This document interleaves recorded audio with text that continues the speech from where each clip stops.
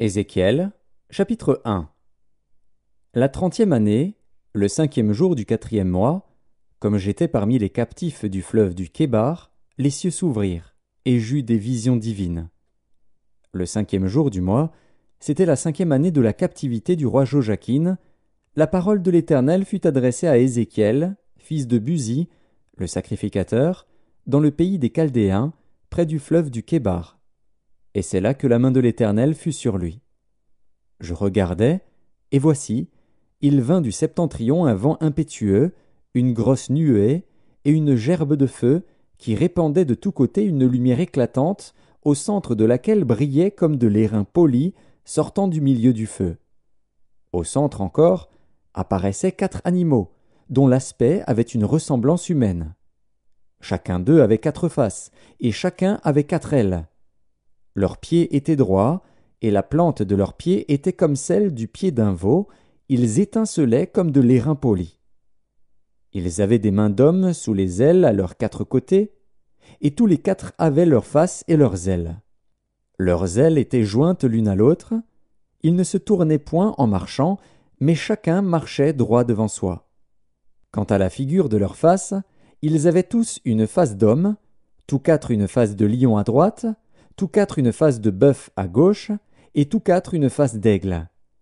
Leurs faces et leurs ailes étaient séparées par le haut. Deux de leurs ailes étaient jointes l'une à l'autre, et deux couvraient leur corps. Chacun marchait droit devant soi. Ils allaient où l'esprit les poussait à aller, et ils ne se tournaient point dans leur marche.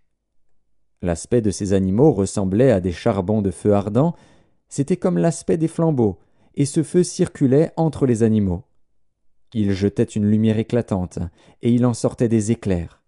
Et les animaux couraient et revenaient comme la foudre. Je regardais ces animaux. Et voici, il y avait une roue sur la terre, près des animaux, devant leurs quatre faces. À leur aspect et à leur structure, ces roues semblaient être en chrysolite, et toutes les quatre avaient la même forme. Leur aspect et leur structure étaient tels que chaque roue paraissait être au milieu d'une autre roue. En cheminant, elles allaient de leurs quatre côtés, et elles ne se tournaient point dans leur marche. Elles avaient une circonférence et une hauteur effrayantes, et à leur circonférence les quatre roues étaient remplies d'yeux tout autour. Quand les animaux marchaient, les roues cheminaient à côté d'eux. Et quand les animaux s'élevaient de terre, les roues s'élevaient aussi. Ils allaient où l'esprit les poussait à aller, et les roues s'élevaient avec eux, car l'esprit des animaux était dans les roues. Quand ils marchaient, elles marchaient. Quand ils s'arrêtaient, elles s'arrêtaient. Quand ils s'élevaient de terre, les roues s'élevaient avec eux, car l'esprit des animaux était dans les roues. Au-dessus des têtes des animaux, il y avait comme un ciel de cristal resplendissant qui s'étendait sur leurs têtes dans le haut. Sous ce ciel, leurs ailes étaient droites l'une contre l'autre, et ils en avaient chacun deux qui les couvraient, chacun d'eux qui couvrait leur corps. J'entendis le bruit de leurs ailes, quand ils marchaient, pareil au bruit de grosses eaux ou à la voix du Tout-Puissant. C'était un bruit tumultueux, comme celui d'une armée.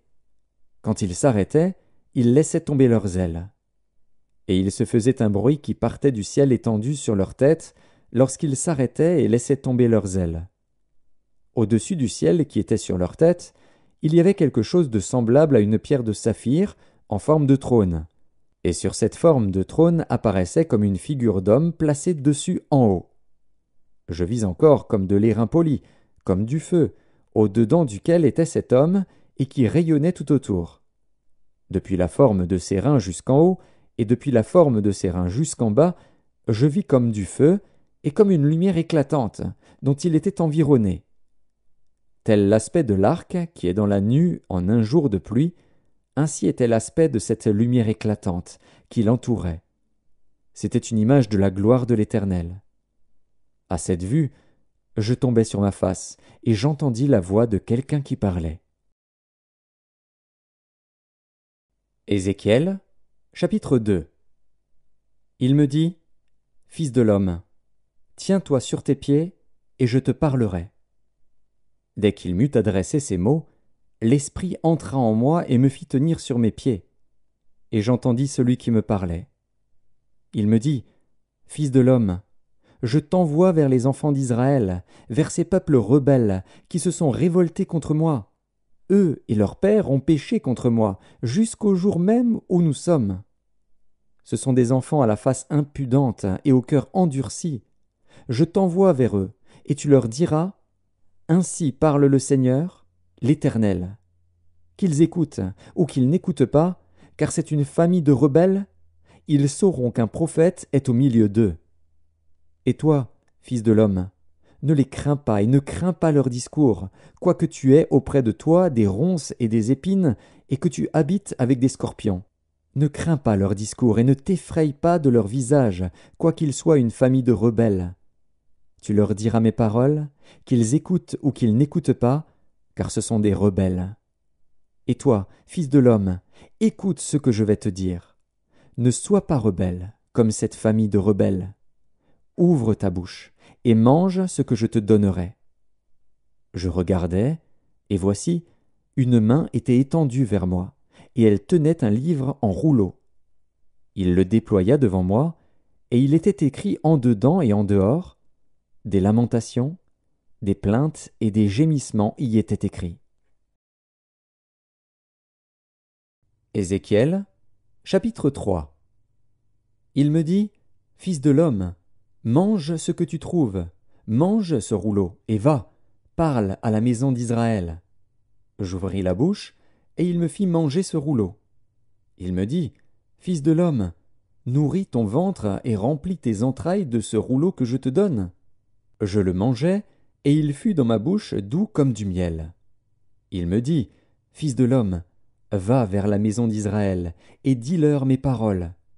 Car ce n'est point vers un peuple ayant un langage obscur, une langue inintelligible, que tu es envoyé, c'est à la maison d'Israël ce n'est point vers de nombreux peuples ayant un langage obscur, une langue inintelligible, dont tu ne comprends pas les discours. Si je t'envoyais vers eux, ils t'écouteraient. Mais la maison d'Israël ne voudra pas t'écouter, parce qu'elle ne veut pas m'écouter. Car toute la maison d'Israël a le front dur et le cœur endurci. Voici, j'endurcirai ta face, pour que tu l'opposes à leur face. J'endurcirai ton front, pour que tu l'opposes à leur front. Je rendrai ton front comme un diamant, plus dur que le roc. Ne les crains pas, quoiqu'ils soient une famille de rebelles. Il me dit, Fils de l'homme, reçois dans ton cœur et écoute de tes oreilles toutes les paroles que je te dirai. Va vers les captifs, vers les enfants de ton peuple. Tu leur parleras, et, qu'ils écoutent ou qu'ils n'écoutent pas, tu leur diras. Ainsi parle le Seigneur, l'Éternel. Et l'Esprit m'enleva, et j'entendis derrière moi le bruit d'un grand tumulte. Béni soit la gloire de l'Éternel, du lieu de sa demeure. J'entendis le bruit des ailes des animaux, frappant l'une contre l'autre, le bruit des roues auprès d'eux, et le bruit d'un grand tumulte. L'Esprit m'enleva et m'emporta. J'allais, irrité et furieux, et la main de l'Éternel agissait sur moi avec puissance. J'arrivai à Tel Habib, vers les exilés qui demeuraient près du fleuve du Kébar, et dans le lieu où ils se trouvaient. Là je restai sept jours, stupéfait au milieu d'eux. Au bout de sept jours, la parole de l'Éternel me fut adressée en ces mots. Fils de l'homme, je t'établis comme sentinelle sur la maison d'Israël. Tu écouteras la parole qui sortira de ma bouche, et tu les avertiras de ma part. Quand je dirai aux méchants Tu mourras, si tu ne l'avertis pas, si tu ne parles pas pour détourner le méchant de sa mauvaise voie et pour lui sauver la vie, ce méchant mourra dans son iniquité, et je te redemanderai son sang. Mais si tu avertis le méchant, et qu'il ne se détourne pas de sa méchanceté et de sa mauvaise voie, il mourra dans son iniquité, et toi, tu sauveras ton âme.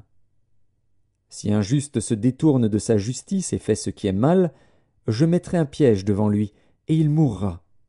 Parce que tu ne l'as pas averti, il mourra dans son péché, on ne parlera plus de la justice qu'il a pratiquée, et je te redemanderai son sang. Mais si tu avertis le juste de ne pas pécher, et qu'il ne pêche pas, il vivra, parce qu'il s'est laissé avertir, et toi, tu sauveras ton âme. Là encore la main de l'Éternel fut sur moi, et il me dit, Lève-toi, va dans la vallée, et là je te parlerai. Je me levai, et j'allai dans la vallée. Et voici, la gloire de l'Éternel y apparut, telle que je l'avais vue près du fleuve du Kébar. Alors je tombai sur ma face. L'Esprit entra en moi, et me fit tenir sur mes pieds. Et l'Éternel me parla et me dit, Va t'enfermer dans ta maison. Fils de l'homme, voici, on mettra sur toi des cordes, avec lesquelles on te liera, afin que tu n'ailles pas au milieu d'eux. J'attacherai ta langue à ton palais, pour que tu sois muet et que tu ne puisses pas les reprendre, car c'est une famille de rebelles. Mais quand je te parlerai, j'ouvrirai ta bouche, pour que tu leur dises Ainsi parle le Seigneur, l'Éternel. Que celui qui voudra écouter écoute, et que celui qui ne voudra pas n'écoute pas, car c'est une famille de rebelles. Ézéchiel, chapitre 4 Et toi, fils de l'homme, prends une brique, place-la devant toi, et tu y traceras une ville, Jérusalem. Représente-la en état de siège, forme des retranchements, élève contre elle des terrasses, environne-la d'un camp, dresse contre elle des béliers tout autour. Prends une poêle de fer, et mets-la comme un mur de fer entre toi et la ville. Dirige ta face contre elle, et elle sera assiégée, et tu l'assiégeras. Que ce soit là un signe pour la maison d'Israël. Puis couche-toi sur le côté gauche, mets-y l'iniquité de la maison d'Israël, et tu porteras leur iniquité autant de jours que tu seras couché sur ce côté. Je te compterai un nombre de jours égal à celui des années de leur iniquité, trois cent quatre-vingt-dix jours. Tu porteras ainsi l'iniquité de la maison d'Israël. Quand tu auras achevé ces jours, couche-toi sur le côté droit, et tu porteras l'iniquité de la maison de Juda pendant quarante jours. Je t'impose un jour pour chaque année. Tu tourneras ta face et ton bras nu vers Jérusalem assiégée, et tu prophétiseras contre elle. Et voici, je mettrai des cordes sur toi, afin que tu ne puisses pas te tourner d'un côté sur l'autre, jusqu'à ce que tu aies accompli les jours de ton siège.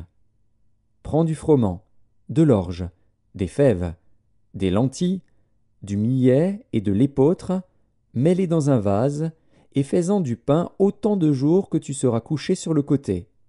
Tu en mangeras pendant trois cent quatre-vingt-dix jours. La nourriture que tu mangeras sera du poids de vingt cycles par jour, tu en mangeras de temps à autre. L'eau que tu boiras aura la mesure d'un sixième de hin, tu boiras de temps à autre. Tu mangeras des gâteaux d'orge que tu feras cuire en leur présence avec des excréments humains. Et l'Éternel dit, C'est ainsi que les enfants d'Israël mangeront leur pain souillé parmi les nations vers lesquelles je les chasserai. Je dis, Ah. Seigneur éternel, voici, mon âme n'a point été souillée, depuis ma jeunesse jusqu'à présent, je n'ai pas mangé d'une bête morte ou déchirée, et aucune chair impure n'est entrée dans ma bouche. Il me répondit. Voici, je te donne des excréments de bœuf au lieu d'excréments humains, et tu feras ton pain dessus. Il me dit encore. Fils de l'homme, je vais briser le bâton du pain à Jérusalem. Ils mangeront du pain au poids et avec angoisse, et ils boiront de l'eau à la mesure et avec épouvante. Ils manqueront de pain et d'eau, ils seront stupéfaits les uns et les autres, et frappés de langueur pour leur iniquité. Ézéchiel, chapitre 5 Et toi, fils de l'homme, prends un instrument tranchant, un rasoir de barbier. Prends-le, et passe-le sur ta tête et sur ta barbe Prends ensuite une balance à peser et partage les cheveux. Brûle-en un tiers dans le feu, au milieu de la ville, lorsque les jours du siège seront accomplis. Prends-en un tiers et frappe-le avec le rasoir tout autour de la ville. Disperse-en un tiers au vent, et je tirerai l'épée derrière eux. Tu en prendras une petite quantité, que tu serreras dans les bords de ton vêtement. Et de cela tu en prendras encore quelques-uns, que tu jetteras au feu et que tu brûleras dans le feu. De là sortira un feu contre toute la maison d'Israël. Ainsi parle le Seigneur, l'Éternel. C'est là, cette Jérusalem que j'avais placée au milieu des nations et des pays d'alentour. Elle a violé mes lois et mes ordonnances, et s'est rendue plus coupable que les nations et les pays d'alentour. Car elle a méprisé mes lois. Elle n'a pas suivi mes ordonnances. C'est pourquoi ainsi parle le Seigneur, l'Éternel. Parce que vous avez été plus rebelles que les nations qui vous entourent, parce que vous n'avez pas suivi mes ordonnances et pratiqué mes lois, et que vous n'avez pas agi selon les lois des nations qui vous entourent. À cause de cela, ainsi parle le Seigneur, l'Éternel. Voici, j'en veux à toi, et j'exécuterai au milieu de toi mes jugements sous les yeux des nations. À cause de toutes tes abominations, je te ferai ce que je n'ai point encore fait, ce que je ne ferai jamais. C'est pourquoi des pères mangeront leurs enfants au milieu de toi, et des enfants mangeront leurs pères. J'exercerai mes jugements contre toi, et je disperserai à tous les vents tout ce qui restera de toi. C'est pourquoi je suis vivant, dit le Seigneur, l'Éternel, parce que tu as souillé mon sanctuaire par toutes tes idoles et toutes tes abominations, moi aussi je retirerai mon œil, et mon œil sera sans pitié, moi aussi je n'aurai point de miséricorde. Un tiers de tes habitants mourra de la peste et sera consumé par la famine au milieu de toi un tiers tombera par l'épée autour de toi. Et j'en disperserai un tiers à tous les vents, et je tirerai l'épée derrière eux. J'assouvirai ainsi ma colère, je ferai reposer ma fureur sur eux, je me donnerai satisfaction. Et ils sauront que moi, l'Éternel, j'ai parlé dans ma colère, en répandant sur eux ma fureur. Je ferai de toi un désert, un sujet d'opprobre parmi les nations qui t'entourent, aux yeux de tous les passants. Tu seras un sujet d'opprobre et de honte, un exemple et un objet d'effroi pour les nations qui t'entourent, quand j'exécuterai contre toi mes jugements, avec colère, avec fureur, et par des châtiments rigoureux. C'est moi, l'Éternel, qui parle. Quand je lancerai sur eux les flèches pernicieuses de la famine, qui donnent la mort, et que j'enverrai pour vous détruire. Car j'ajouterai la famine à vos maux, je briserai pour vous le bâton du pain. J'enverrai contre vous la famine et les bêtes féroces, qui te priveront d'enfants. La peste et le sang passeront au milieu de toi. Je ferai venir l'épée sur toi. C'est moi, l'Éternel, qui parle. Ézéchiel, chapitre 6 La parole de l'Éternel me fut adressée en ces mots. Fils de l'homme, Tourne ta face vers les montagnes d'Israël, et prophétise contre elles. Tu diras, Montagnes d'Israël, écoutez la parole du Seigneur, de l'Éternel. Ainsi parle le Seigneur, l'Éternel, aux montagnes et aux collines, aux ravins et aux vallées.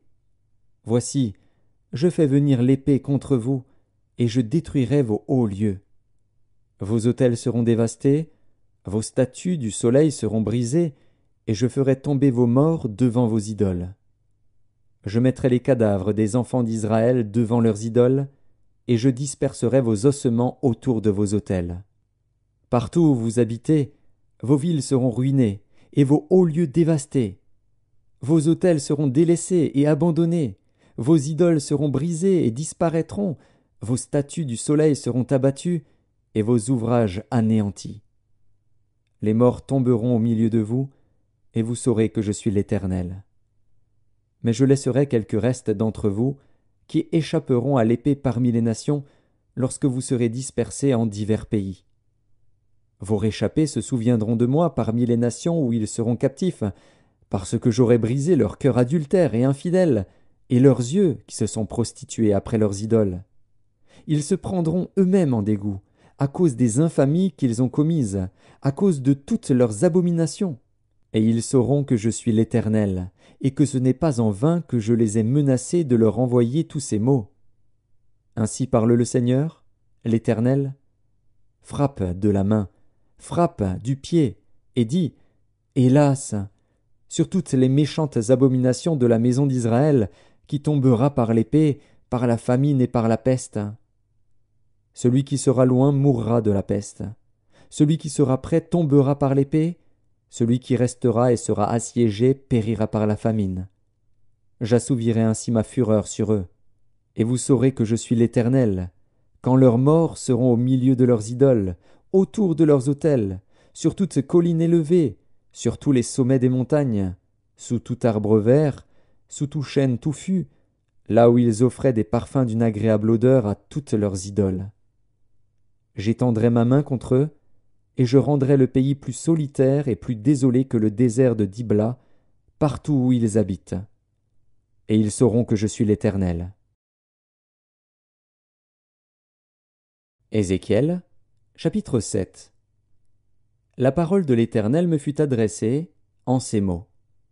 Et toi, fils de l'homme, ainsi parle le Seigneur, l'Éternel, sur le pays d'Israël. Voici la fin. La fin vient sur les quatre extrémités du pays. Maintenant la fin vient sur toi. J'enverrai ma colère contre toi. Je te jugerai selon tes voies, je te chargerai de toutes tes abominations. Mon œil sera pour toi sans pitié, et je n'aurai point de miséricorde.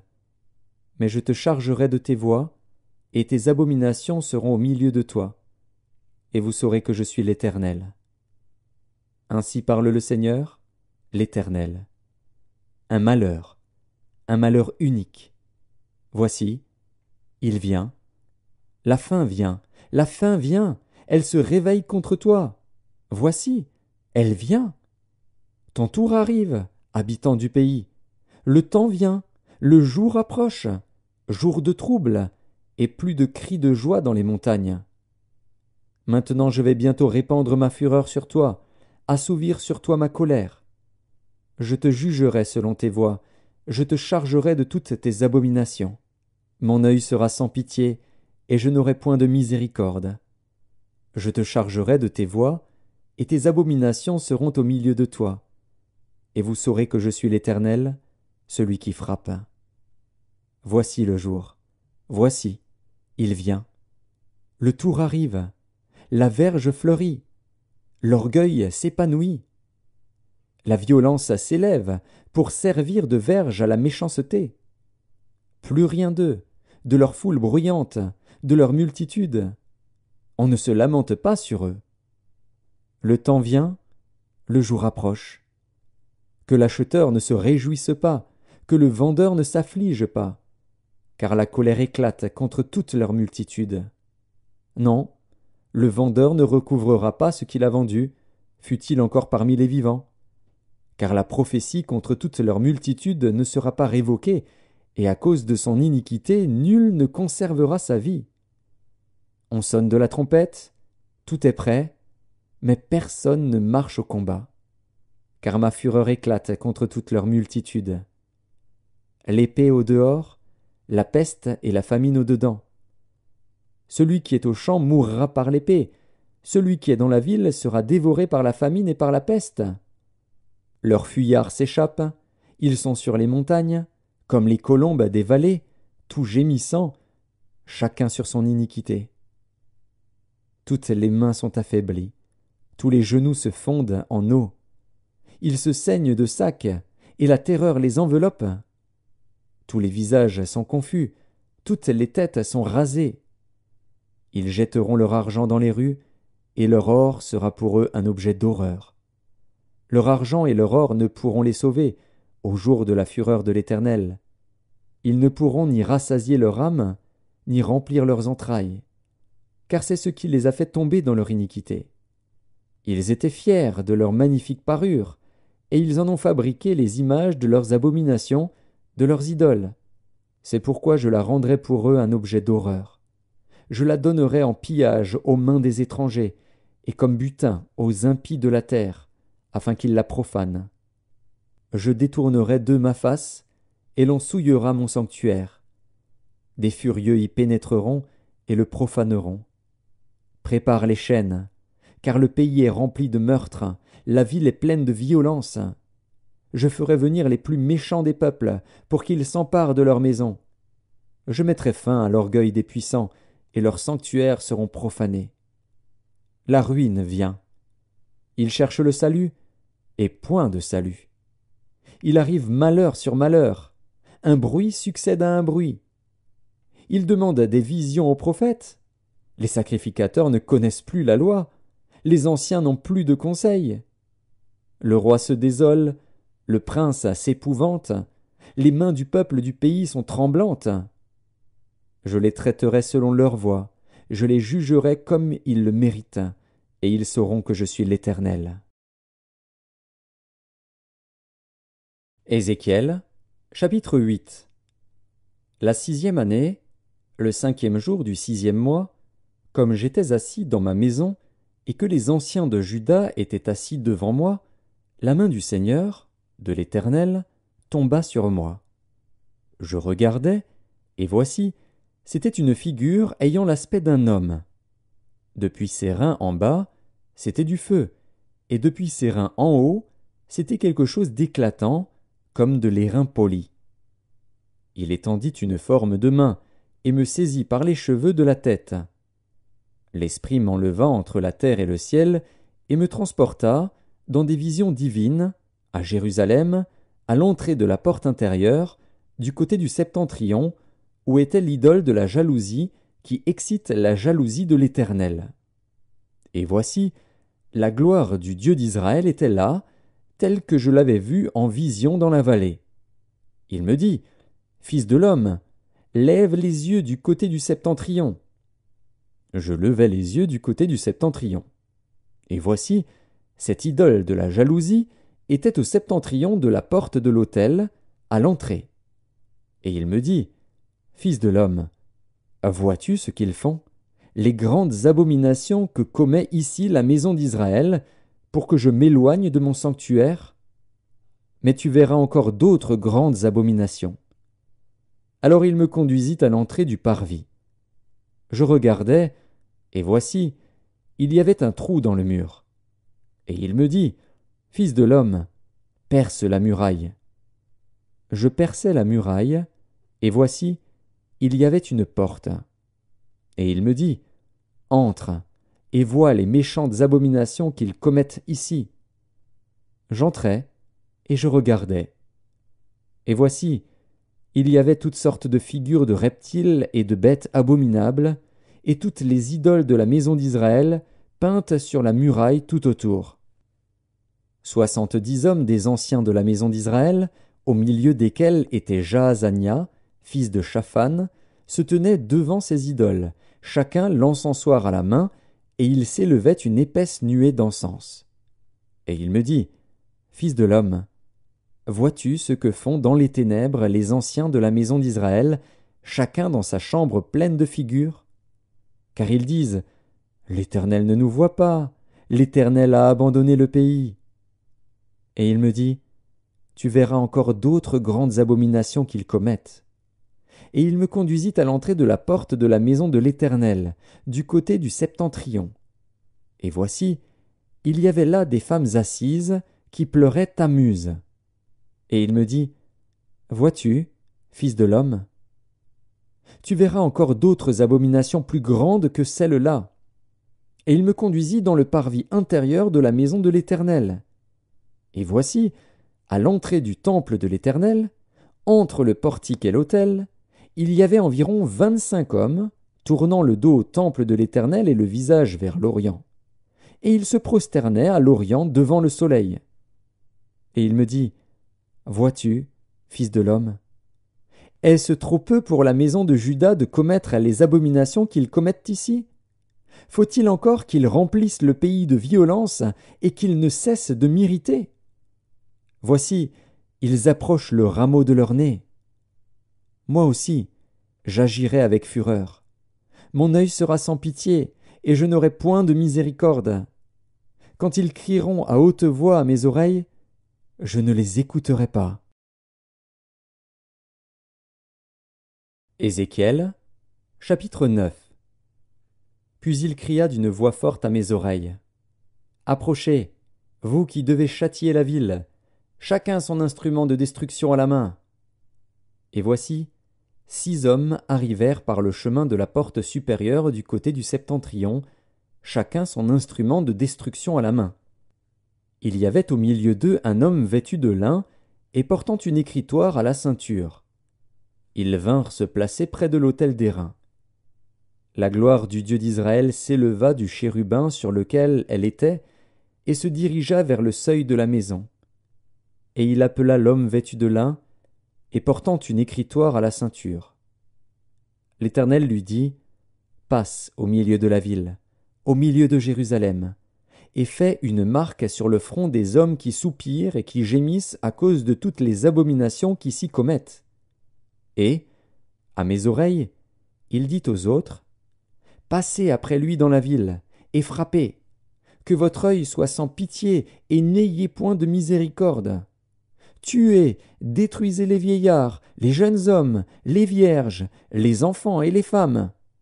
Mais n'approchez pas de quiconque aura sur lui la marque. Et commencez par mon sanctuaire. Ils commencèrent par les anciens qui étaient devant la maison.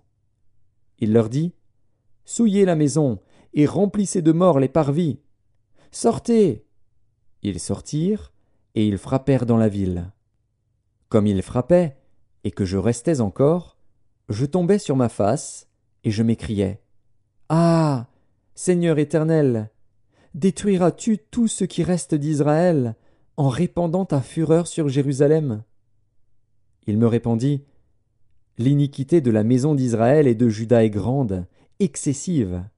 Le pays est rempli de meurtres, la ville est pleine d'injustice, car ils disent L'Éternel a abandonné le pays, l'Éternel ne voit rien.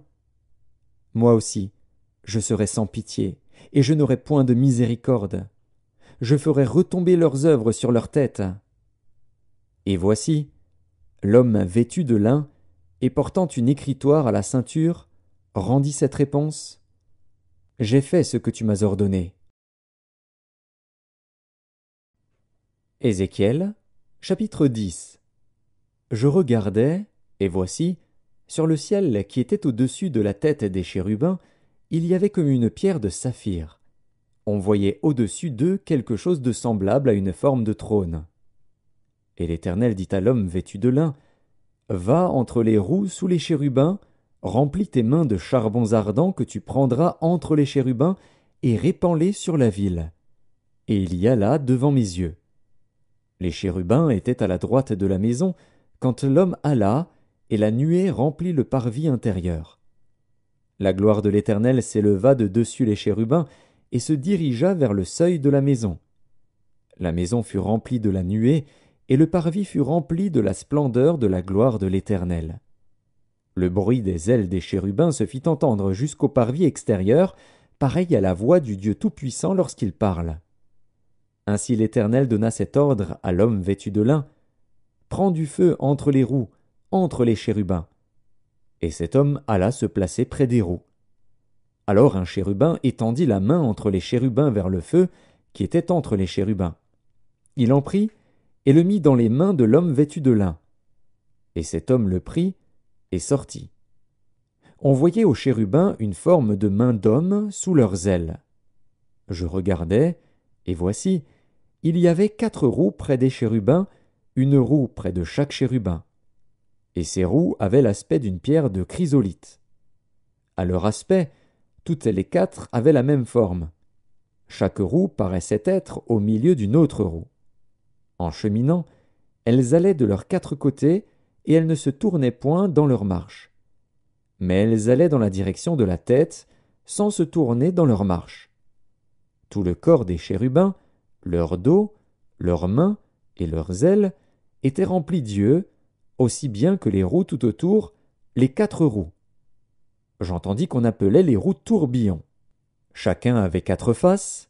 La face du premier était une face de chérubin, la face du second une face d'homme, celle du troisième une face de lion, et celle du quatrième une face d'aigle. Et les chérubins s'élevèrent. C'étaient les animaux que j'avais vus près du fleuve du Kébar. Quand les chérubins marchaient, les roues cheminaient à côté d'eux. Et quand les chérubins déployaient leurs ailes pour s'élever de terre, les roues aussi ne se détournaient point d'eux.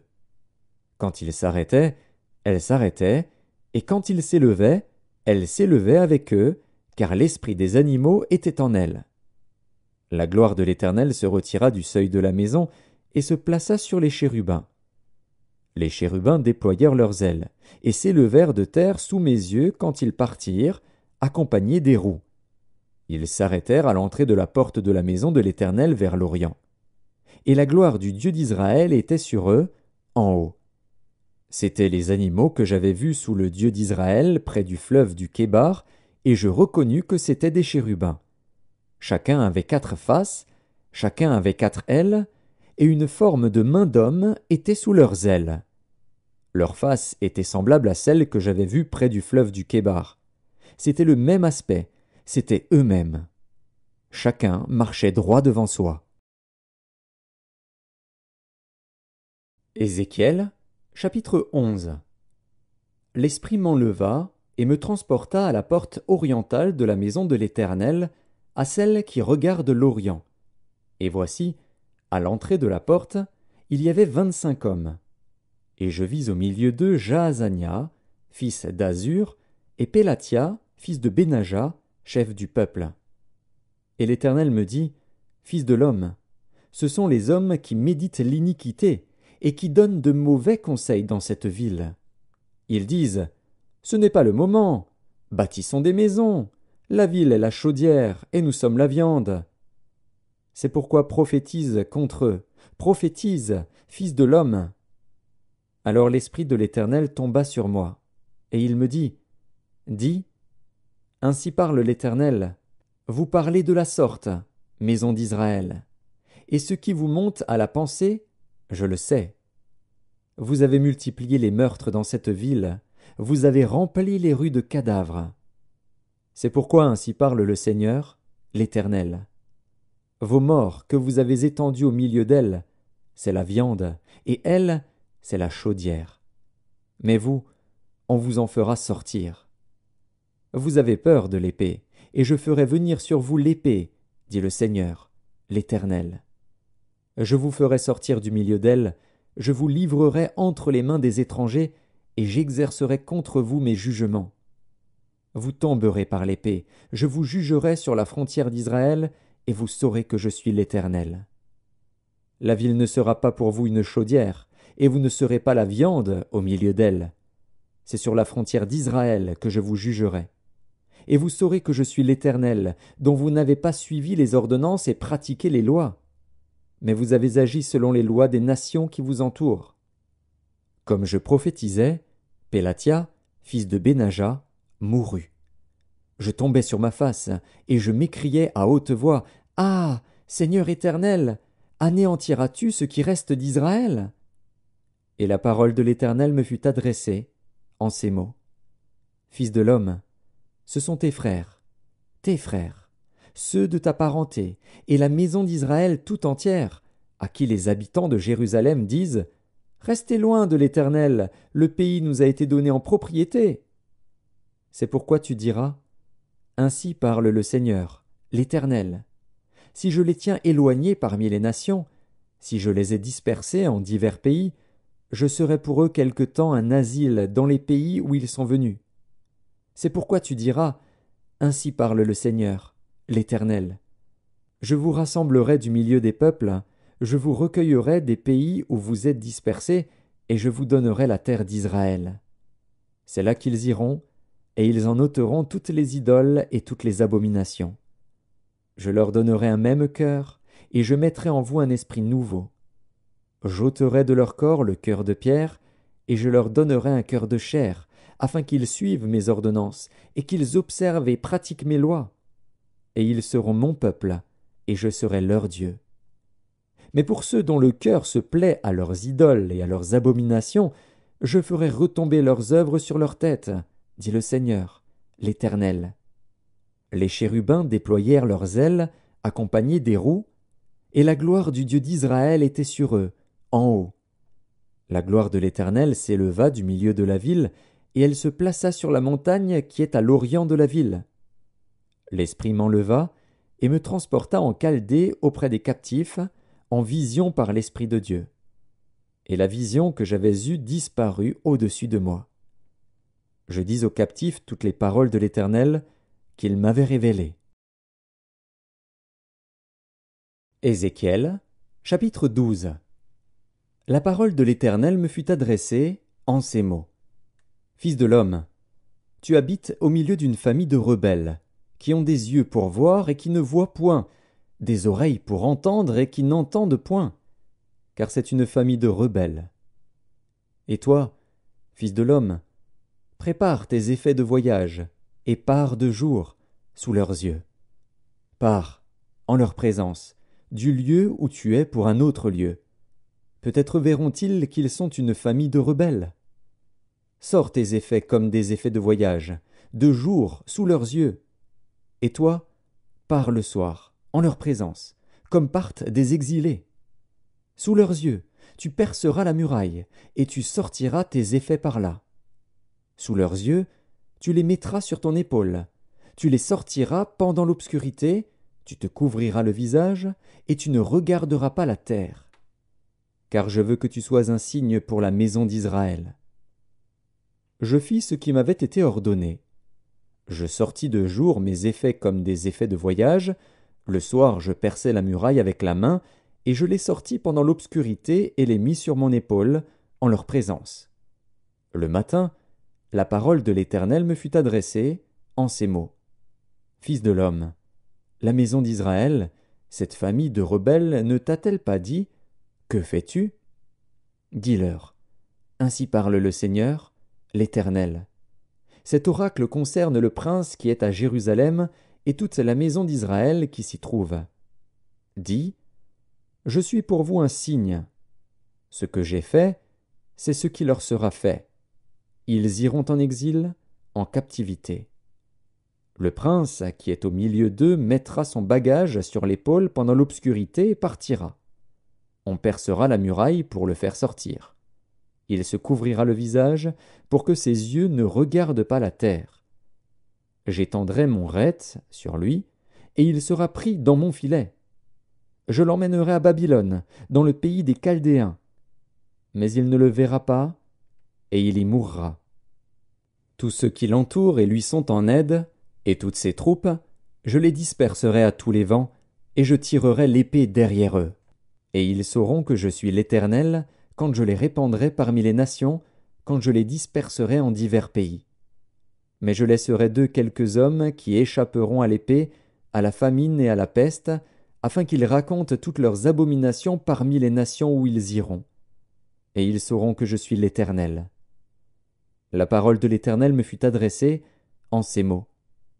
Fils de l'homme, tu mangeras ton pain avec tremblement, tu boiras ton eau avec inquiétude et angoisse. Dis au peuple du pays, ainsi parle le Seigneur, l'Éternel, sur les habitants de Jérusalem dans la terre d'Israël. Ils mangeront leur pain avec angoisse, et ils boiront leur eau avec épouvante. Car leur pays sera dépouillé de tout ce qu'il contient à cause de la violence de tous ceux qui l'habitent.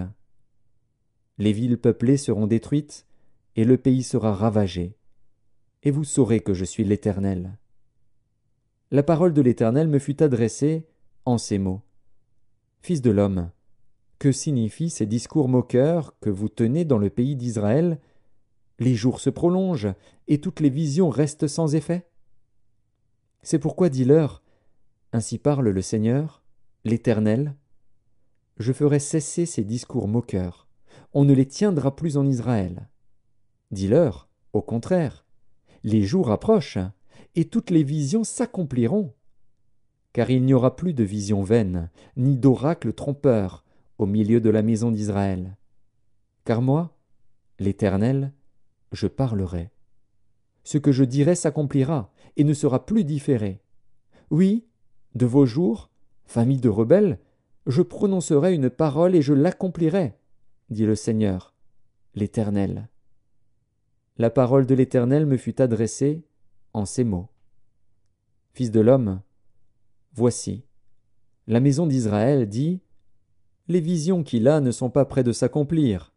Il prophétise pour des temps éloignés. C'est pourquoi dis-leur Ainsi parle le Seigneur, l'Éternel. Il n'y aura plus de délai dans l'accomplissement de mes paroles. La parole que je prononcerai s'accomplira, dit le Seigneur, l'Éternel. Ézéchiel, chapitre 13 La parole de l'Éternel me fut adressée en ces mots.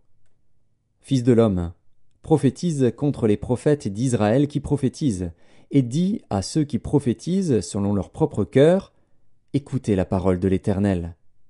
Ainsi parle le Seigneur, l'Éternel, Malheur aux prophètes insensés qui suivent leur propre esprit et qui ne voient rien. Tels des renards au milieu des ruines, Tels sont tes prophètes, ô Israël. Vous n'êtes pas montés devant les brèches, vous n'avez pas entouré d'un mur la maison d'Israël pour demeurer ferme dans le combat au jour de l'Éternel. Leurs visions sont vaines et leurs oracles menteurs. Ils disent L'Éternel a dit, et l'Éternel ne les a point envoyés. Et ils font espérer que leur parole s'accomplira. Les visions que vous avez ne sont-elles pas vaines, et les oracles que vous prononcez ne sont-ils pas menteurs? Vous dites L'Éternel a dit, et je n'ai point parlé. C'est pourquoi ainsi parle le Seigneur, l'Éternel. Parce que vous dites des choses vaines, et que vos visions sont des mensonges, voici, j'en veux à vous, dit le Seigneur, l'Éternel. Ma main sera contre les prophètes dont les visions sont vaines et les oracles menteurs. Ils ne feront point partie de l'assemblée de mon peuple, ils ne seront pas inscrits dans le livre de la maison d'Israël, et ils n'entreront pas dans le pays d'Israël. Et vous saurez que je suis le Seigneur, l'Éternel. Ces choses arriveront parce qu'ils égarent mon peuple, en disant Paix quand il n'y a point de paix. Et mon peuple bâtit une muraille, et eux, ils la couvrent de plâtre. Dis à ceux qui la couvrent de plâtre qu'elle s'écroulera une pluie violente surviendra. Et vous, pierres de grêle, vous tomberez, et la tempête éclatera. Et voici, la muraille s'écroule. Ne vous dira-t-on pas, où est le plâtre dont vous l'avez couverte? C'est pourquoi ainsi parle le Seigneur, l'Éternel, je ferai, dans ma fureur, éclater la tempête. Il surviendra, dans ma colère, une pluie violente, et des pierres de grêle tomberont avec fureur pour détruire. J'abattrai la muraille que vous avez couverte de plâtre, je lui ferai toucher la terre, et ses fondements seront mis à nu. Elle s'écroulera, et vous périrez au milieu de ses ruines. Et vous saurez que je suis l'Éternel. J'assouvirai ainsi ma fureur contre la muraille, et contre ceux qui l'ont couverte de plâtre. Et je vous dirai, plus de muraille, et c'en est fait de ceux qui la replâtraient, des prophètes d'Israël qui prophétisent sur Jérusalem et qui ont sur elle des visions de paix quand il n'y a point de paix, dit le Seigneur, l'Éternel. Et toi, fils de l'homme, porte tes regards sur les filles de ton peuple qui prophétisent selon leur propre cœur et prophétisent contre elles. Tu diras, Ainsi parle le Seigneur, l'Éternel. Malheur à celles qui fabriquent des coussinets pour toutes les aisselles, et qui font des voiles pour la tête des gens de toute taille, afin de surprendre les âmes. Pensez-vous surprendre les âmes de mon peuple, et conserver vos propres âmes? Vous me déshonorez auprès de mon peuple pour des poignées d'orge et des morceaux de pain, en tuant des âmes qui ne doivent pas mourir, et en faisant vivre des âmes qui ne doivent pas vivre, trompant ainsi mon peuple, qui écoute le mensonge. C'est pourquoi ainsi parle le Seigneur, l'Éternel. Voici, j'en veux à vos coussinets par lesquels vous surprenez les âmes afin qu'elles s'envolent, et je les arracherai de vos bras. Et je délivrerai les âmes que vous cherchez à surprendre afin qu'elles s'envolent. J'arracherai aussi vos voiles, et je délivrerai de vos mains mon peuple. Ils ne serviront plus de piège entre vos mains. Et vous saurez que je suis l'Éternel parce que vous affligez le cœur du juste par des mensonges, quand moi-même je ne l'ai point attristé, et parce que vous fortifiez les mains du méchant pour l'empêcher de quitter sa mauvaise voie et pour le faire vivre, vous n'aurez plus de vaines visions, et vous ne prononcerez plus d'oracles. Je délivrerai de vos mains mon peuple, et vous saurez que je suis l'Éternel. Ézéchiel, chapitre 14 Quelques-uns des anciens d'Israël vinrent auprès de moi et s'assirent devant moi. Et la parole de l'Éternel me fut adressée en ces mots. Fils de l'homme, ces gens-là portent leurs idoles dans leur cœur, et ils attachent les regards sur ce qui les a fait tomber dans l'iniquité. me laisserai-je consulter par eux? C'est pourquoi parle-leur, et dis-leur, Ainsi parle le Seigneur, l'Éternel. Tout homme de la maison d'Israël qui porte ses idoles dans son cœur, et qui attache les regards sur ce qu'il a fait tomber dans son iniquité, s'il vient s'adresser au prophète, moi, l'Éternel, je lui répondrai, malgré la multitude de ses idoles, afin de saisir dans leur propre cœur ceux de la maison d'Israël qui se sont éloignés de moi avec toutes leurs idoles. C'est pourquoi dis à la maison d'Israël, Ainsi parle le Seigneur, l'Éternel. Revenez, et détournez-vous de vos idoles, détournez les regards de toutes vos abominations. Car tout homme de la maison d'Israël, ou des étrangers séjournant en Israël, qui s'est éloigné de moi, qui porte ses idoles dans son cœur, et qui attache les regards sur ce qu'il a fait tomber dans son iniquité, s'il vient s'adresser au prophète pour me consulter par lui, moi, l'Éternel, je lui répondrai par moi. Je tournerai ma face contre cet homme, je ferai de lui un signe et un sujet de sarcasme, et je l'exterminerai du milieu de mon peuple. Et vous saurez que je suis l'Éternel.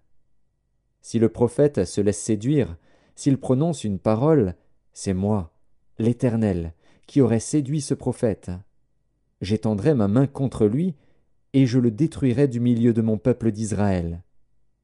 Ils porteront ainsi la peine de leur iniquité. La peine du prophète sera comme la peine de celui qui consulte, afin que la maison d'Israël ne s'égare plus loin de moi, et qu'elle ne se souille plus par toutes ses transgressions. Alors ils seront mon peuple, et je serai leur Dieu, dit le Seigneur, l'Éternel. La parole de l'Éternel me fut adressée en ces mots. Fils de l'homme, lorsqu'un pays pécherait contre moi en se livrant à l'infidélité, et que j'étendrais ma main sur lui, si je brisais pour lui le bâton du pain, si je lui envoyais la famine, si j'en exterminais les hommes et les bêtes, et qu'il y eût au milieu de lui ces trois hommes, Noé, Daniel et Job, ils sauveraient leur âme par leur justice, dit le Seigneur l'Éternel. Si je faisais parcourir le pays par des bêtes féroces qui le dépeupleraient, s'il devenait un désert où personne ne passerait à cause de ces bêtes, et qu'il y eût au milieu de lui ces trois hommes, je suis vivant, dit le Seigneur, l'Éternel, il ne sauverait ni fils ni fille, eux seuls seraient sauvés, et le pays deviendrait un désert. Ou si j'amenais l'épée contre ce pays, si je disais que l'épée parcourt le pays.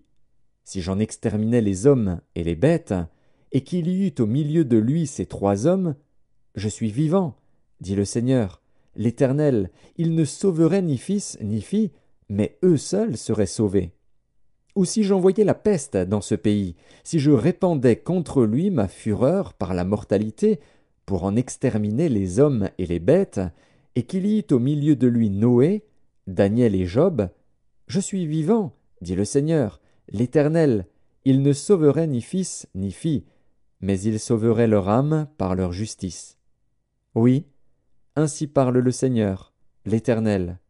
Quoique j'envoie contre Jérusalem mes quatre châtiments terribles, l'épée, la famine, les bêtes féroces et la peste, pour en exterminer les hommes et les bêtes, il y aura néanmoins un reste qui échappera, qui en sortira, des fils et des filles. Voici, ils arriveront auprès de vous. Vous verrez leur conduite et leurs actions, et vous vous consolerez du malheur que je fais venir sur Jérusalem, de tout ce que je fais venir sur elle. Ils vous consoleront, quand vous verrez leur conduite et leurs actions, et vous reconnaîtrez que ce n'est pas sans raison que je fais tout ce que je lui fais, dit le Seigneur, l'Éternel. Ézéchiel Chapitre 15 La parole de l'Éternel me fut adressée en ces mots. Fils de l'homme, le bois de la vigne, qu'a-t-il de plus que tout autre bois, le sarment qui est parmi les arbres de la forêt? Prend-on de ce bois pour fabriquer un ouvrage? En tire-t-on une cheville pour y suspendre un objet quelconque? Voici, on le met au feu pour le consumer. Le feu en consume les deux bouts et le milieu brûle. Sera-t-il bon à quelque chose? Voici, lorsqu'il était entier, on n'en faisait aucun ouvrage. Combien moins, Lorsque le feu l'a consumé et qu'il est brûlé, en pourra-t-on faire quelque ouvrage? C'est pourquoi ainsi parle le Seigneur, l'Éternel. Comme le bois de la vigne parmi les arbres de la forêt, ce bois que je livre au feu pour le consumer, ainsi je livrerai les habitants de Jérusalem. Je tournerai ma face contre eux. Ils sont sortis du feu, et le feu les consumera. Et vous saurez que je suis l'Éternel, quand je tournerai ma face contre eux. Je ferai du pays un désert, parce qu'ils ont été infidèles, dit le Seigneur, l'Éternel. Ézéchiel, chapitre 16 La parole de l'Éternel me fut adressée en ces mots. Fils de l'homme, fais connaître à Jérusalem ses abominations. Tu diras, Ainsi parle le Seigneur, l'Éternel, à Jérusalem. Par ton origine et ta naissance, tu es du pays de Canaan. Ton père était un Amoréen, et ta mère une Étienne. À ta naissance, au jour où tu naquis, ton nombril n'a pas été coupé, tu n'as pas été lavé dans l'eau pour être purifié, tu n'as pas été frotté avec du sel, tu n'as pas été enveloppé dans des langes. Nul n'a porté sur toi un regard de pitié pour te faire une seule de ces choses, par compassion pour toi. Mais tu as été jeté dans les champs, le jour de ta naissance, parce qu'on avait horreur de toi. Je passais près de toi, je t'aperçus baigné dans ton sang, et je te dis Vis dans ton sang. Je te dis Vis dans ton sang. Je t'ai multiplié par dix milliers, comme les herbes des champs. Et tu pris de l'accroissement, tu grandis, tu devins d'une beauté parfaite. Tes seins se formèrent, ta chevelure se développa, mais tu étais nu, entièrement nu. Je passais près de toi, je te regardais, et voici, ton temps était là le temps des amours. J'étendis sur toi le pan de ma robe, je couvris ta nudité, je te jurai fidélité, je fis alliance avec toi, dit le Seigneur, l'Éternel, et tu fus à moi. Je te lavai dans l'eau, je fis disparaître le sang qui était sur toi, et je t'oignis avec de l'huile. Je te donnai des vêtements brodés, et une chaussure de peau teinte en bleu. Je te ceignis de fin lin, et je te couvris de soie. Je te parais d'ornements, je mis des bracelets à tes mains, un collier à ton cou, je mis un anneau à ton nez, des pendants à tes oreilles, et une couronne magnifique sur ta tête. Ainsi tu fus paré d'or et d'argent, et tu fus vêtu de fin lin, de soie et d'étoffes brodées. La fleur de farine, le miel et l'huile furent ta nourriture. Tu étais d'une beauté accomplie, digne de la royauté. Et ta renommée se répandit parmi les nations, à cause de ta beauté. Car elle était parfaite, grâce à l'éclat dont je t'avais orné, dit le Seigneur, l'Éternel. Mais tu t'es confié dans ta beauté, et tu t'es prostitué, à la faveur de ton nom. Tu as prodigué tes prostitutions à tous les passants, tu t'es livré à eux. Tu as pris de tes vêtements, tu t'es fait des hauts lieux que tu as garnis d'étoffes de toutes couleurs, et tu t'y es prostitué. Rien de semblable n'était arrivé et n'arrivera jamais. Tu as pris ta magnifique parure d'or et d'argent que je t'avais donnée, et tu en as fait des simulacres d'hommes auxquels tu t'es prostitué. Tu as pris tes vêtements brodés, tu les en as couverts, et tu as offert à ces simulacres mon huile et mon encens. Le pain que je t'avais donné, la fleur de farine, l'huile et le miel, dont je te nourrissais, tu leur as offert ces choses comme des parfums d'une odeur agréable. Voilà ce qui est arrivé, dit le Seigneur, l'Éternel. Tu as pris tes fils et tes filles, que tu m'avais enfantés, et tu les leur as sacrifiés pour qu'ils leur servent d'aliment. N'était-ce pas assez de tes prostitutions? Tu as égorgé mes fils, et tu les as donnés en les faisant passer par le feu en leur honneur. Au milieu de toutes tes abominations et de tes prostitutions, tu ne t'es pas souvenu du temps de ta jeunesse, lorsque tu étais nu, entièrement nu, et baigné dans ton sang? Après toutes tes méchantes actions, malheur, malheur à toi, dit le Seigneur, l'Éternel, tu t'es bâti des maisons de prostitution, tu t'es fait des hauts lieux dans toutes les places, À l'entrée de chaque chemin, tu as construit tes hauts lieux, tu as déshonoré ta beauté, tu t'es livré à tous les passants, tu as multiplié tes prostitutions. Tu t'es prostitué aux Égyptiens, tes voisins au corps vigoureux, et tu as multiplié tes prostitutions pour m'irriter.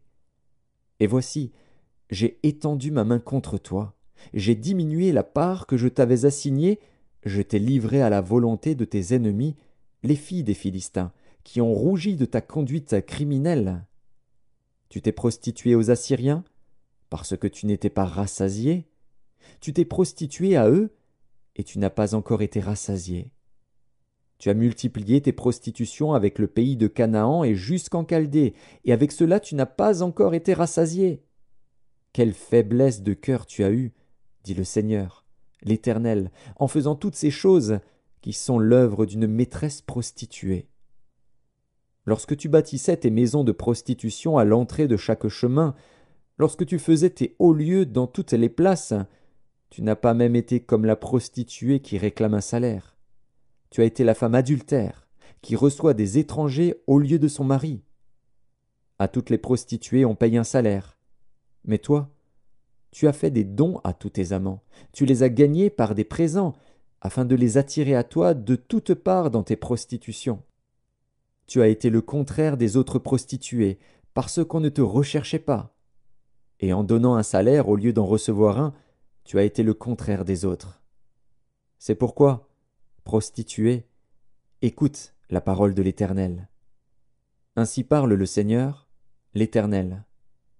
Parce que tes trésors ont été dissipés, et que ta nudité a été découverte dans tes prostitutions avec tes amants et avec toutes tes abominables idoles, et à cause du sang de tes enfants que tu leur as donné, voici, je rassemblerai tous tes amants avec lesquels tu te plaisais, tous ceux que tu as aimés et tous ceux que tu as haïs, je les rassemblerai de toutes parts contre toi, je leur découvrirai ta nudité, et ils verront toute ta nudité. Je te jugerai comme on juge les femmes adultères et celles qui répandent le sang, et je ferai de toi une victime sanglante de la fureur et de la jalousie. Je te livrerai entre leurs mains. Ils abattront tes maisons de prostitution et détruiront tes hauts lieux. Ils te dépouilleront de tes vêtements, prendront ta magnifique parure, et te laisseront nu, entièrement nu. Ils amèneront la foule contre toi, ils te lapideront et te perceront à coups d'épée.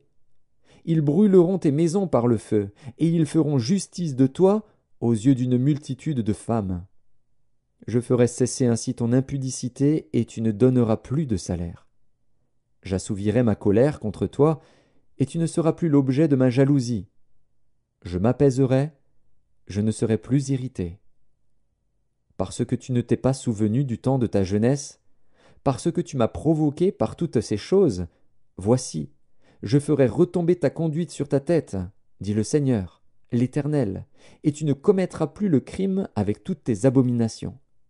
Voici, tous ceux qui disent des proverbes t'appliqueront ce proverbe Telle mère, telle fille. Tu es la fille de ta mère, qui a repoussé son mari et ses enfants. Tu es la sœur de tes sœurs, qui ont repoussé leurs maris et leurs enfants. Votre mère était une Essienne, et votre père un Amoréen. Ta grande sœur, qui demeure à ta gauche, c'est Samarie avec ses filles. Et ta petite sœur, qui demeure à ta droite, c'est Sodome avec ses filles. Tu n'as pas seulement marché dans leurs voies, commis les mêmes abominations, c'était trop peu. Tu as été plus corrompu qu'elles dans toutes tes voies. Je suis vivant, dit le Seigneur, l'Éternel. Sodome, ta sœur, et ses filles n'ont pas fait ce que vous avez fait, toi et tes filles. Voici quel a été le crime de Sodome, ta sœur. Elle avait de l'orgueil, elle vivait dans l'abondance et dans une insouciante sécurité, elle et ses filles, et elle ne soutenait pas la main du malheureux et de l'indigent. Elles sont devenues hautaines, et elles ont commis des abominations devant moi. Je les ai fait disparaître quand j'ai vu cela. Samarie n'a pas commis la moitié de tes péchés. Tes abominations ont été plus nombreuses que les siennes, et tu as justifié tes sœurs par toutes les abominations que tu as faites. Toi qui condamnais tes sœurs, supporte ton opprobre, à cause de tes péchés par lesquels tu t'es rendu plus abominable qu'elles, et qui les font paraître plus justes que toi. Sois confuse et supporte ton opprobre, puisque tu as justifié tes sœurs. Je ramènerai leurs captifs, les captifs de Sodome et de ses filles, les captifs de Samarie et de ses filles, tes captifs au milieu des leurs, afin que tu subisses ton opprobre et que tu rougisses de tout ce que tu as fait, en étant pour elles un sujet de consolation. Tes sœurs, Sodome et ses filles, reviendront à leur premier état. Samarie et ses filles reviendront à leur premier état. Et toi et tes filles, vous reviendrez à votre premier état. Ne discourais-tu pas sur ta sœur Sodome, dans le temps de ton orgueil, avant que ta méchanceté soit mise à nu, lorsque tu as reçu les outrages des filles de la Syrie et de tous ses alentours, des filles des Philistins, qui te méprisaient de tous côtés Tu portes tes crimes et tes abominations, dit l'Éternel. Car ainsi parle le Seigneur, l'Éternel, J'agirai envers toi comme tu as agi, toi qui as méprisé le serment en rompant l'alliance.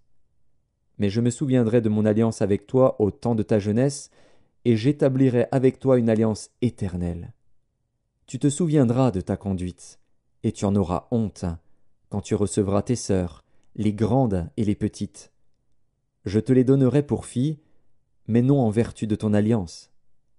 J'établirai mon alliance avec toi, et tu sauras que je suis l'Éternel, afin que tu te souviennes du passé et que tu rougisses, afin que tu n'ouvres plus la bouche et que tu sois confuse, quand je te pardonnerai tout ce que tu as fait, dit le Seigneur, l'Éternel. Ézéchiel, chapitre 17 La parole de l'Éternel me fut adressée en ces mots. Fils de l'homme, propose une énigme, dis une parabole à la maison d'Israël. Tu diras, Ainsi parle le Seigneur, l'Éternel. Un grand aigle, aux longues ailes, aux ailes déployées, couvert de plumes de toutes couleurs, vint sur le Liban et enleva la cime d'un cèdre. Il arracha le plus élevé de ses rameaux, l'emporta dans un pays de commerce et le déposa dans une ville de marchands. Et il prit un rejeton du pays et le plaça dans un sol fertile. Il le mit près d'une eau abondante et le planta comme un saule. Ce rejeton poussa et devint un cep de vigne étendu, mais de peu d'élévation. Ses rameaux étaient tournés vers l'aigle, et ses racines étaient sous lui. Il devint un cep de vigne, donna des jets, et produisit des branches. Il y avait un autre aigle, grand, aux longues ailes, au plumage épais. Et voici, du parterre où elle était plantée, cette vigne étendit avec avidité ses racines de son côté et dirigea ses rameaux vers lui, afin qu'il l'arrosât.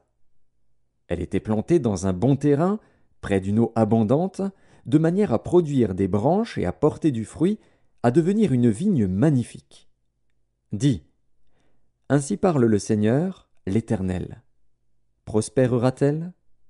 Le premier aigle n'arrachera-t-il pas ses racines, n'enlèvera-t-il pas son fruit, afin qu'elle se dessèche, afin que toutes les feuilles qu'elle a poussées se dessèchent?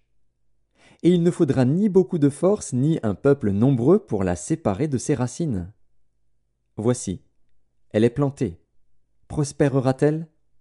Si le vent d'Orient la touche, ne séchera-t-elle pas? Elle séchera sur le parterre où elle a poussé. La parole de l'Éternel me fut adressée en ces mots. Dis à la maison rebelle. Ne savez-vous pas ce que cela signifie? Dis. Voici, le roi de Babylone est allé à Jérusalem. Il en a pris le roi et les chefs, et les a emmenés avec lui à Babylone. Il a choisi un membre de la race royale, a traité alliance avec lui, et lui a fait prêter serment, et il a emmené les grands du pays, afin que le royaume fût tenu dans l'abaissement, sans pouvoir s'élever, et qu'il garda son alliance en y demeurant fidèle. Mais il s'est révolté contre lui, en envoyant ses messagers en Égypte, pour qu'elle lui donnât des chevaux et un grand nombre d'hommes. Celui qui a fait de telles choses réussira-t-il? Échappera-t-il? Il a rompu l'alliance, et il échapperait. Je suis vivant, dit le Seigneur, l'Éternel. C'est dans le pays du roi qu'il a fait régner, envers qui il a violé son serment et dont il a rompu l'alliance, c'est près de lui, au milieu de Babylone, qu'il mourra. Pharaon n'ira pas avec une grande armée et un peuple nombreux le secourir pendant la guerre, lorsqu'on élèvera des terrasses et qu'on fera des retranchements pour exterminer une multitude d'âmes. Il a méprisé le serment, il a rompu l'alliance. Il avait donné sa main, et il a fait tout cela. Il n'échappera pas. C'est pourquoi ainsi parle le Seigneur, l'Éternel. Je suis vivant. C'est le serment fait en mon nom qu'il a méprisé. C'est mon alliance qu'il a rompue. Je ferai retomber cela sur sa tête. J'étendrai mon retz sur lui, et il sera pris dans mon filet. Je l'emmènerai à Babylone, et là je plaiderai avec lui sur sa perfidie à mon égard. Tous les fuyards de toutes ces troupes tomberont par l'épée, et ceux qui resteront seront dispersés à tous les vents. Et vous saurez que moi, l'Éternel, j'ai parlé. Ainsi parle le Seigneur, l'Éternel. J'enlèverai, moi, la cime d'un grand cèdre, et je la placerai. J'arracherai du sommet de ses branches un tendre rameau, et je le planterai sur une montagne haute et élevée. Je le planterai sur une haute montagne d'Israël. Il produira des branches et portera du fruit, il deviendra un cèdre magnifique. Les oiseaux de toute espèce reposeront sous lui, tout ce qui a des ailes reposera sous l'ombre de ses rameaux. Et tous les arbres des champs sauront que moi, l'Éternel, j'ai abaissé l'arbre qui s'élevait et élevé l'arbre qui était abaissé, j'ai desséché l'arbre vert et fait verdir l'arbre sec. Moi, l'Éternel, j'ai parlé, et j'agirai. Ézéchiel, chapitre 18 La parole de l'Éternel me fut adressée en ces mots. Pourquoi dites-vous ce proverbe dans le pays d'Israël? Les pères ont mangé des raisins verts, et les dents des enfants en ont été agacées. Je suis vivant, dit le Seigneur, l'Éternel, vous n'aurez plus lieu de dire ce proverbe en Israël. Voici, toutes les âmes sont à moi. L'âme du Fils comme l'âme du Père, l'une et l'autre sont à moi. L'âme qui pêche, c'est celle qui mourra. L'homme qui est juste, qui pratique la droiture et la justice, qui ne mange pas sur les montagnes et ne lève pas les yeux vers les idoles de la maison d'Israël, qui ne déshonore pas la femme de son prochain et ne s'approche pas d'une femme pendant son impureté, qui n'opprime personne, qui rend au débiteur son gage, qui ne commet point de rapine, qui donne son pain à celui qui a faim et couvre d'un vêtement celui qui est nu, qui ne prête pas à intérêt et ne tire point d'usure, qui détourne sa main de l'iniquité et juge selon la vérité entre un homme et un autre, qui suit mes lois et observe mes ordonnances en agissant avec fidélité, celui-là est juste, il vivra, dit le Seigneur, l'Éternel. S'il a un fils qui soit violent, qui répande le sang, ou qui commette quelque chose de semblable, si ce fils n'imite en rien la conduite de son père, s'il mange sur les montagnes, s'il déshonore la femme de son prochain, s'il opprime le malheureux et l'indigent, s'il commet des rapines, s'il ne rend pas le gage, s'il lève les yeux vers les idoles et fait des abominations, s'il prête à intérêt et tire une usure, ce fils-là vivrait. Il ne vivra pas. Il a commis toutes ces abominations, qu'il meure, que son sang retombe sur lui. Mais si un homme a un fils qui voit tous les péchés que commet son père, qui les voit et n'agisse pas de la même manière, si ce fils ne mange pas sur les montagnes et ne lève pas les yeux vers les idoles de la maison d'Israël, s'il ne déshonore pas la femme de son prochain, s'il n'opprime personne, s'il ne prend point de gage, s'il ne commet point de rapine, s'il donne son pain à celui qui a faim et couvre d'un vêtement celui qui est nu, s'il détourne sa main de l'iniquité, s'il n'exige ni intérêt ni usure, s'il observe mes ordonnances et suit mes lois, celui-là ne mourra pas pour l'iniquité de son père, il vivra. C'est son père, qui a été un oppresseur, qui a commis des rapines envers les autres, qui a fait au milieu de son peuple ce qui n'est pas bien. C'est lui qui mourra pour son iniquité. Vous dites Pourquoi le Fils ne porte-t-il pas l'iniquité de son Père? C'est que le Fils a agi selon la droiture et la justice. C'est qu'il a observé et mis en pratique toutes mes lois. Il vivra. L'âme qui pêche, c'est celle qui mourra. Le Fils ne portera pas l'iniquité de son Père et le Père ne portera pas l'iniquité de son Fils. La justice du juste sera sur lui, et la méchanceté du méchant sera sur lui. Si le méchant revient de tous les péchés qu'il a commis, s'il observe toutes mes lois et pratique la droiture et la justice, il vivra, il ne mourra pas.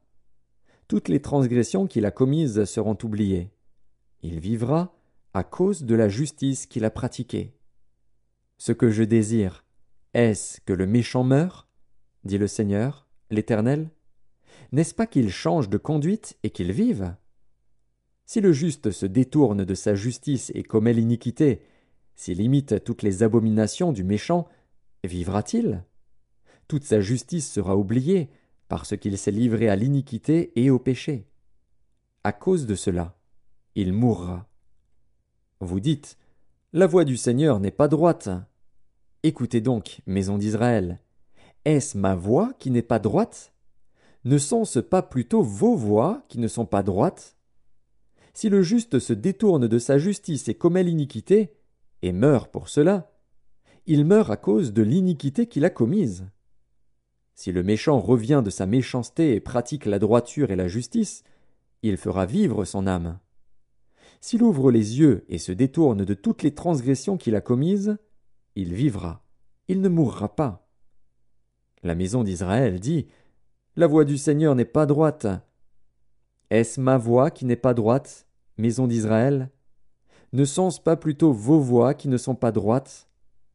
C'est pourquoi je vous jugerai chacun selon ses voies maison d'Israël, dit le Seigneur, l'Éternel. Revenez et détournez-vous de toutes vos transgressions, afin que l'iniquité ne cause pas votre ruine. Rejetez loin de vous toutes les transgressions par lesquelles vous avez péché. Faites-vous un cœur nouveau et un esprit nouveau. Pourquoi mourriez-vous, maison d'Israël? Car je ne désire pas la mort de celui qui meurt, dit le Seigneur, l'Éternel. Convertissez-vous donc et vivez. Ézéchiel, chapitre 19 Et toi, prononce une complainte sur les princes d'Israël et dis Ta mère, qu'était-ce? Une lionne. Elle était couchée parmi les lions. C'est au milieu des lionceaux qu'elle a élevé ses petits. Elle éleva l'un de ses petits, qui devint un jeune lion, et qui apprit à déchirer sa proie. Il dévora des hommes. Les nations entendirent parler de lui, et il fut pris dans leurs fosses. Elles mirent une boucle à ses narines et l'emmenèrent dans le pays d'Égypte. Quand la lionne vit qu'elle attendait en vain, qu'elle était trompée dans son espérance, elle prit un autre de ses petits et en fit un jeune lion. Il marcha parmi les lions, il devint un jeune lion, et il apprit à déchirer sa proie. Il dévora des hommes. Il força leur palais et détruisit leurs villes. Le pays, tout ce qui s'y trouvait, fut ravagé, au bruit de ses rugissements.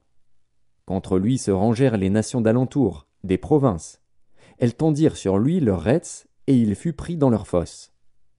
Elles mirent une boucle à ses narines, le placèrent dans une cage, et l'emmenèrent auprès du roi de Babylone. Puis elles le conduisirent dans une forteresse, afin qu'on n'entende plus sa voix sur les montagnes d'Israël. Ta mère était, comme toi, semblable à une vigne, plantée près des eaux, elle était féconde et chargée de branches, à cause de l'abondance des eaux. Elle avait de vigoureux rameaux pour des sceptres de souverains. Par son élévation, elle dominait les branches touffues. Elle attirait les regards par sa hauteur et par la multitude de ses rameaux. Mais elle a été arrachée avec fureur et jetée par terre. Le vent d'Orient a desséché son fruit. Ses rameaux vigoureux ont été rompus et desséchés. Le feu les a dévorés et maintenant elle est plantée dans le désert, dans une terre sèche et aride. Le feu est sorti de ses branches, elle a dévoré son fruit. Elle n'a plus de rameaux vigoureux pour un sceptre de souverain. C'est là une complainte, et cela servira de complainte. Ézéchiel, chapitre 20 La septième année, le dixième jour du cinquième mois, quelques-uns des anciens d'Israël vinrent pour consulter l'Éternel et s'assirent devant moi. Et la parole de l'Éternel me fut adressée en ces mots. Fils de l'homme, parle aux anciens d'Israël, et dis-leur, Ainsi parle le Seigneur, l'Éternel. Est-ce pour me consulter que vous êtes venus? Je suis vivant, je ne me laisserai pas consulter par vous, dit le Seigneur, l'Éternel. Veux-tu les juger? Veux-tu les juger, fils de l'homme? Fais-leur connaître les abominations de leur père. Tu leur diras, Ainsi parle le Seigneur, l'Éternel. le jour où j'ai choisi Israël, j'ai levé ma main vers la postérité de la maison de Jacob, et je me suis fait connaître à eux dans le pays d'Égypte. J'ai levé ma main vers eux, en disant Je suis l'Éternel, votre Dieu. En ce jour-là, j'ai levé ma main vers eux, pour les faire passer du pays d'Égypte dans un pays que j'avais cherché pour eux, pays où coule le lait et le miel, le plus beau de tous les pays. Je leur dis Rejetez chacun les abominations qui attirent ses regards, et ne vous souillez pas par les idoles de l'Égypte. Je suis l'Éternel, votre Dieu. Et ils se révoltèrent contre moi, et ils ne voulurent pas m'écouter.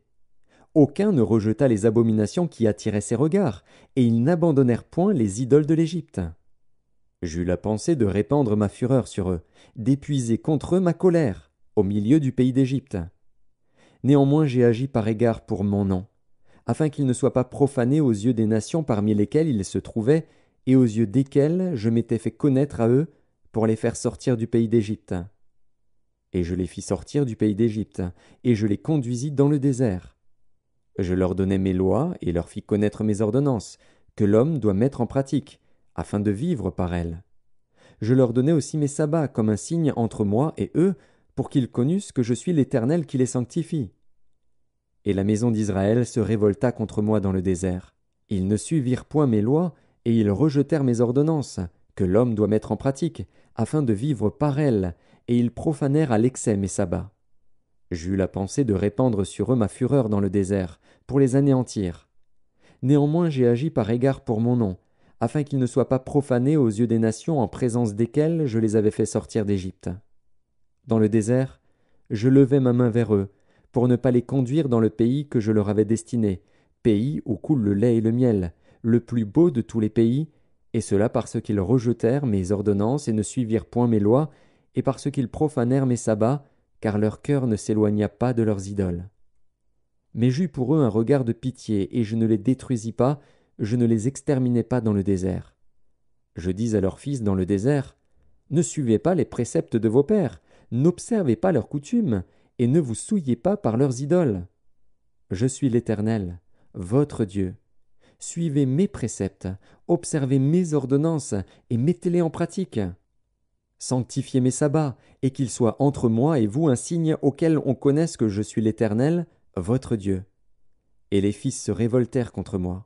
Ils ne suivirent point mes préceptes, ils n'observèrent point et n'exécutèrent point mes ordonnances, que l'homme doit mettre en pratique, afin de vivre par elles, et ils profanèrent mes sabbats. J'eus la pensée de répandre sur eux ma fureur, d'épuiser contre eux ma colère dans le désert. Néanmoins, j'ai retiré ma main, et j'ai agi par égard pour mon nom, afin qu'il ne fût pas profané aux yeux des nations en présence desquelles je les avais fait sortir d'Égypte. Dans le désert, je levai encore ma main vers eux, pour les disperser parmi les nations et les répandre en divers pays, parce qu'ils ne mirent pas en pratique mes ordonnances, parce qu'ils rejetèrent mes préceptes, profanèrent mes sabbats, et tournèrent leurs yeux vers les idoles de leurs pères. Je leur donnai aussi des préceptes qui n'étaient pas bons, et des ordonnances par lesquelles ils ne pouvaient vivre. Je les souillais par leurs offrandes, quand ils faisaient passer par le feu tous leurs premiers-nés. Je voulus ainsi les punir, et leur faire connaître que je suis l'Éternel. C'est pourquoi parle à la maison d'Israël, fils de l'homme, et dis-leur ainsi parle le Seigneur, l'Éternel. Vos pères m'ont encore outragé, en se montrant infidèles à mon égard. Je les ai conduits dans le pays que j'avais juré de leur donner, et ils ont jeté les yeux sur toute colline élevée et sur tout arbre touffu. Là ils ont fait leurs sacrifices, ils ont présenté leurs offrandes qui m'irritaient, ils ont brûlé leurs parfums d'une agréable odeur, et ils ont répandu leurs libations. Je leur dis Qu'est-ce que ces hauts lieux où vous vous rendez? Et le nom de haut lieu leur a été donné jusqu'à ce jour. C'est pourquoi dit à la maison d'Israël Ainsi parle le Seigneur, l'Éternel. Ne vous souillez-vous pas à la manière de vos pères, et ne vous prostituez-vous pas à leurs abominations? En présentant vos offrandes, en faisant passer vos enfants par le feu, vous vous souillez encore aujourd'hui par toutes vos idoles. Et moi, je me laisserai consulter par vous, maison d'Israël. Je suis vivant, dit le Seigneur, l'Éternel, je ne me laisserai pas consulter par vous. On ne verra pas s'accomplir ce que vous imaginez quand vous dites Nous voulons être comme les nations, comme les familles des autres pays, nous voulons servir le bois et la pierre. Je suis vivant, dit le Seigneur, l'Éternel, je régnerai sur vous, à main forte et à bras étendus, et en répandant ma fureur. Je vous ferai sortir du milieu des peuples, et je vous rassemblerai des pays où vous êtes dispersés, à main forte et à bras étendus, et en répandant ma fureur. Je vous amènerai dans le désert des peuples, et là je vous jugerai face à face. Comme je suis entré en jugement avec vos pères dans le désert du pays d'Égypte, ainsi j'entrerai en jugement avec vous, dit le Seigneur, l'Éternel. Je vous ferai passer sous la verge, et je vous mettrai dans les liens de l'alliance. Je séparerai de vous les rebelles et ceux qui me sont infidèles. Je les tirerai du pays où ils sont étrangers, mais ils n'iront pas au pays d'Israël. Et vous saurez que je suis l'Éternel. Et vous, maison d'Israël, ainsi parle le Seigneur, l'Éternel. Allez chacun servir vos idoles. Mais après cela, vous m'écouterez, et vous ne profanerez plus mon saint nom par vos offrandes et par vos idoles. Car sur ma montagne sainte, sur la haute montagne d'Israël, dit le Seigneur, l'Éternel, là toute la maison d'Israël, tous ceux qui seront dans le pays me serviront. Là je les recevrai favorablement, je rechercherai vos offrandes, les prémices de vos dons, et tout ce que vous me consacrerez. Je vous recevrai comme un parfum d'une agréable odeur, quand je vous aurai fait sortir du milieu des peuples et rassembler des pays où vous êtes dispersés. Et je serai sanctifié par vous aux yeux des nations. Et vous saurez que je suis l'Éternel, quand je vous ramènerai dans le pays d'Israël, dans le pays que j'avais juré de donner à vos pères. Là vous vous souviendrez de votre conduite et de toutes vos actions par lesquelles vous vous êtes souillés. Vous vous prendrez vous-même en dégoût, à cause de toutes les infamies que vous avez commises. Et vous saurez que je suis l'Éternel, quand j'agirai avec vous par égard pour mon nom, et nullement d'après votre conduite mauvaise et vos actions corrompues, ô maison d'Israël, dit le Seigneur, l'Éternel. La parole de l'Éternel me fut adressée, en ces mots. Fils de l'homme, tourne ta face vers le midi, et parle contre le midi, prophétise contre la forêt des champs du midi. Tu diras à la forêt du midi, Écoute la parole de l'Éternel. Ainsi parle le Seigneur, l'Éternel. Je vais allumer un feu au dedans de toi, et il dévorera tout arbre vert et tout arbre sec. La flamme ardente ne s'éteindra point, et tout visage en sera brûlé, du midi au septentrion. Et toute chair verra que moi, l'Éternel, je l'ai allumé. Il ne s'éteindra point. Je dis, Ah. Seigneur éternel. Ils disent de moi, n'est-ce pas un faiseur de paraboles? Ézéchiel, chapitre 21 Et la parole de l'Éternel me fut adressée, en ces mots. Fils de l'homme, tourne ta face vers Jérusalem, et parle contre les lieux saints. Prophétise contre le pays d'Israël. Tu diras au pays d'Israël, Ainsi parle l'Éternel. Voici, j'en veux à toi, je tirerai mon épée de son fourreau, et j'exterminerai du milieu de toi le juste et le méchant. Parce que je veux exterminer du milieu de toi le juste et le méchant, mon épée sortira de son fourreau pour frapper toute chair, du midi au septentrion. Et toute chair saura que moi, l'Éternel, j'ai tiré mon épée de son fourreau, elle n'y rentrera plus. Et toi, fils de l'homme, gémis. Les reins brisés et l'amertume dans l'âme, gémis sous leur regard. Et s'ils te disent, Pourquoi gémis-tu tu répondras Parce qu'il arrive une nouvelle. Tous les cœurs s'alarmeront, toutes les mains deviendront faibles, tous les esprits seront abattus, tous les genoux se fondront en eau. Voici, elle arrive, elle est là, dit le Seigneur, l'Éternel. La parole de l'Éternel me fut adressée en ces mots. Fils de l'homme, prophétise et dis Ainsi parle l'Éternel. Dis L'épée, l'épée, elle est aiguisée, elle est polie. C'est pour massacrer qu'elle est aiguisée, c'est pour étinceler qu'elle est polie. Nous réjouirons-nous? Le sceptre de mon fils méprise tout bois. On l'a donné à polir, pour que la main la saisisse. Elle est aiguisée, l'épée, elle est polie, pour armer la main de celui qui massacre. Crie et gémis, fils de l'homme, car elle est tirée contre mon peuple, contre tous les princes d'Israël. Ils sont livrés à l'épée avec mon peuple. Frappe donc sur ta cuisse. Oui, l'épreuve sera faite. Et que sera-ce si ce sceptre qui méprise tout est anéanti? dit le Seigneur, l'Éternel. Et toi, fils de l'homme, prophétise et frappe des mains, et que les coups de l'épée soient doublés, soient triplés. C'est l'épée du carnage, l'épée du grand carnage, l'épée qui doit les poursuivre. Pour jeter l'effroi dans les cœurs, pour multiplier les victimes, à toutes leurs portes je les menacerai de l'épée. Ah. Elle est faite pour étinceler, elle est aiguisée pour massacrer. Rassemble tes forces, tourne-toi à droite, place-toi, tourne-toi à gauche, dirige de tous côtés ton tranchant, et moi aussi, je frapperai des mains, et j'assouvirai ma fureur. C'est moi, l'Éternel, qui parle. La parole de l'Éternel me fut adressée en ces mots. Fils de l'homme, trace deux chemins pour servir de passage à l'épée du roi de Babylone. Tous les deux doivent sortir du même pays. Marque un signe, marque-le à l'entrée du chemin qui conduit à une ville. Tu traceras l'un des chemins pour que l'épée arrive à Rabat, ville des enfants d'Ammon, et l'autre pour qu'elle arrive en Juda, à Jérusalem, ville fortifiée. Car le roi de Babylone se tient au carrefour, à l'entrée des deux chemins, pour tirer des présages. Il secoue les flèches, il interroge les téraphins, il examine le foie.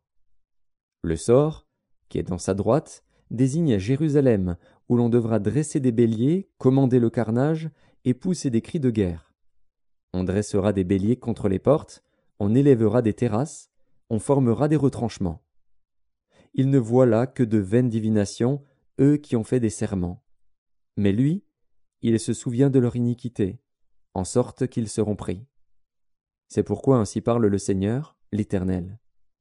Parce que vous rappelez le souvenir de votre iniquité, en mettant à nu vos transgressions, en manifestant vos péchés dans toutes vos actions, parce que vous en rappelez le souvenir, vous serez saisis par sa main.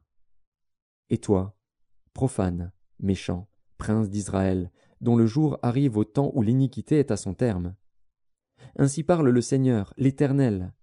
La tiare sera ôtée, le diadème sera enlevé, les choses vont changer. Ce qui est abaissé sera élevé, et ce qui est élevé sera abaissé. J'en ferai une ruine, une ruine, une ruine. Mais cela n'aura lieu qu'à la venue de celui à qui appartient le jugement et à qui je le remettrai. Et toi, fils de l'homme, prophétise et dis Ainsi parle le Seigneur, l'Éternel, sur les enfants d'Ammon et sur leur opprobre. Dis L'épée, l'épée est tirée, elle est polie, pour massacrer, pour dévorer, pour étinceler. Au milieu de tes visions vaines et de tes oracles menteurs, elle te fera tomber parmi les cadavres des méchants, dont le jour arrive au temps où l'iniquité est à son terme. Remets ton épée dans le fourreau.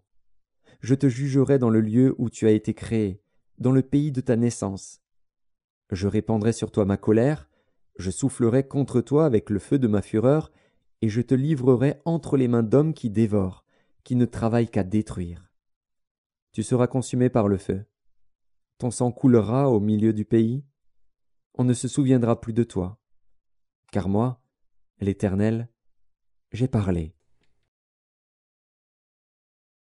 Ézéchiel, chapitre 22 La parole de l'Éternel me fut adressée en ces mots. Et toi, fils de l'homme, jugeras-tu, jugeras-tu la ville sanguinaire?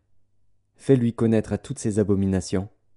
Tu diras, Ainsi parle le Seigneur, l'Éternel, ville qui répand le sang au milieu de toi, pour que ton jour arrive, et qui te fait des idoles pour te souiller. Tu es coupable à cause du sang que tu as répandu, et tu t'es souillé par les idoles que tu as faites. Tu as ainsi avancé tes jours, et tu es parvenu au terme de tes années. C'est pourquoi je te rends un objet d'opprobre pour les nations et de moquerie pour tous les pays. Ceux qui sont près et ceux qui sont au loin se moqueront de toi, qui es souillé de réputation et pleine de troubles. Voici, au dedans de toi, tous les princes d'Israël usent de leur force pour répandre le sang.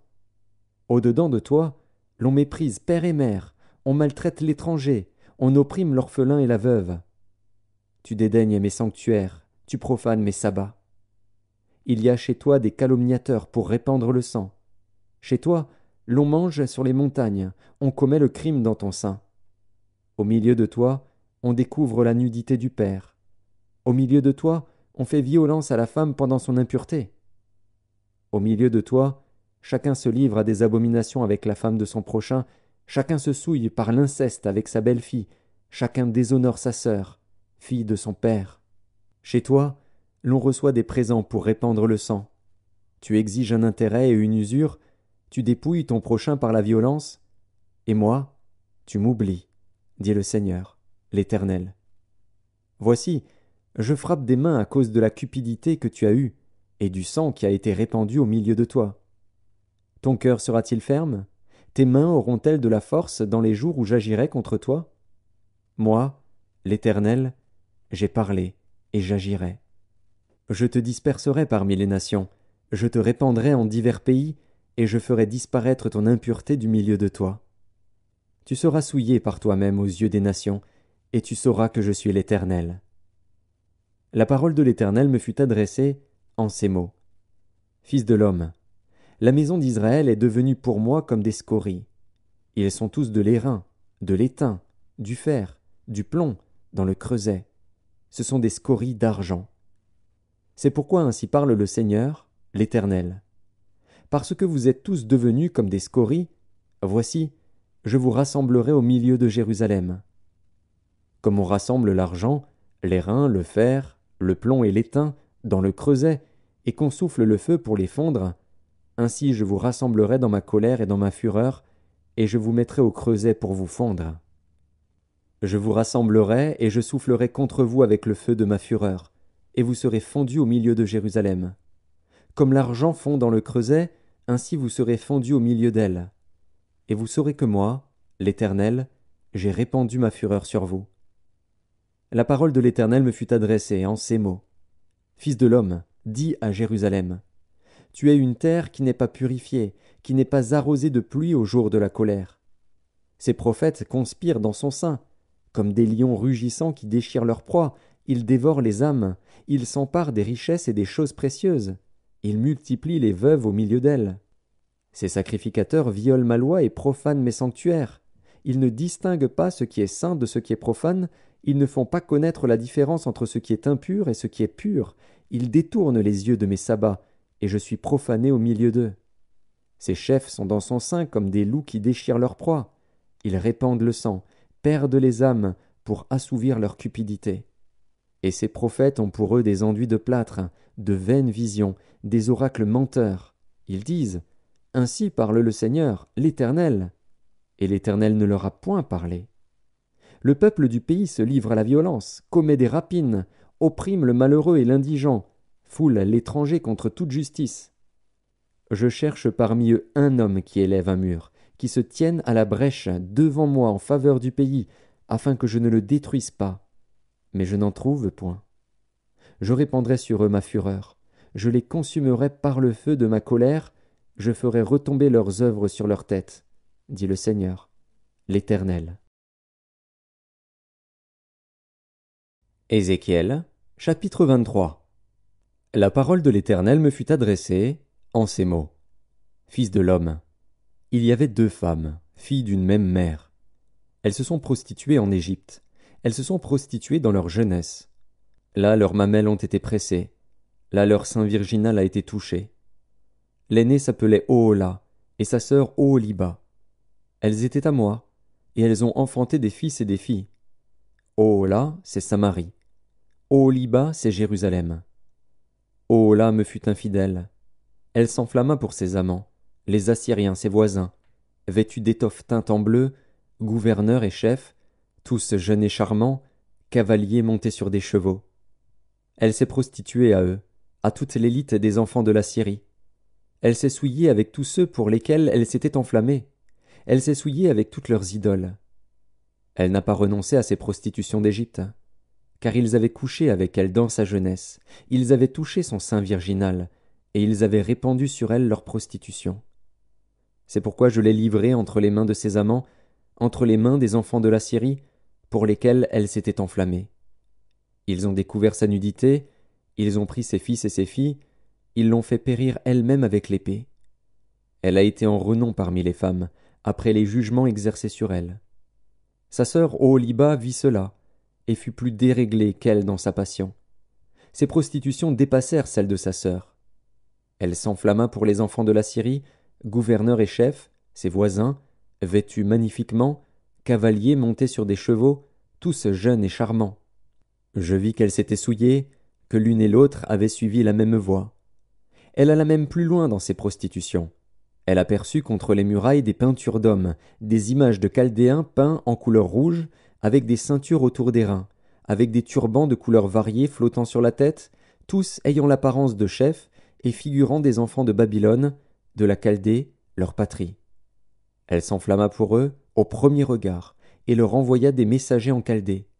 Et les enfants de Babylone se rendirent auprès d'elle, pour partager le lit des amours, et ils la souillèrent par leur prostitution. Elle s'est souillée avec eux, puis son cœur s'est détaché d'eux. Elle a mis à nu son impudicité, elle a découvert sa nudité, et mon cœur s'est détaché d'elle, comme mon cœur s'était détaché de sa sœur. Elle a multiplié ses prostitutions, en pensant au jour de sa jeunesse, lorsqu'elle se prostituait au pays d'Égypte. Elle s'est enflammée pour des impudiques, dont la chair était comme celle des ânes, et l'approche comme celle des chevaux. Tu t'es souvenu des crimes de ta jeunesse, lorsque les Égyptiens pressaient tes mamelles, à cause de ton sein virginal. C'est pourquoi, ô Liba, ainsi parle le Seigneur, l'Éternel. Voici, j'excite contre toi tes amants, ceux dont ton cœur s'est détaché, et je les amène de toutes parts contre toi. Les enfants de Babylone et tous les Chaldéens, nobles, princes et seigneurs, et tous les enfants de la Syrie avec eux, jeunes et charmants, tous gouverneurs et chefs, chefs illustres, tous montés sur des chevaux. Ils marchent contre toi avec des armes, des chars et des roues, et une multitude de peuples. Avec le grand bouclier et le petit bouclier, avec les casques, ils s'avancent de toutes parts contre toi. Je leur remets le jugement, et ils te jugeront selon leur loi. Je répands ma colère sur toi, et ils te traiteront avec fureur.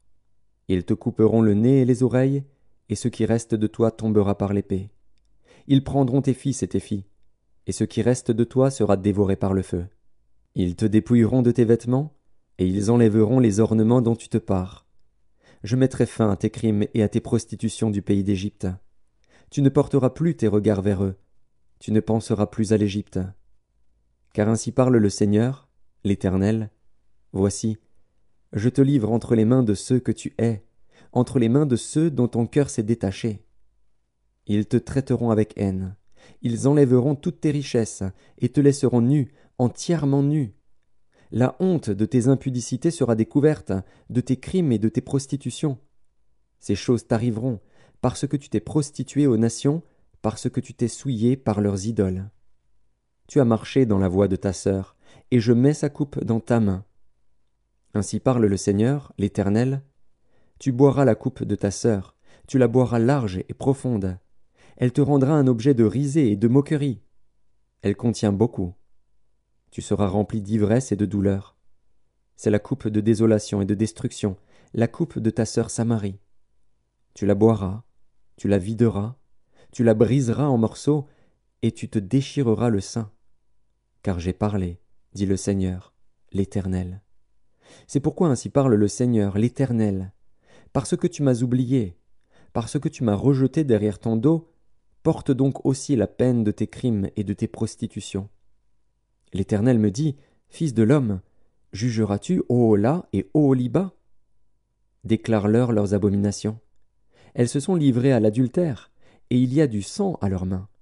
Elles ont commis adultère avec leurs idoles. Et les enfants qu'elles m'avaient enfantés, elles les ont fait passer par le feu pour qu'ils leur servent d'aliment. Voici encore ce qu'elles m'ont fait. Elles ont souillé mon sanctuaire dans le même jour, et elles ont profané mes sabbats. Elles ont immolé leurs enfants à leurs idoles, et elles sont allées le même jour dans mon sanctuaire, pour le profaner. C'est là ce qu'elles ont fait dans ma maison. Et même elles ont fait chercher des hommes venant de loin, elles leur ont envoyé des messagers, et voici, ils sont venus. Pour eux tu t'es lavé, tu as mis du phare à tes yeux, tu t'es paré de tes ornements. Tu t'es assise sur un lit magnifique, devant lequel une table était dressée, et tu as placé sur cette table mon encens et mon huile. On entendait les cris d'une multitude joyeuse. Et parmi cette foule d'hommes, on a fait venir du désert des Sabéens, qui ont mis des bracelets aux mains des deux sœurs et de superbes couronnes sur leurs têtes. Je dis alors au sujet de celle qui a vieilli dans l'adultère Continuera-t-elle maintenant ses prostitutions? Et viendra-t-on à elle? Et l'on est venu vers elle comme l'on va chez une prostituée. C'est ainsi qu'on est allé vers Oola et Oholiba, ces femmes criminelles. Mais des hommes justes les jugeront, comme on juge les femmes adultères, comme on juge celles qui répandent le sang Car elles sont adultères, et il y a du sang à leurs mains. Car ainsi parle le Seigneur, l'Éternel, je ferai monter contre elles une multitude, et je les livrerai à la terreur et au pillage. Cette multitude les lapidera, et les abattra à coups d'épée. On tuera leurs fils et leurs filles, on brûlera leurs maisons par le feu. Je ferai cesser ainsi le crime dans le pays. Toutes les femmes recevront instruction, et ne commettront pas de crime comme le vôtre. On fera retomber votre crime sur vous, et vous porterez les péchés de vos idoles. Et vous saurez que je suis le Seigneur, l'Éternel. Ézéchiel, chapitre 24 La neuvième année, le dixième jour du dixième mois, la parole de l'Éternel me fut adressée en ces mots. Fils de l'homme, mets par écrit la date de ce jour, de ce jour-ci. Le roi de Babylone s'approche de Jérusalem en ce jour même. Propose une parabole à la famille de rebelles et dis-leur. Ainsi parle le Seigneur, l'Éternel. Place, place la chaudière, et verse-y de l'eau. Mets-y les morceaux, tous les bons morceaux, la cuisse, l'épaule. Remplis-la des meilleures eaux. Choisis dans le troupeau, et entasse du bois sous la chaudière. Fais bouillir à gros bouillon, et que les eaux qui sont dedans cuisent aussi. C'est pourquoi ainsi parle le Seigneur, l'Éternel. Malheur à la ville sanguinaire, chaudière pleine de rouille, et dont la rouille ne se détache pas. Tire-en les morceaux les uns après les autres, sans recourir au sort. Car le sang qu'elle a versé est au milieu d'elle. Elle l'a mis sur le roc nu, elle ne l'a pas répandu sur la terre pour le couvrir de poussière. Afin de montrer ma fureur, afin de me venger, j'ai répandu son sang sur le roc nu, pour qu'il ne fût pas couvert. C'est pourquoi ainsi parle le Seigneur, l'Éternel. Malheur à la ville sanguinaire. Moi aussi je veux faire un grand bûcher. Entasse le bois, allume le feu, cuis bien la chair, assaisonne-la, et que les eaux soient brûlées. Puis mets la chaudière vide sur les charbons, afin qu'elle s'échauffe, que son airain devienne brûlant, que sa souillure se fonde au dedans, et que sa rouille se consume. Les efforts sont inutiles, la rouille dont elle est pleine ne se détache pas. La rouille ne s'en ira que par le feu. Le crime est dans ta souillure. Parce que j'ai voulu te purifier et que tu n'es pas devenu pur, tu ne seras plus purifié de ta souillure jusqu'à ce que j'aie assouvi sur toi ma fureur. Moi, l'Éternel, j'ai parlé. Cela arrivera, et je l'exécuterai. Je ne reculerai pas, et je n'aurai ni pitié ni repentir. On te jugera selon ta conduite et selon tes actions, dit le Seigneur, l'Éternel. La parole de l'Éternel me fut adressée, en ces mots. Fils de l'homme, voici, je t'enlève par une mort soudaine ce qui fait les délices de tes yeux. Tu ne te lamenteras point, tu ne pleureras point, et tes larmes ne couleront pas. Soupire en silence, ne prends pas le deuil des morts, attache ton turban, mets ta chaussure à tes pieds, ne te couvre pas la barbe, et ne mange pas le pain des autres. J'avais parlé au peuple le matin, et ma femme mourut le soir. Le lendemain matin, je fis ce qui m'avait été ordonné. Le peuple me dit. Ne nous expliqueras-tu pas ce que signifie pour nous ce que tu fais? Je leur répondis. La parole de l'Éternel m'a été adressée en ces mots. Dis à la maison d'Israël. Ainsi parle le Seigneur, l'Éternel. Voici, je vais profaner mon sanctuaire, l'orgueil de votre force, les délices de vos yeux, l'objet de votre amour. Et vos fils et vos filles que vous avez laissés tomberont par l'épée. Vous ferez alors comme j'ai fait. Vous ne vous couvrirez pas la barbe, vous ne mangerez pas le pain des autres. Vous aurez vos turbans sur la tête et vos chaussures aux pieds. Vous ne vous lamenterez pas et vous ne pleurerez pas. Mais vous serez frappés de langueur pour vos iniquités, et vous gémirez entre vous. Ézéchiel sera pour vous un signe. Vous ferez entièrement comme il a fait. Et quand ces choses arriveront, vous saurez que je suis le Seigneur, l'Éternel. Et toi, fils de l'homme, le jour où je leur enlèverai ce qui fait leur force, leur joie et leur gloire, les délices de leurs yeux et l'objet de leur amour, leurs fils et leurs filles, ce jour-là un fuyard viendra vers toi pour l'annoncer à tes oreilles. En ce jour, ta bouche s'ouvrira avec le fuyard, et tu parleras, tu ne seras plus muet. Tu seras pour eux un signe, et ils sauront que je suis l'Éternel. Ézéchiel, chapitre 25 La parole de l'Éternel me fut adressée en ces mots. Fils de l'homme, tourne ta face vers les enfants d'Ammon, et prophétise contre eux. Tu diras aux enfants d'Ammon, Écoutez la parole du Seigneur, de l'Éternel. Ainsi parle le Seigneur, l'Éternel. Parce que tu as dit, Ah. Ah. sur mon sanctuaire qui était profané, sur la terre d'Israël qui était dévastée, et sur la maison de Juda qui allait en captivité, voici, je te donne en possession aux fils de l'Orient.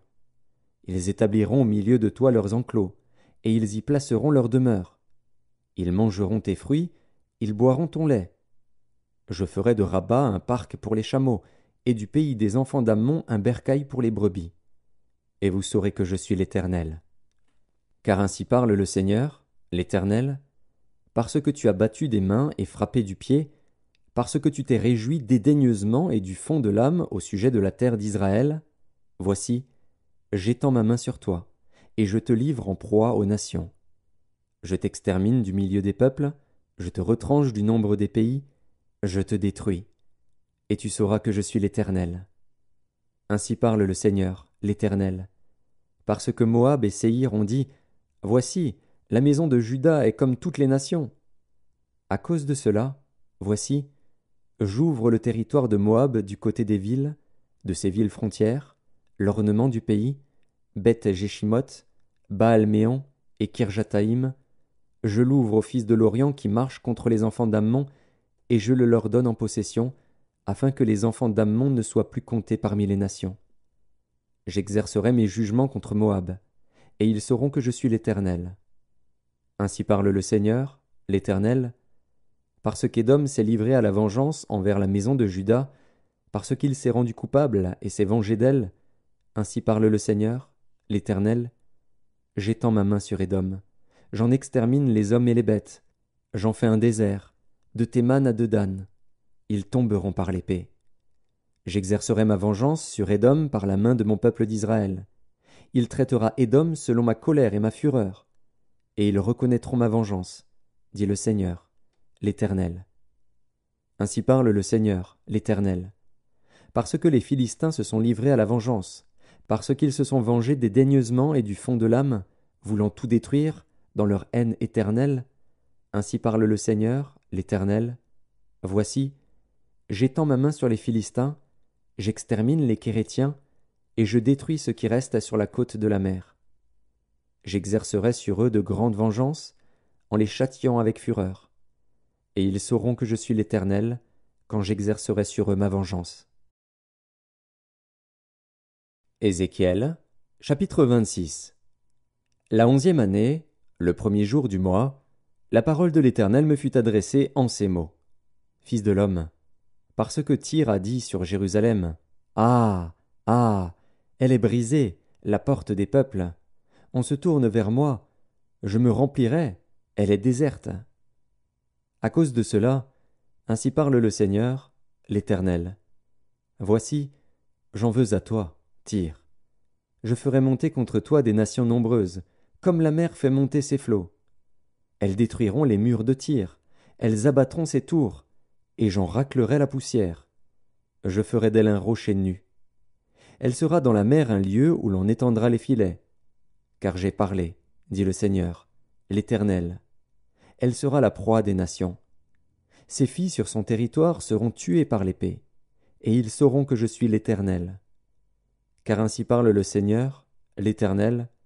Voici, J'amène du septentrion contre Tyr Nebuchadnezzar, roi de Babylone, le roi des rois, avec des chevaux, des chars, des cavaliers et une grande multitude de peuples. Il tuera par l'épée tes filles sur ton territoire. Il fera contre toi des retranchements. Il élèvera contre toi des terrasses, et il dressera contre toi le bouclier. Il dirigera les coups de son bélier contre tes murs, et il renversera tes tours avec ses machines. La multitude de ses chevaux te couvrira de poussière. Tes murs trembleront au bruit des cavaliers, des roues et des chars, lorsqu'il entrera dans tes portes comme on entre dans une ville conquise. Il foulera toutes tes rues avec les sabots de ses chevaux, il tuera ton peuple par l'épée, et les monuments de ton orgueil tomberont à terre. On enlèvera tes richesses, on pillera tes marchandises, on abattra tes murs, on renversera tes maisons de plaisance, et l'on jettera au milieu des eaux tes pierres, ton bois et ta poussière. Je ferai cesser le bruit de tes chants, et l'on n'entendra plus le son de tes harpes. Je ferai de toi un rocher nu. Tu seras un lieu où l'on étendra les filets. Tu ne seras plus rebâti. Car moi, l'Éternel, j'ai parlé, dit le Seigneur, l'Éternel. Ainsi parle à Tyr le Seigneur, l'Éternel. Au bruit de ta chute, quand les mourants gémissent, quand le carnage est dans ton sein, les îles tremblent. Tous les princes de la mer descendent de leur trône, ils ôtent leurs manteaux, et quittent leurs vêtements brodés. Ils s'enveloppent de frayeur et s'asseyent sur la terre. À chaque instant l'épouvante les saisit, et ils sont consternés à cause de toi. Ils prononcent sur toi une complainte, et te disent Eh quoi? Tu es détruite, toi que peuplaient ceux qui parcourent les mers, ville célèbre, qui était puissante sur la mer. Elle est détruite avec ses habitants, qui inspiraient la terreur à tous ceux d'alentour. Maintenant les îles tremblent au jour de ta chute, les îles de la mer sont épouvantées de ta fin. Car ainsi parle le Seigneur, l'Éternel. Quand je ferai de toi une ville déserte, comme les villes qui n'ont point d'habitants, quand je ferai monter contre toi l'abîme, et que les grandes eaux te couvriront, je te précipiterai avec ceux qui sont descendus dans la fosse, vers le peuple d'autrefois, je te placerai dans les profondeurs de la terre, dans les solitudes éternelles, près de ceux qui sont descendus dans la fosse, afin que tu ne sois plus habité. Et je réserverai la gloire pour le pays des vivants. Je te réduirai au néant, et tu ne seras plus. On te cherchera, et l'on ne te trouvera plus jamais, dit le Seigneur, l'Éternel. Ézéchiel, chapitre 27 La parole de l'Éternel me fut adressée en ces mots. Et toi, fils de l'homme, prononce sur Tyr une complainte. Tu diras à Tyr Ô toi qui es assise au bord de la mer et qui trafiques avec les peuples d'un grand nombre d'îles. Ainsi parle le Seigneur, l'Éternel. Tyr, tu disais Je suis parfaite en beauté. Ton territoire est au cœur des mers. Ceux qui t'ont bâti t'ont rendu parfaite en beauté. Avec des cyprès de Sénir, ils ont fait tout tes lambris.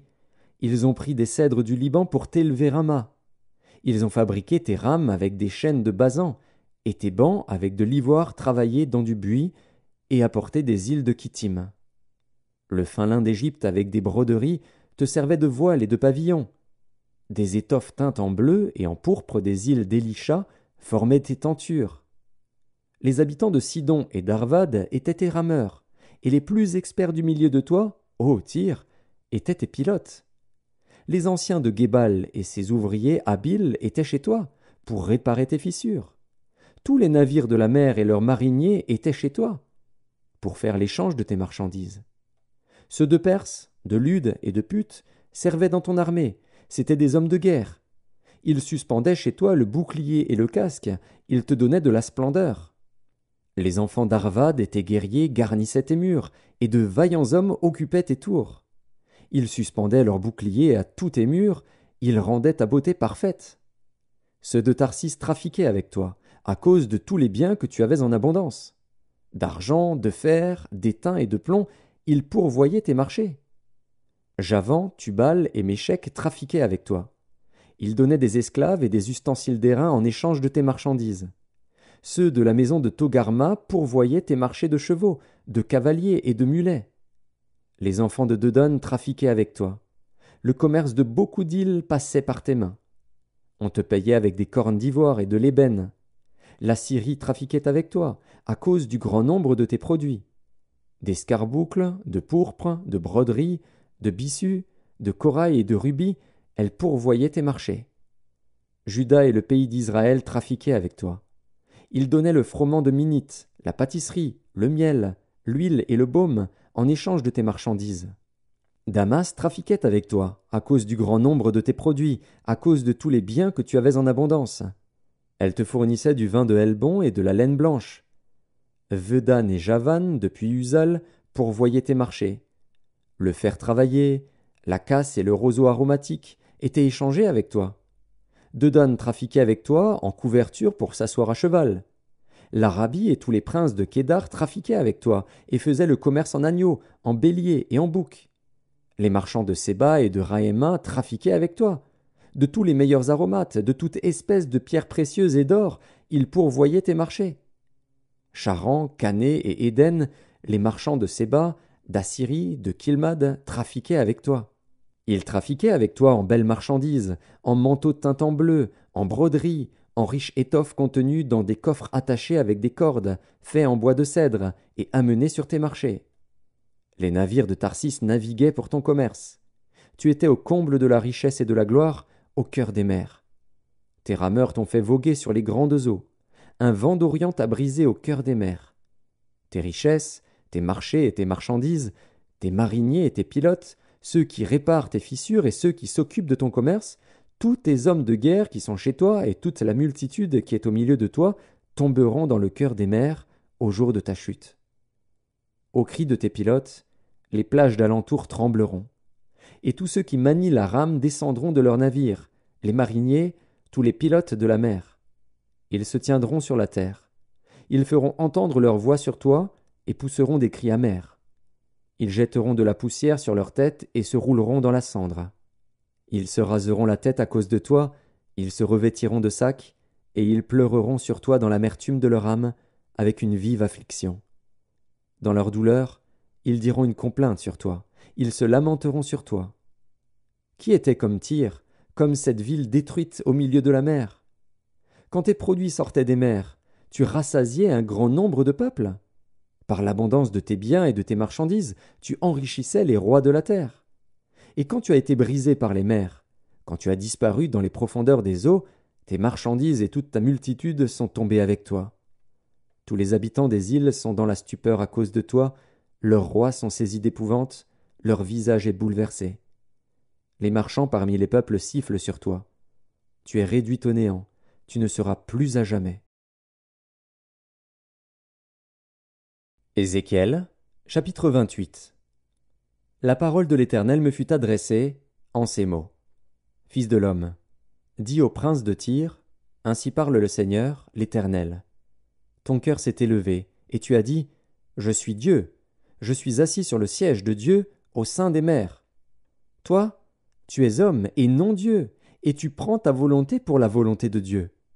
Voici, tu es plus sage que Daniel, rien de secret n'est caché pour toi. Par ta sagesse et par ton intelligence, tu t'es acquis des richesses, tu as amassé de l'or et de l'argent dans tes trésors. Par ta grande sagesse et par ton commerce, tu as accru tes richesses, et par tes richesses ton cœur s'est élevé. C'est pourquoi ainsi parle le Seigneur, l'Éternel parce que tu prends ta volonté pour la volonté de Dieu, voici, je ferai venir contre toi des étrangers, les plus violents d'entre les peuples. Ils tireront l'épée contre ton éclatante sagesse, et ils souilleront ta beauté. Ils te précipiteront dans la fosse, et tu mourras comme ceux qui tombent percés de coups au milieu des mers. En face de ton meurtrier, diras-tu, Je suis Dieu. Tu seras homme et non Dieu sous la main de celui qui te tuera tu mourras de la mort des incirconcis par la main des étrangers. Car moi, j'ai parlé, dit le Seigneur, l'Éternel. La parole de l'Éternel me fut adressée en ces mots. Fils de l'homme, prononce une complainte sur le roi de Tyr. Tu lui diras, Ainsi parle le Seigneur, l'Éternel. Tu mettais le sceau à la perfection. Tu étais plein de sagesse, parfait en beauté. Tu étais en Éden, le jardin de Dieu, tu étais couvert de toute espèce de pierres précieuses, de sardoines, de topazes, de diamants, de chrysolites, d'onyx, de jaspe, de saphir, d'escarboucles, d'émeraudes et d'or. Tes tambourins et tes flûtes étaient à ton service, préparés pour le jour où tu fus créé. Tu étais un chérubin protecteur, aux ailes déployées. Je t'avais placé et tu étais sur la sainte montagne de Dieu. Tu marchais au milieu des pierres étincelantes. Tu as été intègre dans tes voies, depuis le jour où tu fus créé jusqu'à celui où l'iniquité a été trouvée chez toi. Par la grandeur de ton commerce, tu as été rempli de violence, et tu as péché.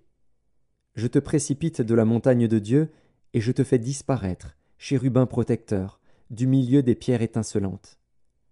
Ton cœur s'est élevé à cause de ta beauté, tu as corrompu ta sagesse par ton éclat. Je te jette par terre, je te livre en spectacle au roi. Par la multitude de tes iniquités, par l'injustice de ton commerce, tu as profané tes sanctuaires. Je fais sortir du milieu de toi un feu qui te dévore, je te réduis en cendres sur la terre aux yeux de tous ceux qui te regardent. Tous ceux qui te connaissent parmi les peuples sont dans la stupeur à cause de toi. Tu es réduit au néant, tu ne seras plus à jamais. La parole de l'Éternel me fut adressée en ces mots. Fils de l'homme, tourne ta face vers Sidon et prophétise contre elle. Tu diras, Ainsi parle le Seigneur, l'Éternel. Voici, j'en veux à toi, Sidon. Je serai glorifié au milieu de toi. Et ils sauront que je suis l'Éternel, quand j'exercerai mes jugements contre elle, quand je manifesterai ma sainteté au milieu d'elle. J'enverrai la peste dans son sein, je ferai couler le sang dans ses rues. Les morts tomberont au milieu d'elle par l'épée qui, de toutes parts, viendra la frapper. Et ils sauront que je suis l'Éternel. Alors elle ne sera plus pour la maison d'Israël une épine qui blesse, une ronce déchirante, parmi tous ceux qui l'entourent et qui la méprisent. Et ils sauront que je suis le Seigneur, l'Éternel. Ainsi parle le Seigneur, l'Éternel. Lorsque je rassemblerai la maison d'Israël du milieu des peuples où elle est dispersée, je manifesterai en elle ma sainteté aux yeux des nations, et ils habiteront leur pays que j'ai donné à mon serviteur Jacob. Ils y habiteront en sécurité, et ils bâtiront des maisons et planteront des vignes. Ils y habiteront en sécurité quand j'exercerai mes jugements contre tous ceux qui les entourent et qui les méprisent. Et ils sauront que je suis l'Éternel, leur Dieu. Ézéchiel, chapitre 29 La dixième année, le douzième jour du dixième mois, la parole de l'Éternel me fut adressée en ces mots. Fils de l'homme, tourne ta face vers Pharaon, roi d'Égypte, et prophétise contre lui et contre toute l'Égypte. Parle, et tu diras. Ainsi parle le Seigneur, l'Éternel. Voici, j'en veux à toi, Pharaon, roi d'Égypte, grand crocodile, qui te couche au milieu de tes fleuves, et qui dit. Mon fleuve est à moi, c'est moi qui l'ai fait. Je mettrai une boucle à tes mâchoires, j'attacherai à tes écailles les poissons de tes fleuves, et je te tirerai du milieu de tes fleuves, avec tous les poissons qui s'y trouvent et qui seront attachés à tes écailles. Je te jetterai dans le désert, toi et tous les poissons de tes fleuves. Tu tomberas sur la face des champs, tu ne seras ni relevé ni ramassé. Aux bêtes de la terre et aux oiseaux du ciel je te donnerai pour pâture. Et tous les habitants de l'Égypte sauront que je suis l'Éternel, parce qu'ils ont été un soutien de roseau pour la maison d'Israël. Lorsqu'ils t'ont pris dans la main, tu t'es rompu, et tu leur as déchiré toute l'épaule. Lorsqu'ils se sont appuyés sur toi, tu t'es brisé, et tu as rendu leurs reins immobiles. C'est pourquoi ainsi parle le Seigneur, l'Éternel. Voici, je ferai venir contre toi l'épée, et j'exterminerai du milieu de toi les hommes et les bêtes. Le pays d'Égypte deviendra une solitude et un désert, et ils sauront que je suis l'Éternel, parce qu'il a dit Le fleuve est à moi, c'est moi qui l'ai fait. C'est pourquoi voici, J'en veux à toi et à tes fleuves, et je ferai du pays d'Égypte un désert et une solitude, depuis Migdol jusqu'à Sienne et aux frontières de l'Éthiopie. Nul pied d'homme n'y passera, nul pied d'animal n'y passera, et il restera quarante ans sans être habité. Je ferai du pays d'Égypte une solitude entre les pays dévastés, et ces villes seront désertes entre les villes désertes pendant quarante ans. Je répandrai les Égyptiens parmi les nations, je les disperserai en divers pays. Ainsi parle le Seigneur, l'Éternel. Au bout de quarante ans, je rassemblerai les Égyptiens du milieu des peuples où ils auront été dispersés. Je ramènerai les captifs de l'Égypte, je les ramènerai dans le pays de Patros, dans le pays de leur origine, et là ils formeront un faible royaume. Ce sera le moindre des royaumes, et il ne s'élèvera plus au-dessus des nations, je les diminuerai, afin qu'ils ne dominent pas sur les nations. Ce royaume ne sera plus pour la maison d'Israël un sujet de confiance. Il lui rappellera son iniquité quand elle se tournait vers eux, et ils sauront que je suis le Seigneur, l'Éternel. La vingt-septième année, le premier jour du premier mois, la parole de l'Éternel me fut adressée en ces mots. Fils de l'homme, Nebuchadnezzar, roi de Babylone, a fait faire à son armée un service pénible contre Tyr. Toutes les têtes sont chauves, toutes les épaules sont écorchées, et il n'a retiré de Tyr aucun salaire, ni lui, ni son armée, pour le service qu'il a fait contre elle. C'est pourquoi ainsi parle le Seigneur, l'Éternel. Voici, je donne à Nebuchadnezzar, roi de Babylone, le pays d'Égypte. Il en emportera les richesses, il en prendra les dépouilles, il en pillera le butin. Ce sera un salaire pour son armée. Pour prix du service qu'il a fait contre Tyr, je lui donne le pays d'Égypte. Car ils ont travaillé pour moi, dit le Seigneur, l'Éternel. En ce jour-là, je donnerai de la force à la maison d'Israël, et je t'ouvrirai la bouche au milieu d'eux. Et ils sauront que je suis l'Éternel. Ézéchiel, chapitre 30 La parole de l'Éternel me fut adressée en ces mots. Fils de l'homme, prophétise, et dis Ainsi parle le Seigneur, l'Éternel. Gémissez. Malheureux jour. Car le jour approche, le jour de l'Éternel approche, jour ténébreux. Ce sera le temps des nations. L'épée fondra sur l'Égypte, et l'épouvante sera dans l'Éthiopie, quand les morts tomberont en Égypte, quand on enlèvera ses richesses, et que ses fondements seront renversés. L'Éthiopie, Put, Lude, toute l'Arabie, Cube et les fils du pays allié tomberont avec eux par l'épée. Ainsi parle l'Éternel.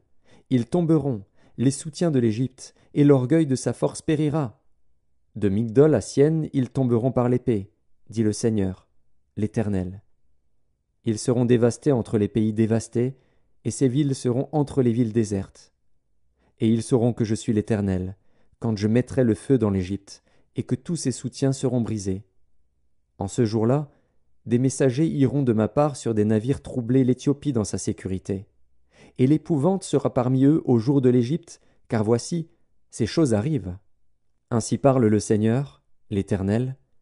Je ferai disparaître la multitude de l'Égypte, par la main de Nebuchadnezzar, roi de Babylone. Lui et son peuple avec lui le plus violent d'entre les peuples, seront envoyés pour détruire le pays. Ils tireront l'épée contre l'Égypte et rempliront le pays de morts. Je mettrai les canaux à sec, je livrerai le pays entre les mains des méchants, je ravagerai le pays et ce qu'il renferme par la main des étrangers. Moi, l'Éternel, j'ai parlé. Ainsi parle le Seigneur, l'Éternel. J'anéantirai les idoles, et j'ôterai de Noph les vains simulacres il n'y aura plus de prince du pays d'Égypte, et je répandrai la terreur dans le pays d'Égypte. Je dévasterai Patros, je mettrai le feu à Tsoan, et j'exercerai mes jugements sur No. Je répandrai ma fureur sur Sin, la forteresse de l'Égypte, et j'exterminerai la multitude de No. Je mettrai le feu dans l'Égypte. Sin sera saisie d'angoisse, No sera ouverte par la brèche, et Noph conquise en plein jour par les ennemis. Les jeunes hommes d'On et de pi tomberont par l'épée, et ces villes iront en captivité. À Tacpanès, le jour s'obscurcira, quand j'y briserai le joug de l'Éternel, et que l'orgueil de sa force y prendra fin. Un nuage couvrira Tacpanès, et ses filles iront en captivité. J'exercerai mes jugements sur l'Égypte, et ils sauront que je suis l'Éternel. La onzième année, le septième jour du premier mois, la parole de l'Éternel me fut adressée en ces mots. Fils de l'homme, j'ai rompu le bras de Pharaon, roi d'Égypte. Et voici, on ne l'a point pensé pour le guérir, on ne l'a point enveloppé d'un bandage pour le lier et le raffermir, afin qu'il puisse manier l'épée. C'est pourquoi ainsi parle le Seigneur, l'Éternel. Voici, j'en veux à Pharaon, roi d'Égypte, et je lui romprai les bras, celui qui est en bon état et celui qui est cassé, et je ferai tomber l'épée de sa main. Je répandrai les Égyptiens parmi les nations, je les disperserai en divers pays. Je fortifierai les bras du roi de Babylone, et je mettrai mon épée dans sa main. Je romprai les bras de Pharaon, et il gémira devant lui comme gémissent les mourants. Je fortifierai les bras du roi de Babylone, et les bras de Pharaon tomberont. Et ils sauront que je suis l'Éternel, quand je mettrai mon épée dans la main du roi de Babylone, et qu'il la tournera contre le pays d'Égypte. Je répandrai les Égyptiens parmi les nations, je les disperserai en divers pays, et ils sauront que je suis l'Éternel. Ézéchiel, chapitre 31 La onzième année, le premier jour du troisième mois, la parole de l'Éternel me fut adressée en ces mots. Fils de l'homme, dis à Pharaon, roi d'Égypte, et à sa multitude, À qui ressembles-tu dans ta grandeur? Voici, la Syrie était un cèdre du Liban, ses branches étaient belles, son feuillage était touffu, sa tige élevée, et sa cime s'élançait au milieu d'épais rameaux. Les eaux l'avaient fait croître, l'abîme l'avait fait pousser en hauteur. des fleuves coulaient autour du lieu où il était planté, et envoyaient leurs canaux à tous les arbres des champs. C'est pourquoi sa tige s'élevait au-dessus de tous les arbres des champs, ses branches avaient multiplié, ses rameaux s'étendaient, par l'abondance des eaux qu'il avait fait pousser. Tous les oiseaux du ciel nichaient dans ses branches, toutes les bêtes des champs faisaient leurs petits sous ses rameaux, et de nombreuses nations habitaient toutes à son ombre. Il était beau par sa grandeur, par l'étendue de ses branches, car ses racines plongeaient dans des eaux abondantes. Les cèdres du jardin de Dieu ne le surpassaient point, les cyprès n'égalaient point ses branches, et les platanes n'étaient point comme ses rameaux. Aucun arbre du jardin de Dieu ne lui était comparable en beauté. Je l'avais embelli par la multitude de ses branches, et tous les arbres d'Éden, dans le jardin de Dieu, lui portaient envie. C'est pourquoi ainsi parle le Seigneur, l'Éternel. Parce qu'il avait une tige élevée, parce qu'il lançait sa cime au milieu des pérameaux, et que son cœur était fier de sa hauteur, je l'ai livré entre les mains du héros des nations, qui le traitera selon sa méchanceté. Je l'ai chassé. Des étrangers, les plus violents des peuples, l'ont abattu et rejeté. Ses branches sont tombées dans les montagnes et dans toutes les vallées. Ses rameaux se sont brisés dans tous les ravins du pays. Et tous les peuples de la terre se sont retirés de son ombre et l'ont abandonné. Sur ces débris sont venus se poser tous les oiseaux du ciel, et toutes les bêtes des champs ont fait leur gîte parmi ces rameaux, afin que tous les arbres près des eaux n'élèvent plus leurs tiges, et qu'ils ne lancent plus leurs cimes au milieu des pérameaux, afin que tous les chênes arrosés d'eau ne gardent plus leur hauteur. Car tous sont livrés à la mort, aux profondeurs de la terre, parmi les enfants des hommes, avec ceux qui descendent dans la fosse. Ainsi parle le Seigneur, l'Éternel. Le jour où il est descendu dans le séjour des morts, j'ai répandu le deuil, j'ai couvert l'abîme à cause de lui, et j'en ai retenu les fleuves. Les grandes eaux ont été arrêtées. J'ai rendu le Liban triste à cause de lui, et tous les arbres des champs ont été desséchés. Par le bruit de sa chute, j'ai fait trembler les nations, quand je l'ai précipité dans le séjour des morts, avec ceux qui descendent dans la fosse. Tous les arbres d'Éden ont été consolés dans les profondeurs de la terre, les plus beaux et les meilleurs du Liban, tous arrosés par les eaux. Eux aussi sont descendus avec lui dans le séjour des morts, vers ceux qui ont péri par l'épée. Ils étaient son bras et ils habitaient à son ombre parmi les nations. À qui ressembles-tu ainsi en gloire et en grandeur parmi les arbres d'Éden? Tu seras précipité avec les arbres d'Éden dans les profondeurs de la terre. Tu seras couché au milieu des incirconcis avec ceux qui ont péri par l'épée. Voilà Pharaon et toute sa multitude, dit le Seigneur, l'Éternel. Ézéchiel, chapitre 32 La douzième année, le premier jour du douzième mois, la parole de l'Éternel me fut adressée, en ces mots. Fils de l'homme, prononce une complainte sur Pharaon, roi d'Égypte. Tu lui diras Tu ressemblais à un lionceau parmi les nations. Tu étais comme un crocodile dans les mers. Tu t'élançais dans tes fleuves, tu troublais les eaux avec tes pieds, tu agitais leurs flots. Ainsi parle le Seigneur, l'Éternel. J'étendrai sur toi mon retz, dans une foule nombreuse de peuples, et ils te tireront dans mon filet. Je te laisserai à terre, je te jetterai sur la face des champs, je ferai reposer sur toi tous les oiseaux du ciel, et je rassasierai de toi les bêtes de toute la terre. Je mettrai ta chair sur les montagnes, et je remplirai les vallées de tes débris. J'arroserai de ton sang le pays où tu nages, jusqu'aux montagnes, et les ravins seront remplis de toi. Quand je t'éteindrai, je voilerai les cieux et j'obscurcirai leurs étoiles, je couvrirai le soleil de nuages, et la lune ne donnera plus sa lumière. J'obscurcirai à cause de toi tous les luminaires des cieux, et je répandrai les ténèbres sur ton pays, dit le Seigneur, l'Éternel. J'affligerai le cœur de beaucoup de peuples, quand j'annoncerai ta ruine parmi les nations, à des pays que tu ne connaissais pas. Je frapperai de stupeur beaucoup de peuples à cause de toi, et leurs rois seront saisis d'épouvante à cause de toi, quand j'agiterai mon épée devant leur face. Ils trembleront à tout instant chacun pour sa vie, au jour de ta chute. Car ainsi parle le Seigneur, l'Éternel, l'épée du roi de Babylone fondra sur toi. Je ferai tomber ta multitude par l'épée de vaillants hommes, tous les plus violents d'entre les peuples. Ils anéantiront l'orgueil de l'Égypte, et toute sa multitude sera détruite. Je ferai périr tout son bétail près des grandes eaux. Le pied de l'homme ne les troublera plus, le sabot des animaux ne les troublera plus. Alors je calmerai ses eaux, et je ferai couler ses fleuves comme l'huile, dit le Seigneur, l'Éternel. Quand je ferai du pays d'Égypte une solitude, et que le pays sera dépouillé de tout ce qu'il contient, quand je frapperai tous ceux qui l'habitent, ils sauront que je suis l'Éternel. C'est là une complainte, et on la dira. Les filles des nations diront cette complainte. Elles la prononceront sur l'Égypte et sur toute sa multitude, dit le Seigneur, l'Éternel. La douzième année, le quinzième jour du mois, la parole de l'Éternel me fut adressée en ces mots.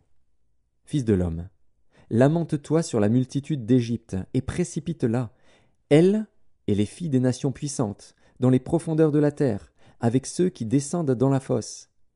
Qui surpasses-tu en beauté? Descends et couche-toi avec les incirconcis. Ils tomberont au milieu de ceux qui sont morts par l'épée. Le glaive est donné. Entraînez l'Égypte et toute sa multitude. Les puissants héros lui adresseront la parole au sein du séjour des morts, avec ceux qui étaient ses soutiens. Ils sont descendus, ils sont couchés, les incirconcis, par l'épée. Là est l'Assyrien, avec toute sa multitude, et ses sépulcres sont autour de lui. Tous sont morts, sont tombés par l'épée. Ses sépulcres sont dans les profondeurs de la fosse, et sa multitude est autour de son sépulcre. Tous sont morts, sont tombés par l'épée. Eux qui répandaient la terreur dans le pays des vivants. Là est Élam avec toute sa multitude, autour est son sépulcre. Tous sont morts, sont tombés par l'épée. Ils sont descendus incirconcis dans les profondeurs de la terre, eux qui répandaient la terreur dans le pays des vivants, et ils ont porté leur ignominie vers ceux qui descendent dans la fosse.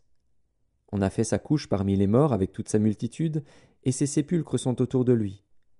Tous ces incirconcis sont morts par l'épée, car ils répandaient la terreur dans le pays des vivants, et ils ont porté leur ignominie vers ceux qui descendent dans la fosse.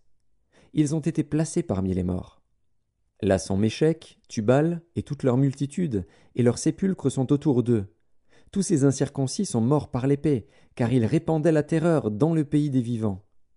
Ils ne sont pas couchés avec les héros, ceux qui sont tombés d'entre les incirconcis. Ils sont descendus au séjour des morts avec leurs armes de guerre. Ils ont mis leurs épées sous leurs têtes, et leurs iniquités ont été sur leurs ossements. Car ils étaient la terreur des héros dans le pays des vivants. Toi aussi, tu seras brisé au milieu des incirconcis. Tu seras couché avec ceux qui sont morts par l'épée. Là sont Édom, ses rois et tous ses princes qui, malgré leur vaillance, ont été placés avec ceux qui sont morts par l'épée.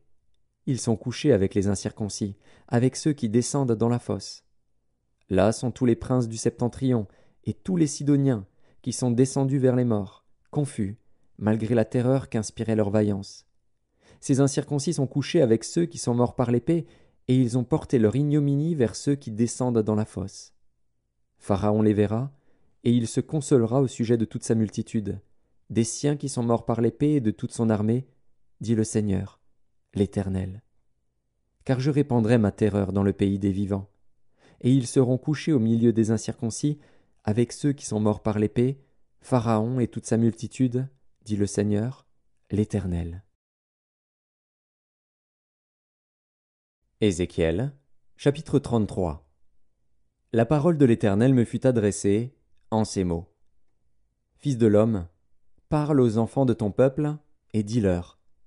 Lorsque je fais venir l'épée sur un pays, et que le peuple du pays prend dans son sein un homme et l'établit comme sentinelle, si cet homme voit venir l'épée sur le pays, sonne de la trompette, et avertit le peuple, et si celui qui entend le son de la trompette ne se laisse pas avertir, et que l'épée vienne le surprendre, son sang sera sur sa tête. Il a entendu le son de la trompette, et il ne s'est pas laissé avertir, son sang sera sur lui. S'il se laisse avertir, il sauvera son âme. Si la sentinelle voit venir l'épée et ne sonne pas de la trompette, si le peuple n'est pas averti, et que l'épée vienne enlever à quelqu'un la vie, celui-ci périra à cause de son iniquité, mais je redemanderai son sang à la sentinelle. Et toi, fils de l'homme, je t'ai établi comme sentinelle sur la maison d'Israël.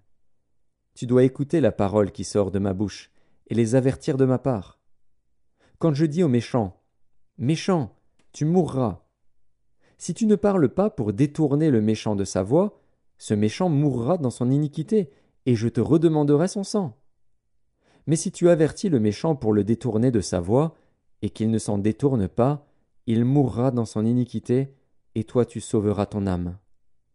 Et toi, fils de l'homme, dis à la maison d'Israël, Vous dites, Nos transgressions et nos péchés sont sur nous, et c'est à cause d'eux que nous sommes frappés de langueur. Comment pourrions-nous vivre? Dis-leur, Je suis vivant, dit le Seigneur, l'Éternel. Ce que je désire, ce n'est pas que le méchant meure, c'est qu'il change de conduite et qu'il vive. Revenez, revenez de votre mauvaise voie. Et pourquoi mourriez-vous, maison d'Israël? Et toi, fils de l'homme, dis aux enfants de ton peuple, La justice du juste ne le sauvera pas au jour de sa transgression, et le méchant ne tombera pas par sa méchanceté le jour où il s'en détournera, de même que le juste ne pourra pas vivre par sa justice au jour de sa transgression. Lorsque je dis au juste qu'il vivra, s'il se confie dans sa justice et commet l'iniquité, toute sa justice sera oubliée, et il mourra à cause de l'iniquité qu'il a commise. Lorsque je dis au méchant, Tu mourras. S'il revient de son péché et pratique la droiture et la justice, s'il rend le gage, s'il restitue ce qu'il a ravi, s'il suit les préceptes qui donnent la vie, sans commettre l'iniquité, il vivra, il ne mourra pas. Tous les péchés qu'il a commis seront oubliés. Il pratique la droiture et la justice. Il vivra. Les enfants de ton peuple disent La voix du Seigneur n'est pas droite. C'est leur voix qui n'est pas droite. Si le juste se détourne de sa justice et commet l'iniquité, il mourra à cause de cela. Si le méchant revient de sa méchanceté et pratique la droiture et la justice, il vivra à cause de cela. Vous dites La voix du Seigneur n'est pas droite. Je vous jugerai chacun selon ses voies, maison d'Israël. La douzième année, le cinquième jour du dixième mois de notre captivité, un homme qui s'était échappé de Jérusalem vint à moi et dit La ville a été prise. La main de l'Éternel avait été sur moi le soir avant l'arrivée du fugitif, et l'Éternel m'avait ouvert la bouche lorsqu'il vint auprès de moi le matin. Ma bouche était ouverte, et je n'étais plus muet. Alors la parole de l'Éternel me fut adressée en ces mots. Fils de l'homme, ceux qui habitent ces ruines dans le pays d'Israël disent Abraham était seul, et il a hérité le pays. À nous qui sommes nombreux, le pays est donné en possession. C'est pourquoi dis-leur Ainsi parle le Seigneur, l'Éternel. Vous mangez vos aliments avec du sang, vous levez les yeux vers vos idoles, vous répandez le sang, et vous posséderiez le pays. Vous vous appuyez sur votre épée, vous commettez des abominations, chacun de vous déshonore la femme de son prochain, et vous posséderiez le pays. Dis-leur, Ainsi parle le Seigneur, l'Éternel. Je suis vivant. Ceux qui sont parmi les ruines tomberont par l'épée. Ceux qui sont dans les champs, j'en ferai la pâture des bêtes. Et ceux qui sont dans les forts et dans les cavernes mourront par la peste. Je réduirai le pays en solitude et en désert. L'orgueil de sa force prendra fin. Les montagnes d'Israël seront désolées, personne n'y passera. Et ils sauront que je suis l'Éternel, quand je réduirai le pays en solitude et en désert, à cause de toutes les abominations qu'ils ont commises. Et toi, fils de l'homme, les enfants de ton peuple s'entretiennent de toi près des murs et aux portes des maisons, et ils se disent l'un à l'autre, chacun à son frère. Venez donc, et écoutez quelle est la parole qui est procédée de l'Éternel. Et ils se rendent en foule auprès de toi, et mon peuple s'assied devant toi. Ils écoutent tes paroles, mais ils ne les mettent point en pratique, car leur bouche en fait un sujet de moquerie, et leur cœur se livre à la cupidité. Voici, tu es pour eux comme un chanteur agréable, possédant une belle voix, et habile dans la musique. Ils écoutent tes paroles, mais ils ne les mettent point en pratique. Quand ces choses arriveront, et voici, elles arrivent, ils sauront qu'il y avait un prophète au milieu d'eux. Ézéchiel, chapitre 34 La parole de l'Éternel me fut adressée en ces mots. Fils de l'homme, prophétise contre les pasteurs d'Israël. Prophétise et dis-leur, aux pasteurs, Ainsi parle le Seigneur, l'Éternel. Malheur aux pasteurs d'Israël qui se paissaient eux-mêmes. Les pasteurs ne devaient-ils pas paître le troupeau? Vous avez mangé la graisse, vous vous êtes vêtus avec la laine, vous avez tué ce qui était gras, vous n'avez point fait paître les brebis. Vous n'avez pas fortifié celles qui étaient faibles, guéri celles qui étaient malades, pensé celles qui étaient blessées. Vous n'avez pas ramené celles qui s'égaraient, cherché celles qui étaient perdues, mais vous les avez dominées avec violence et avec dureté. Elles se sont dispersées parce qu'elles n'avaient point de pasteur. Elles sont devenues la proie de toutes les bêtes des champs, elles se sont dispersées. Mon troupeau est errant sur toutes les montagnes et sur toutes les collines élevées. Mon troupeau est dispersé sur toute la face du pays. Nul n'en prend souci, nul ne le cherche. C'est pourquoi, pasteur, écoutez la parole de l'Éternel. Je suis vivant, dit le Seigneur, l'Éternel, parce que mes brebis sont au pillage et qu'elles sont devenues la proie de toutes les bêtes des champs, faute de pasteurs, parce que mes pasteurs ne prenaient aucun souci de mes brebis, qu'ils se paissaient eux-mêmes et ne faisaient point paître mes brebis. À cause de cela, pasteur, écoutez la parole de l'Éternel. Ainsi parle le Seigneur, l'Éternel. Voici, j'en veux aux pasteurs. Je reprendrai mes brebis d'entre leurs mains, je ne les laisserai plus paître mes brebis, et ils ne se paîtront plus eux-mêmes. Je délivrerai mes brebis de leur bouche, et elles ne seront plus pour eux une proie. Car ainsi parle le Seigneur, l'Éternel. Voici, j'aurai soin moi-même de mes brebis, et j'en ferai la revue. Comme un pasteur inspecte son troupeau quand il est au milieu de ses brebis éparses, ainsi je ferai la revue de mes brebis, et je les recueillerai de tous les lieux où elles ont été dispersées au jour des nuages et de l'obscurité. Je les retirerai d'entre les peuples, je les rassemblerai des diverses contrées, et je les ramènerai dans leur pays. Je les ferai paître sur les montagnes d'Israël, le long des ruisseaux, et dans tous les lieux habités du pays. Je les ferai paître dans un bon pâturage, et leur demeure sera sur les montagnes élevées d'Israël. Là elles reposeront dans un agréable asile, et elles auront de gras pâturages sur les montagnes d'Israël. C'est moi qui ferai paître mes brebis, c'est moi qui les ferai reposer, dit le Seigneur, l'Éternel.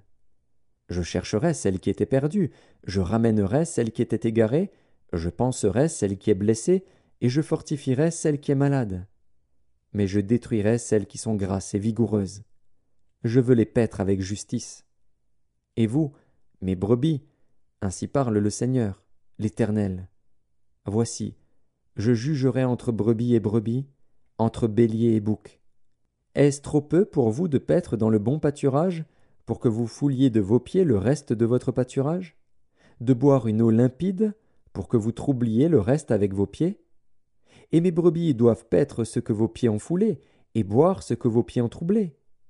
C'est pourquoi ainsi leur parle le Seigneur, l'Éternel. Voici, je jugerai entre la brebis grasse et la brebis maigre.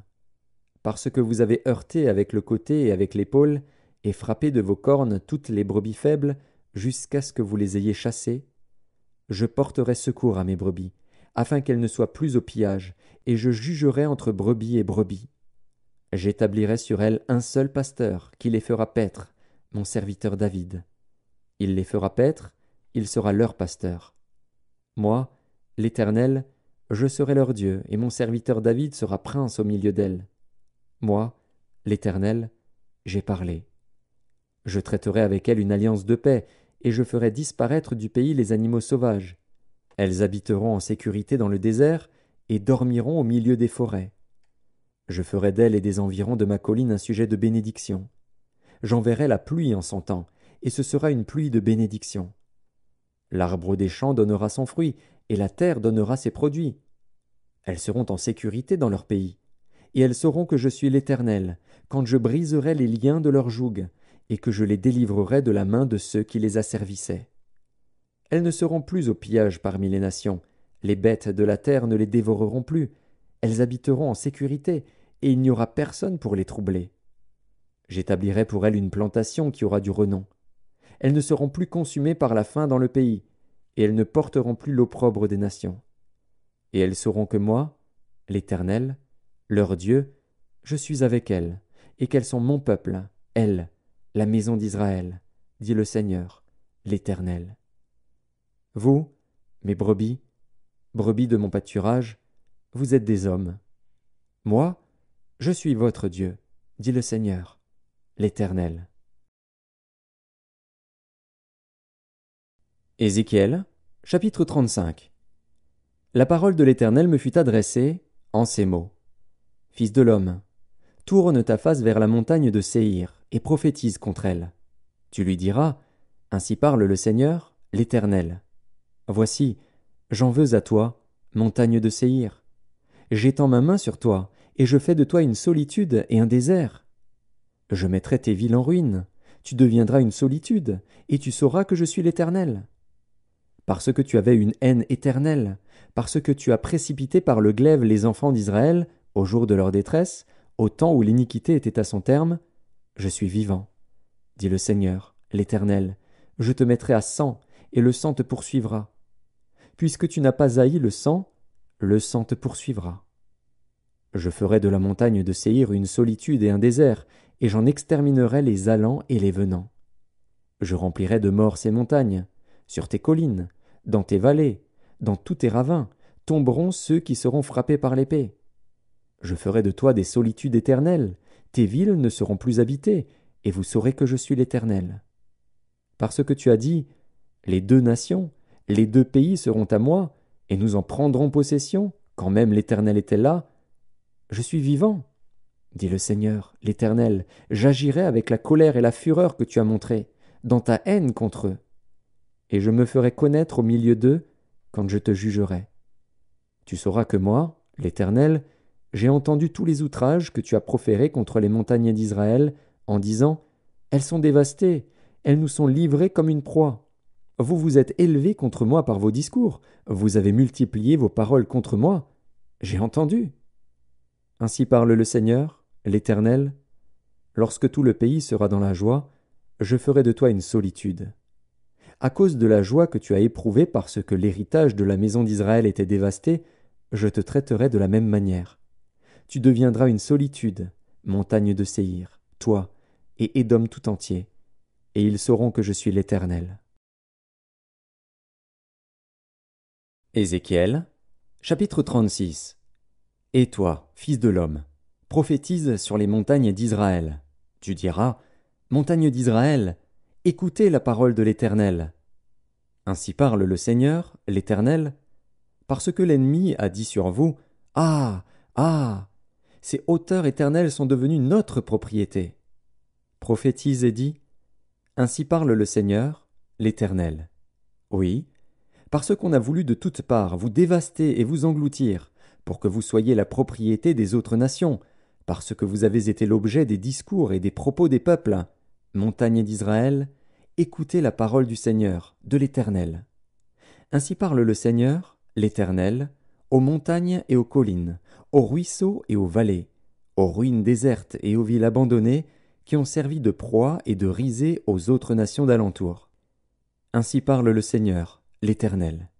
Oui, dans le feu de ma jalousie, je parle contre les autres nations et contre Édom tout entier, qui se sont donné mon pays en propriété avec toute la joie de leur cœur et le mépris de leur âme, afin d'en piller les produits. C'est pourquoi prophétise sur le pays d'Israël, dit aux montagnes et aux collines, aux ruisseaux et aux vallées. Ainsi parle le Seigneur, l'Éternel. Voici, je parle dans ma jalousie et dans ma fureur, parce que vous portez l'ignominie des nations. C'est pourquoi ainsi parle le Seigneur, l'Éternel. Je lève ma main. Ce sont les nations qui vous entourent qui porteront elles-mêmes leur ignominie. Et vous, montagne d'Israël, vous pousserez vos rameaux, et vous porterez vos fruits pour mon peuple d'Israël, car ces choses sont près d'arriver. Voici, je vous serai favorable, je me tournerai vers vous, et vous serez cultivés et ensemencés. Je mettrai sur vous des hommes en grand nombre, la maison d'Israël tout entière. Les villes seront habitées, et l'on rebâtira sur les ruines. Je multiplierai sur vous les hommes et les animaux, ils multiplieront et seront féconds. Je veux que vous soyez habités comme auparavant, et je vous ferai plus de bien qu'autrefois. Et vous saurez que je suis l'Éternel. Je ferai marcher sur vous des hommes, mon peuple d'Israël, et ils te posséderont. Tu seras leur héritage, et tu ne les détruiras plus. Ainsi parle le Seigneur, l'Éternel. Parce qu'on vous dit, tu as dévoré des hommes, tu as détruit ta propre nation, à cause de cela tu ne dévoreras plus d'hommes, tu ne détruiras plus ta nation, dit le Seigneur, l'Éternel. Je ne te ferai plus entendre les outrages des nations, et tu ne porteras plus l'opprobre des peuples. Tu ne détruiras plus ta nation, dit le Seigneur, l'Éternel. La parole de l'Éternel me fut adressée en ces mots. Fils de l'homme, ceux de la maison d'Israël, quand ils habitaient leur pays, l'ont souillé par leur conduite et par leurs œuvres. Leur conduite a été devant moi comme la souillure d'une femme pendant son impureté. Alors j'ai répandu ma fureur sur eux, à cause du sang qu'ils avaient versé dans le pays et des idoles dont ils l'avaient souillé. Je les ai dispersés parmi les nations, et ils ont été répandus en divers pays. Je les ai jugés selon leur conduite et selon leurs œuvres. Ils sont arrivés chez les nations où ils allaient, et ils ont profané mon saint nom, en sorte qu'on disait d'eux, c'est le peuple de l'Éternel, c'est de son pays qu'ils sont sortis. Et j'ai voulu sauver l'honneur de mon saint nom, que profanait la maison d'Israël parmi les nations où elle est allée. C'est pourquoi dis à la maison d'Israël, Ainsi parle le Seigneur, l'Éternel. Ce n'est pas à cause de vous que j'agis de la sorte, maison d'Israël, c'est à cause de mon saint nom, que vous avez profané parmi les nations où vous êtes allés. Je sanctifierai mon grand nom, qui a été profané parmi les nations, que vous avez profané au milieu d'elles.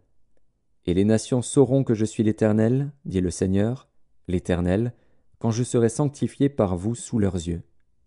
Je vous retirerai d'entre les nations, je vous rassemblerai de tous les pays, et je vous ramènerai dans votre pays. Je répandrai sur vous une eau pure, et vous serez purifiés. Je vous purifierai de toutes vos souillures et de toutes vos idoles. Je vous donnerai un cœur nouveau, et je mettrai en vous un esprit nouveau. J'ôterai de votre corps le cœur de pierre, et je vous donnerai un cœur de chair. Je mettrai mon esprit en vous, et je ferai en sorte que vous suiviez mes ordonnances, et que vous observiez et pratiquiez mes lois. Vous habiterez le pays que j'ai donné à vos pères. Vous serez mon peuple, et je serai votre Dieu. Je vous délivrerai de toutes vos souillures, j'appellerai le blé, et je le multiplierai. Je ne vous enverrai plus la famine. Je multiplierai le fruit des arbres et le produit des champs, afin que vous n'ayez plus l'opprobre de la famine parmi les nations. Alors vous vous souviendrez de votre conduite qui était mauvaise, et de vos actions qui n'étaient pas bonnes. Vous vous prendrez vous-même en dégoût, à cause de vos iniquités et de vos abominations.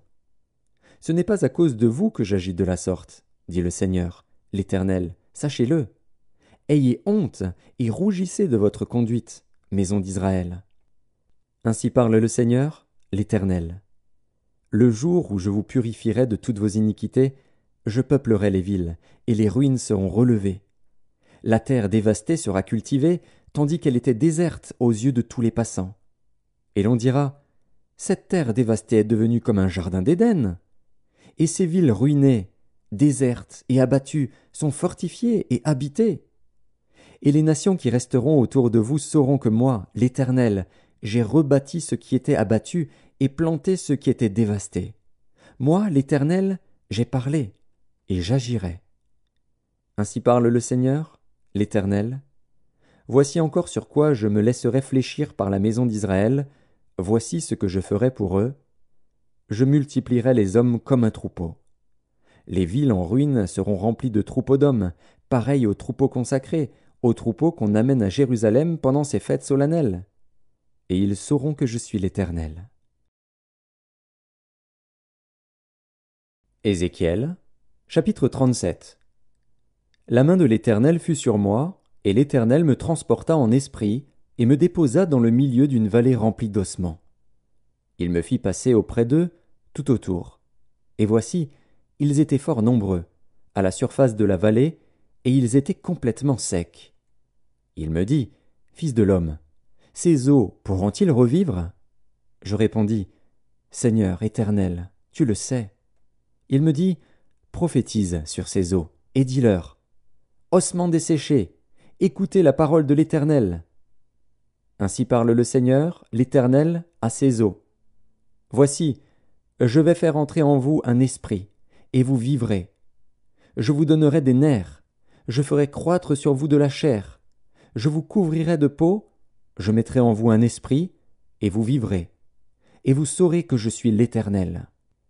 Je prophétisais selon l'ordre que j'avais reçu, et comme je prophétisais, il y eut un bruit, et voici, il se fit un mouvement, et les eaux s'approchèrent les uns des autres. Je regardais, et voici, il leur vint des nerfs, la chair crue, et la peau les couvrit par-dessus. Mais il n'y avait point en eux d'esprit. Il me dit, prophétise, et parle à l'esprit. Prophétise, fils de l'homme, et dis à l'Esprit, Ainsi parle le Seigneur, l'Éternel. Esprit, viens des quatre vents, souffle sur ces morts, et qu'ils revivent. Je prophétisais selon l'ordre qu'il m'avait donné. Et l'Esprit entra en eux, et ils reprirent vie, et ils se tinrent sur leurs pieds. C'était une armée nombreuse, très nombreuse. Il me dit, Fils de l'homme, ces eaux, c'est toute la maison d'Israël? Voici, ils disent, Nos eaux sont desséchées, notre espérance est détruite, nous sommes perdus. Prophétise donc, et dis-leur, Ainsi parle le Seigneur, l'Éternel. Voici, j'ouvrirai vos sépulcres, je vous ferai sortir de vos sépulcres, ô mon peuple, et je vous ramènerai dans le pays d'Israël. Et vous saurez que je suis l'Éternel, lorsque j'ouvrirai vos sépulcres, et que je vous ferai sortir de vos sépulcres, ô mon peuple. Je mettrai mon esprit en vous, et vous vivrez. Je vous rétablirai dans votre pays, et vous saurez que moi, l'Éternel, j'ai parlé et agi, dit l'Éternel. La parole de l'Éternel me fut adressée en ces mots. Et toi, fils de l'homme, prends une pièce de bois, et écris dessus Pour Judas et pour les enfants d'Israël qui lui sont associés. Prends une autre pièce de bois, et écris dessus Pour Joseph, bois d'Éphraïm et de toute la maison d'Israël qui lui est associée. Rapproche-les l'une et l'autre pour en former une seule pièce, en sorte qu'elles soient unies dans ta main. Et lorsque les enfants de ton peuple te diront ne nous expliqueras-tu pas ce que cela signifie? Réponds-leur. Ainsi parle le Seigneur, l'Éternel. Voici, je prendrai le bois de Joseph qui est dans la main d'Éphraïm, et les tribus d'Israël qui lui sont associées. Je les joindrai au bois de Juda, et j'en formerai un seul bois, en sorte qu'il ne soit qu'un dans ma main. Les bois sur lesquels tu écriras seront dans ta main, sous leurs yeux. Et tu leur diras, Ainsi parle le Seigneur, l'Éternel. Voici, je prendrai les enfants d'Israël du milieu des nations où ils sont allés, je les rassemblerai de toutes parts, et je les ramènerai dans leur pays. Je ferai d'eux une seule nation dans le pays, dans les montagnes d'Israël. Ils auront tous un même roi, ils ne formeront plus deux nations, et ne seront plus divisés en deux royaumes. Ils ne se souilleront plus par leurs idoles, par leurs abominations, et par toutes leurs transgressions. Je les retirerai de tous les lieux qu'ils ont habités et où ils ont péché, et je les purifierai. Ils seront mon peuple, et je serai leur Dieu. Mon serviteur David sera leur roi, et ils auront tous un seul pasteur. Ils suivront mes ordonnances, ils observeront mes lois et les mettront en pratique. Ils habiteront le pays que j'ai donné à mon serviteur Jacob, et qu'ont habité vos pères. Ils y habiteront, eux, leurs enfants, et les enfants de leurs enfants, à perpétuité. Et mon serviteur David sera leur prince pour toujours. Je traiterai avec eux une alliance de paix, et il y aura une alliance éternelle avec eux. Je les établirai, je les multiplierai, et je placerai mon sanctuaire au milieu d'eux pour toujours. Ma demeure sera parmi eux, je serai leur Dieu, et ils seront mon peuple. Et les nations sauront que je suis l'Éternel, qui sanctifie Israël, lorsque mon sanctuaire sera pour toujours au milieu d'eux. Ézéchiel, chapitre 38 La parole de l'Éternel me fut adressée en ces mots. Fils de l'homme, tourne ta face vers Gog, au pays de Magog, vers le prince de Roche, de Méchec et de Tubal, et prophétise contre lui. Tu diras, Ainsi parle le Seigneur, l'Éternel. Voici, j'en veux à toi, Gog, prince de Roche, de Méchec et de Tubal. Je t'entraînerai, et je mettrai une boucle à tes mâchoires je te ferai sortir, toi et toute ton armée, chevaux et cavaliers, tous vêtus magnifiquement, troupes nombreuses portant le grand et le petit bouclier, tous maniant l'épée. Et avec eux ceux de Perse, d'Éthiopie et de Put, tous portant le bouclier et le casque. Gomer et toutes ses troupes, la maison de Togarma, à l'extrémité du septentrion, et toutes ses troupes, peuples nombreux qui sont avec toi. Prépare-toi, tiens-toi prêt, toi et toute ta multitude assemblée autour de toi. Sois leur chef. Après bien des jours, tu seras à leur tête. Dans la suite des années, tu marcheras contre le pays dont les habitants, échappés à l'épée, auront été rassemblés d'entre plusieurs peuples sur les montagnes d'Israël longtemps désertes. Retirés du milieu des peuples, ils seront tous en sécurité dans leur demeure. Tu monteras, Tu t'avanceras comme une tempête, tu seras comme une nuée qui va couvrir le pays, toi et toutes tes troupes, et les nombreux peuples avec toi. Ainsi parle le Seigneur, l'Éternel. En ce jour-là, des pensées s'élèveront dans ton cœur, et tu formeras de mauvais desseins. Tu diras, Je monterai contre un pays ouvert, je fonderai sur des hommes tranquilles, en sécurité dans leur demeure, tous dans des habitations sans murailles, et n'ayant ni verrou ni porte. J'irai faire du butin et me livrer au pillage, porter la main sur des ruines maintenant habitées, sur un peuple recueilli du milieu des nations, ayant des troupeaux et des propriétés, et occupant les lieux élevés du pays. Séba et Dedan, les marchands de Tarsis, et tous leurs lionceaux te diront Viens-tu pour faire du butin? Est-ce pour piller que tu as rassemblé ta multitude, pour remporter de l'argent et de l'or, pour prendre des troupeaux et des biens, pour faire un grand butin? C'est pourquoi prophétise, fils de l'homme, et dis à Gog Ainsi parle le Seigneur, l'Éternel. Oui, le jour où mon peuple d'Israël vivra en sécurité, tu le sauras. Alors tu partiras de ton pays, des extrémités du septentrion, toi et de nombreux peuples avec toi, tous montés sur des chevaux, une grande multitude, une armée puissante. Tu t'avanceras contre mon peuple d'Israël, comme une nuée qui va couvrir le pays. Dans la suite des jours, je te ferai marcher contre mon pays, afin que les nations me connaissent, quand je serai sanctifié par toi sous leurs yeux, ô Gog. Ainsi parle le Seigneur, l'Éternel. Est-ce toi de qui j'ai parlé jadis par mes serviteurs les prophètes d'Israël, qui ont prophétisé alors, pendant des années, que je t'amènerai contre eux? En ce jour-là, le jour où Gog marchera contre la terre d'Israël, dit le Seigneur, l'Éternel, la fureur me montera dans les narines.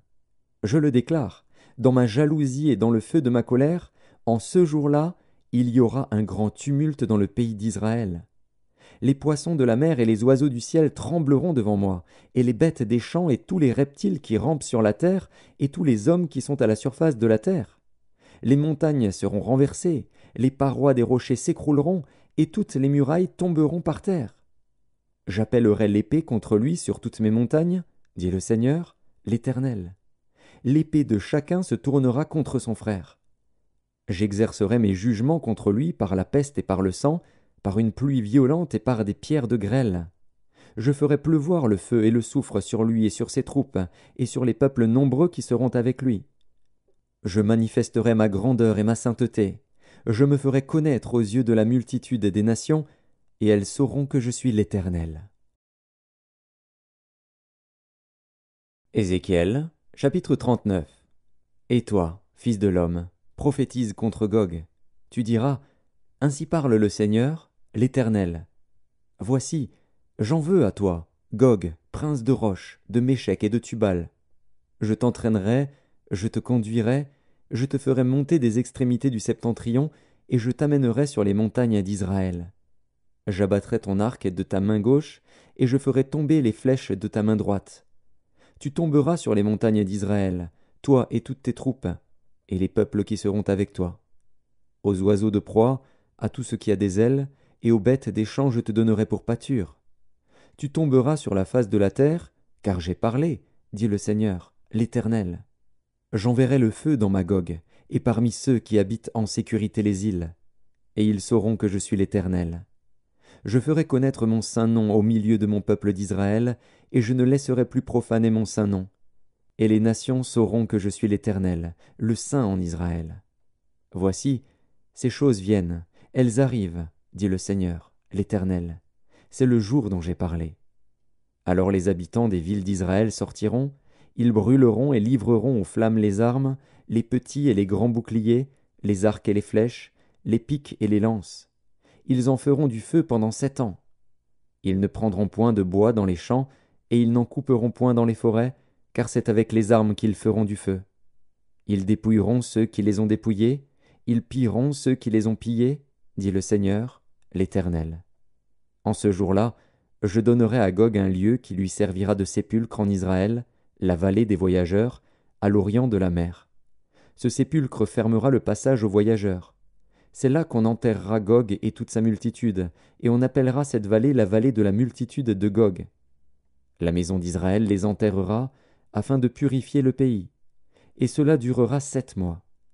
Tout le peuple du pays les enterrera, et il en aura du renom, le jour où je serai glorifié, dit le Seigneur, l'Éternel.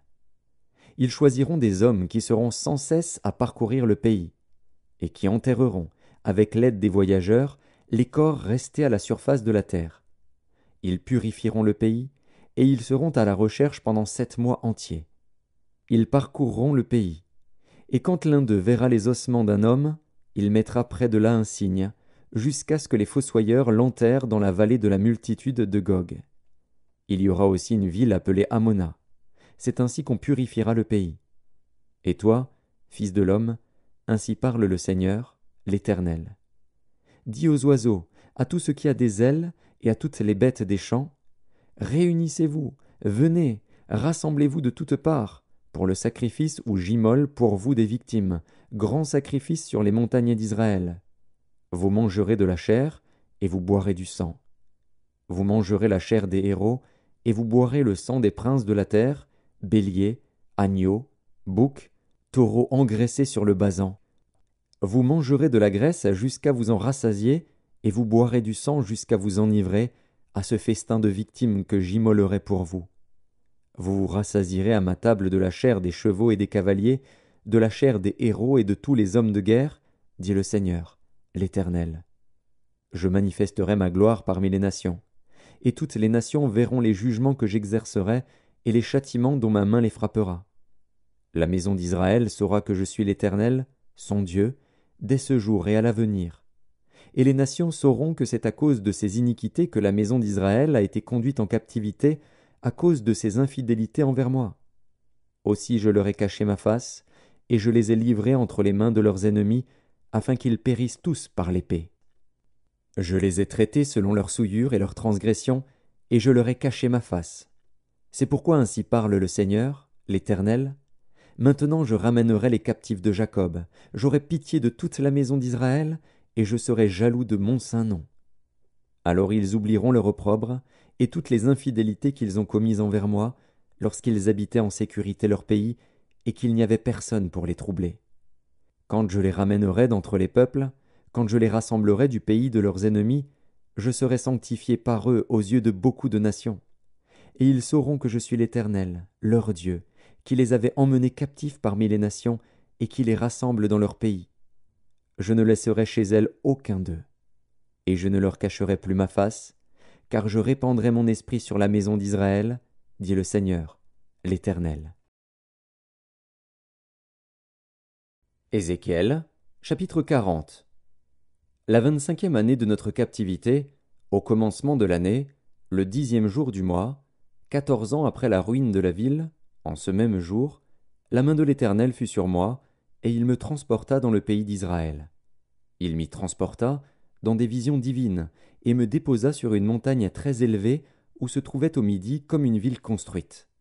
Il me conduisit là, et voici, il y avait un homme dont l'aspect était comme l'aspect de l'airain. Il avait dans la main un cordeau de lin et une canne pour mesurer, et il se tenait à la porte. Cet homme me dit, Fils de l'homme, regarde de tes yeux et écoute de tes oreilles. Applique ton attention à toutes les choses que je te montrerai, car tu as été amené ici afin que je te les montre. Fais connaître à la maison d'Israël tout ce que tu verras. Voici, un mur extérieur entourait la maison de tous côtés. Dans la main de l'homme était une canne de six coudées pour mesurer, chaque coudée ayant un palme de plus que la coudée ordinaire. Il mesura la largeur du mur, qui était d'une canne, et la hauteur, qui était d'une canne. Il alla vers la porte orientale, et il en monta les degrés. Il mesura le seuil de la porte, qui avait une canne en largeur, et l'autre seuil, qui avait une canne en largeur. Chaque chambre était longue d'une canne, et large d'une canne. Il y avait entre les chambres un espace de cinq coudées. Le seuil de la porte, près du vestibule de la porte, à l'intérieur, avait une canne. Il mesura le vestibule de la porte, à l'intérieur. Il avait une canne. Il mesura le vestibule de la porte. Il avait huit coudées, et ses poteaux en avaient deux. Le vestibule de la porte était en dedans. Les chambres de la porte orientale étaient au nombre de trois d'un côté et de trois de l'autre. Toutes les trois avaient la même mesure, et les poteaux de chaque côté avaient aussi la même mesure. Il mesura la largeur de l'ouverture de la porte, qui était de dix coudées, et la hauteur de la porte, qui était de treize coudées. Il y avait devant les chambres un espace d'une coudée de chaque côté et d'autre. Chaque chambre avait six coudées d'un côté et six coudées de l'autre. Il mesura la porte depuis le toit d'une chambre jusqu'au toit de l'autre. Il y avait une largeur de vingt-cinq coudées entre les deux ouvertures opposées.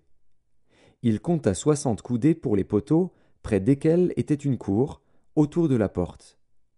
L'espace entre la porte d'entrée et le vestibule de la porte intérieure était de cinquante coudées. Il y avait des fenêtres grillées aux chambres et à leurs poteaux à l'intérieur de la porte tout autour. Il y avait aussi des fenêtres dans les vestibules tout autour intérieurement.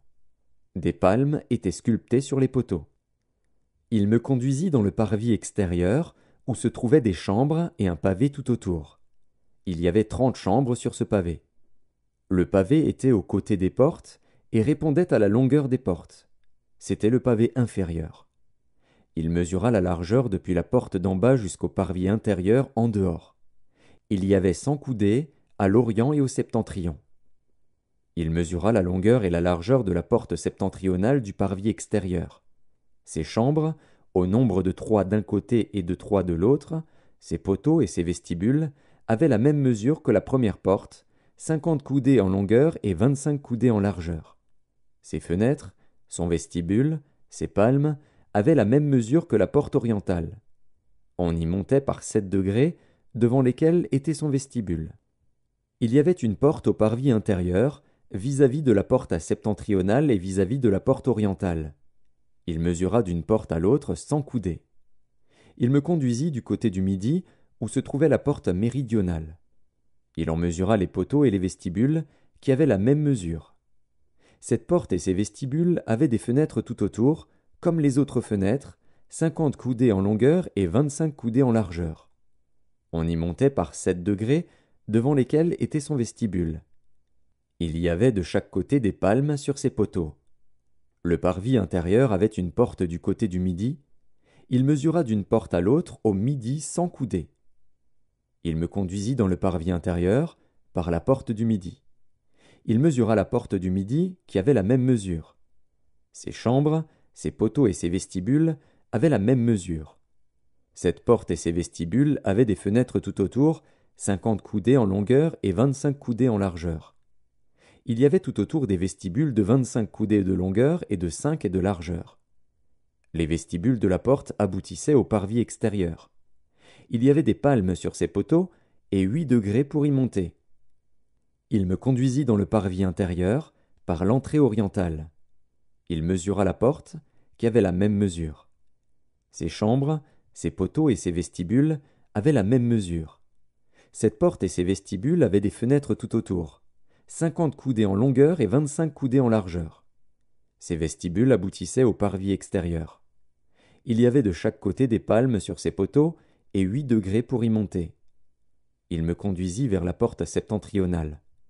Il la mesura et trouva la même mesure, ainsi qu'à ses chambres, à ses poteaux et à ses vestibules. Elle avait des fenêtres tout autour. Cinquante coudées en longueur et vingt-cinq coudées en largeur. Ses vestibules aboutissaient au parvis extérieur. Il y avait de chaque côté des palmes sur ses poteaux et huit degrés pour y monter. Il y avait une chambre qui s'ouvrait vers les poteaux des portes et où l'on devait laver les holocaustes. Dans le vestibule de la porte se trouvaient de chaque côté deux tables sur lesquelles on devait égorger l'holocauste, le sacrifice d'expiation et le sacrifice de culpabilité. À l'un des côtés extérieurs par où l'on montait, à l'entrée de la porte septentrionale, il y avait deux tables. Et à l'autre côté, vers le vestibule de la porte, il y avait deux tables. Il se trouvait ainsi, aux côtés de la porte, quatre tables d'une part et quatre tables de l'autre, en tout huit tables, sur lesquelles on devait égorger les victimes. Il y avait encore pour les holocaustes quatre tables en pierre de taille, longues d'une coudée et demie, larges d'une coudée et demie, et hautes d'une coudée. On devait mettre sur ces tables les instruments avec lesquels on égorgerait les victimes pour les holocaustes et pour les autres sacrifices. Des rebords de quatre doigts étaient adaptés à la maison tout autour, et la chair des sacrifices devait être mise sur les tables. En dehors de la porte intérieure, il y avait des chambres pour les chantres, dans le parvis intérieur. L'une était à côté de la porte septentrionale et avait la face au midi. L'autre était à côté de la porte orientale et avait la face au septentrion. Il me dit Cette chambre dont la face est au midi est pour les sacrificateurs qui ont la garde de la maison. Et la chambre dont la face est au septentrion est pour les sacrificateurs qui ont la garde de l'autel. Ce sont les fils de Tsadok qui, parmi les fils de Lévi, s'approchent de l'Éternel pour le servir. Il mesura le parvis, qui avait cent coudées de longueur et cent coudées de largeur, en carré. L'autel était devant la maison. Il me conduisit dans le vestibule de la maison. Il mesura les poteaux du vestibule et trouva cinq coudées d'un côté et cinq coudées de l'autre. La largeur de la porte était de trois coudées d'un côté et de trois coudées de l'autre. Le vestibule avait une longueur de vingt coudées et une largeur de onze coudées. On y montait par des degrés. Il y avait des colonnes près des poteaux, l'une d'un côté et l'autre de l'autre. Ézéchiel, chapitre 41 Il me conduisit dans le temple. Il mesura les poteaux. Il y avait six coudées de largeur d'un côté et six coudées de largeur de l'autre, largeur de la tente. La largeur de la porte était de dix coudées. Il y avait cinq coudées d'un côté de la porte et cinq coudées de l'autre. Il mesura la longueur du temple, quarante coudées, et la largeur, vingt coudées. Puis il entra dans l'intérieur. Il mesura les poteaux de la porte, deux coudées, la porte, six coudées, et la largeur de la porte, sept coudées.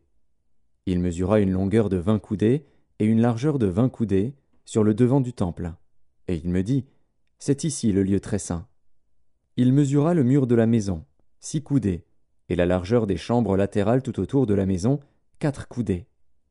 Les chambres latérales étaient les unes à côté des autres, au nombre de trente, et il y avait trois étages. Elles entraient dans un mur construit pour ces chambres tout autour de la maison, elles y étaient appuyées sans entrer dans le mur même de la maison. Les chambres occupaient plus d'espace, à mesure qu'elles s'élevaient, et l'on allait en tournant, car on montait autour de la maison par un escalier tournant. Il y avait ainsi plus d'espace dans le haut de la maison, et l'on montait de l'étage inférieur à l'étage supérieur par celui du milieu. Je considérais la hauteur autour de la maison. Les chambres latérales à partir de leur fondement, avait une canne pleine, six grandes coudées.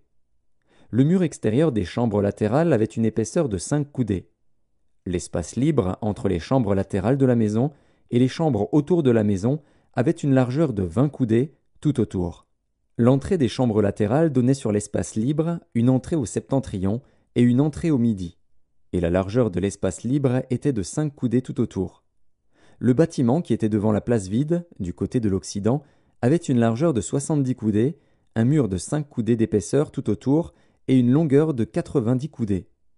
Il mesura la maison, qui avait cent coudées de longueur.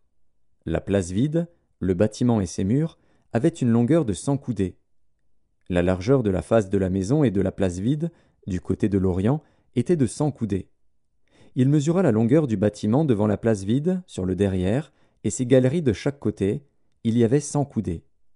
Le temple intérieur, les vestibules extérieurs, les seuils, les fenêtres grillées, les galeries du pourtour aux trois étages, en face des seuils, étaient recouverts de bois tout autour.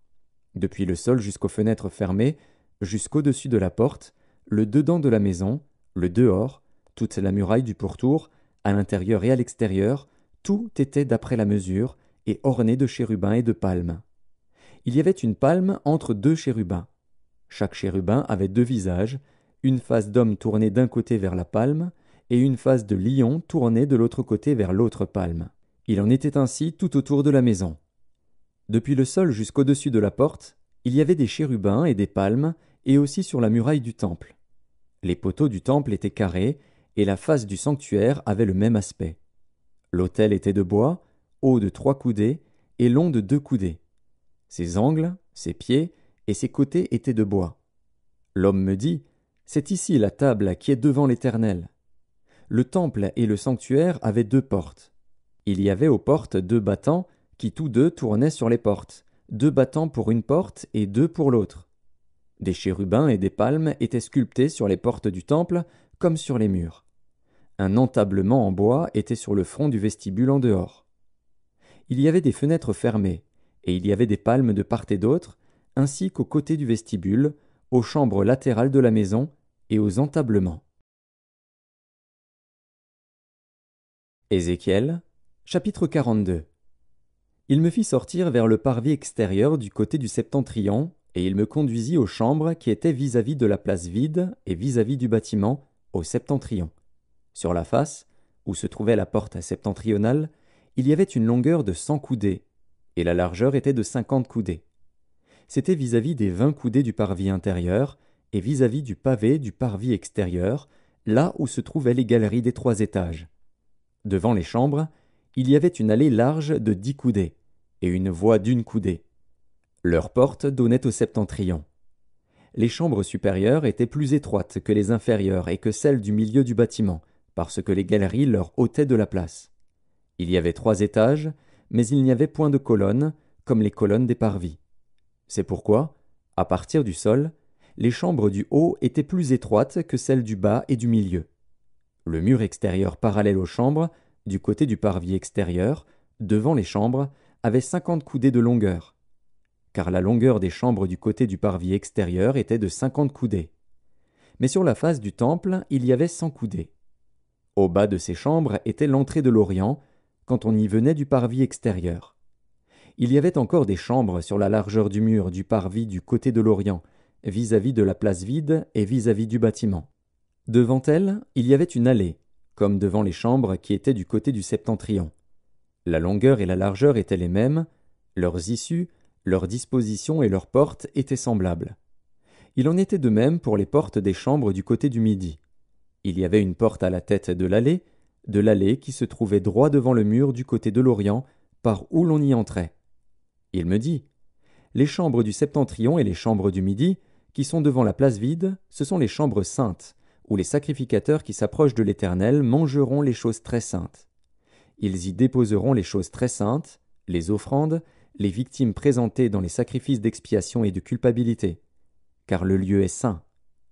Quand les sacrificateurs seront entrés, ils ne sortiront pas du sanctuaire pour aller dans le parvis extérieur, mais ils déposeront là les vêtements avec lesquels ils font le service, car ces vêtements sont saints. Ils en mettront d'autres pour s'approcher du peuple. Lorsqu'il eut achevé de mesurer la maison intérieure, il me fit sortir par la porte qui était du côté de l'Orient, et il mesura l'enceinte tout autour. Il mesura le côté de l'Orient avec la canne qui servait de mesure, et il y avait tout autour cinq cents cannes. Il mesura le côté du septentrion avec la canne qui servait de mesure, et il y avait tout autour cinq cents cannes. Il mesura le côté du midi avec la canne qui servait de mesure, et il y avait cinq cents cannes.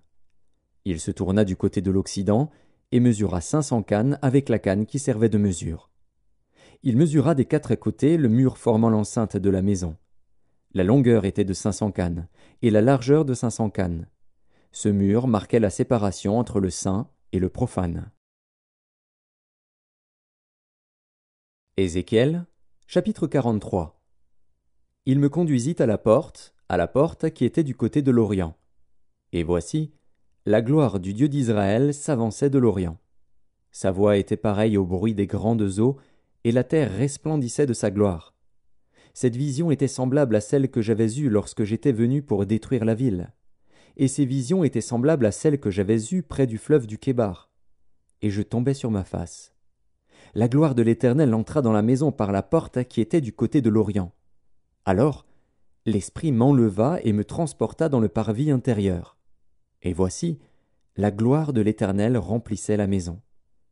J'entendis quelqu'un qui me parlait depuis la maison, et un homme se tenait près de moi. Il me dit, Fils de l'homme, c'est ici le lieu de mon trône, le lieu où je poserai la plante de mes pieds. J'y habiterai éternellement au milieu des enfants d'Israël. La maison d'Israël et ses rois ne souilleront plus mon saint nom par leur prostitution et par les cadavres de leurs rois sur leur haut lieu. Ils mettaient leur seuil près de mon seuil, leur poteau près de mes poteaux, et il n'y avait qu'un mur entre moi et eux. Ils ont ainsi souillé mon saint nom par les abominations qu'ils ont commises. C'est pourquoi je les ai consumés dans ma colère. Maintenant ils éloigneront de moi leur prostitution et les cadavres de leurs rois, et j'habiterai éternellement au milieu d'eux. Toi, fils de l'homme, montre ce temple à la maison d'Israël, qu'ils en mesurent le plan, et qu'ils rougissent de leurs iniquités. S'ils rougissent de toute leur conduite, fais-leur connaître la forme de cette maison, sa disposition, ses issues et ses entrées, tous ses desseins et toutes ses ordonnances, tous ces dessins et toutes ces lois. Mets-en la description sous leurs yeux, afin qu'ils gardent tous ces dessins et toutes ces ordonnances, et qu'ils s'y conforment dans l'exécution. Telle est la loi de la maison. Sur le sommet de la montagne, tout l'espace qu'elle doit occuper est très saint. Voilà donc la loi de la maison. Voici les mesures de l'autel, d'après les coudées dont chacune était d'un palme plus longue que la coudée ordinaire. La base avait une coudée de hauteur et une coudée de largeur, et le rebord qui terminait son contour avait un empan de largeur. C'était le support de l'autel. Depuis la base sur le sol jusqu'à l'encadrement inférieur, il y avait deux coudées et une coudée de largeur. Et depuis le petit jusqu'au grand encadrement, il y avait quatre coudées et une coudée de largeur. L'autel avait quatre coudées, et quatre cornes s'élevaient de l'autel. L'autel avait douze coudées de longueur, douze coudées de largeur, et formait un carré par ses quatre côtés. L'encadrement avait quatorze coudées de longueur sur quatorze coudées de largeur à ses quatre côtés, le rebord qui terminait son contour avait une demi-coudée. La base avait une coudée tout autour, et les degrés étaient tournés vers l'Orient. Il me dit, Fils de l'homme, ainsi parle le Seigneur, l'Éternel. Voici les lois au sujet de l'autel, pour le jour où on le construira, afin d'y offrir les holocaustes et d'y répandre le sang. Tu donneras aux sacrificateurs, aux Lévites, qui sont de la postérité de Tsadok et qui s'approchent de moi pour me servir, dit le Seigneur, l'Éternel, un jeune taureau pour le sacrifice d'expiation. Tu prendras de son sang, et tu en mettras sur les quatre cornes de l'autel, sur les quatre angles de l'encadrement, et sur le rebord qui l'entoure. Tu purifieras ainsi l'autel, et tu en feras l'expiation. Tu prendras le taureau expiatoire, et on le brûlera dans un lieu réservé de la maison, en dehors du sanctuaire. Le second jour, tu offriras en expiation un bouc sans défaut. On purifiera ainsi l'autel, comme on l'aura purifié avec le taureau. Quand tu auras achevé la purification, tu offriras un jeune taureau sans défaut et un bélier du troupeau sans défaut. Tu les offriras devant l'Éternel. Les sacrificateurs jetteront du sel sur eux et les offriront en holocauste à l'Éternel. Pendant sept jours, tu sacrifieras chaque jour un bouc comme victime expiatoire. On sacrifiera aussi un jeune taureau et un bélier du troupeau, l'un et l'autre sans défaut. Pendant sept jours, on fera l'expiation et la purification de l'autel, on le consacrera. Lorsque ces jours seront accomplis, dès le huitième jour et à l'avenir les sacrificateurs offriront sur l'autel vos holocaustes et vos sacrifices d'action de grâce. Et je vous serai favorable, dit le Seigneur, l'Éternel. Ézéchiel, chapitre 44 Il me ramena vers la porte extérieure du sanctuaire, du côté de l'Orient mais elle était fermée. Et l'Éternel me dit Cette porte sera fermée, elle ne s'ouvrira point, et personne n'y passera. Car l'Éternel, le Dieu d'Israël, est entré par là. Elle restera fermée. Pour ce qui concerne le prince, le prince pourra s'y asseoir, pour manger le pain devant l'Éternel. Il entrera par le chemin du vestibule de la porte, et il sortira par le même chemin. Il me conduisit vers la porte du septentrion, devant la maison.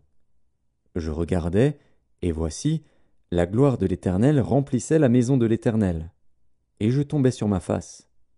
L'Éternel me dit, Fils de l'homme, sois attentif, et regarde de tes yeux. Écoute de tes oreilles tout ce que je te dirai au sujet de toutes les ordonnances de la maison de l'Éternel et de toutes ses lois. Considère attentivement l'entrée de la maison et toutes les issues du sanctuaire. Tu diras aux rebelles, à la maison d'Israël, Ainsi parle le Seigneur, l'Éternel. Assez de toutes vos abominations, maison d'Israël.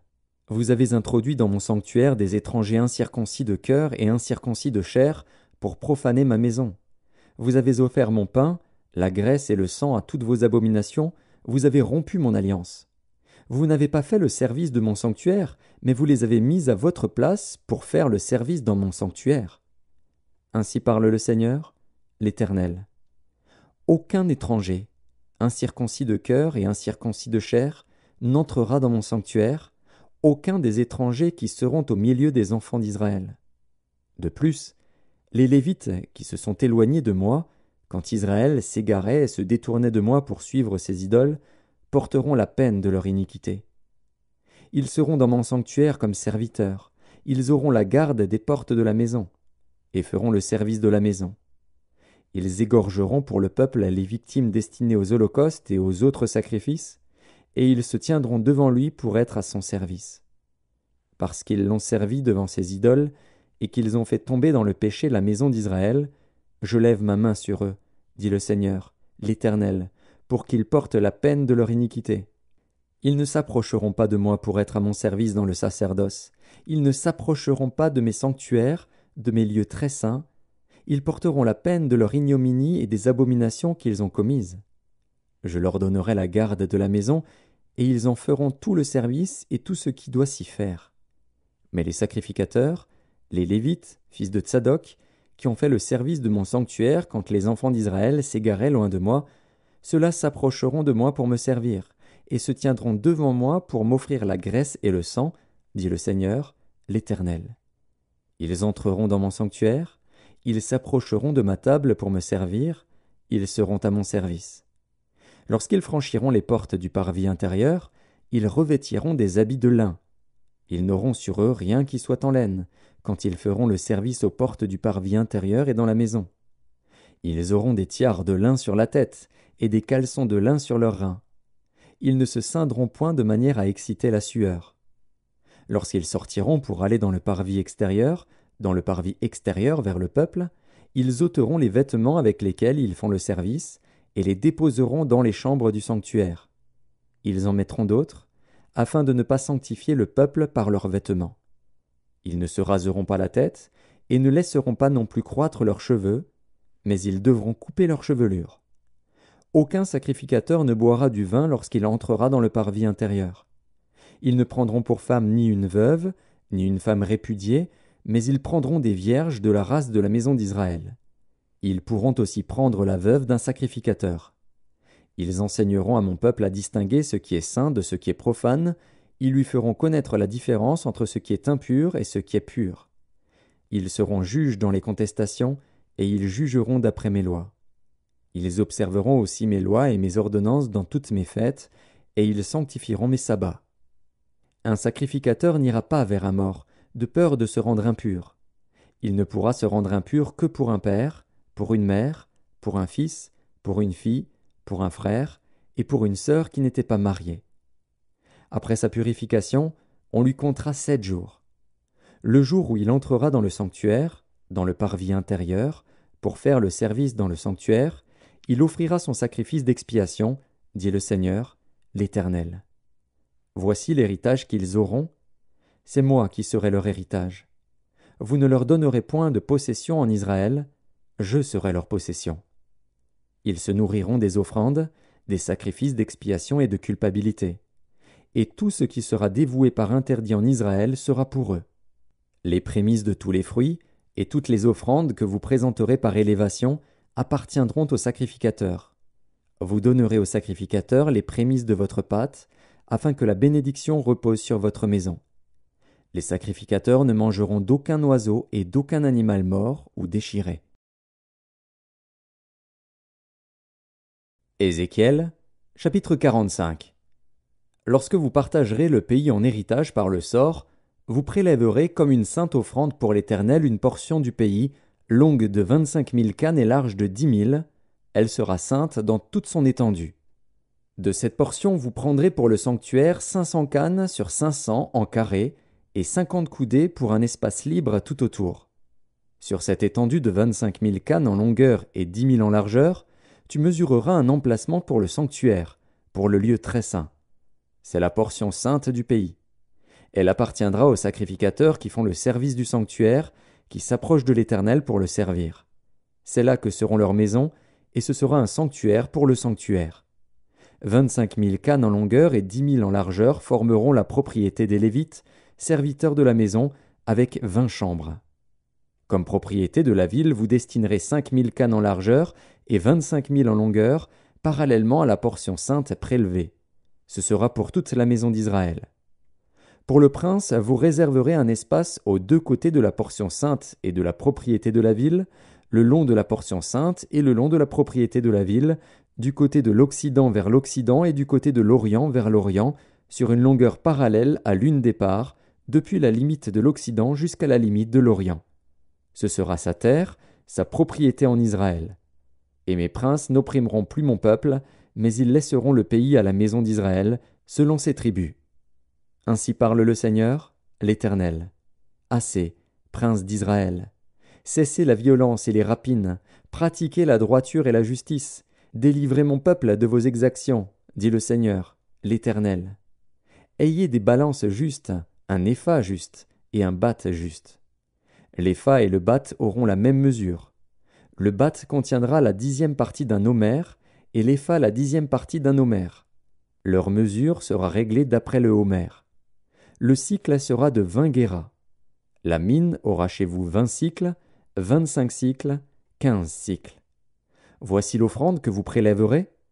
La sixième partie d'un épha sur un homère de froment, et la sixième partie d'un épha sur un homère d'orge. Ce que vous devrez pour l'huile, pour un bat d'huile, sera la dixième partie d'un bat sur un corps, qui est égal à un homère de dix bats, car dix bats font un homère. Une brebis sur un troupeau de deux cents dans les gras pâturages d'Israël sera donnée pour l'offrande, l'holocauste et le sacrifice d'action de grâce, afin de servir de victime expiatoire, dit le Seigneur, l'Éternel. Tout le peuple du pays devra prélever cette offrande pour le prince d'Israël. Le prince sera chargé des holocaustes, des offrandes et des libations, aux fêtes, aux nouvelles lunes, aux sabbats, à toutes les solennités de la maison d'Israël. Il offrira le sacrifice expiatoire, l'offrande, l'holocauste et le sacrifice d'action de grâce en expiation pour la maison d'Israël. Ainsi parle le Seigneur, l'Éternel. Le premier jour du premier mois, tu prendras un jeune taureau sans défaut, et tu feras l'expiation du sanctuaire. Le sacrificateur prendra du sang de la victime expiatoire, et il en mettra sur les poteaux de la maison, sur les quatre angles de l'encadrement de l'autel, et sur les poteaux de la porte du parvis intérieur. Tu feras de même le septième jour du mois, pour ceux qui pêchent involontairement ou par imprudence. Vous purifierez ainsi la maison. Le quatorzième jour du premier mois, vous aurez la Pâque. La fête durera sept jours. On mangera des pains sans levain. Le prince offrira ce jour-là, pour lui et pour tout le peuple du pays, un taureau en sacrifice d'expiation. Pendant les sept jours de la fête, il offrira en holocauste à l'Éternel sept taureaux et sept béliers sans défaut, chacun des sept jours, et un bouc en sacrifice d'expiation chaque jour. Il y joindra l'offrande d'un épha pour chaque taureau et d'un épha pour chaque bélier, avec un un d'huile par épha. Le quinzième jour du septième mois, à la fête, il offrira pendant sept jours les mêmes sacrifices d'expiation, les mêmes holocaustes et la même offrande avec l'huile. Ézéchiel, chapitre 46 Ainsi parle le Seigneur, l'Éternel. La porte du parvis intérieur, du côté de l'Orient, restera fermée les six jours ouvriers. Mais elle sera ouverte le jour du sabbat, elle sera aussi ouverte le jour de la nouvelle lune. Le prince entrera par le chemin du vestibule de la porte extérieure, et se tiendra près des poteaux de la porte. Les sacrificateurs offriront son holocauste et ses sacrifices d'action de grâce. Il se prosternera sur le seuil de la porte, puis il sortira, et la porte ne sera pas fermée avant le soir.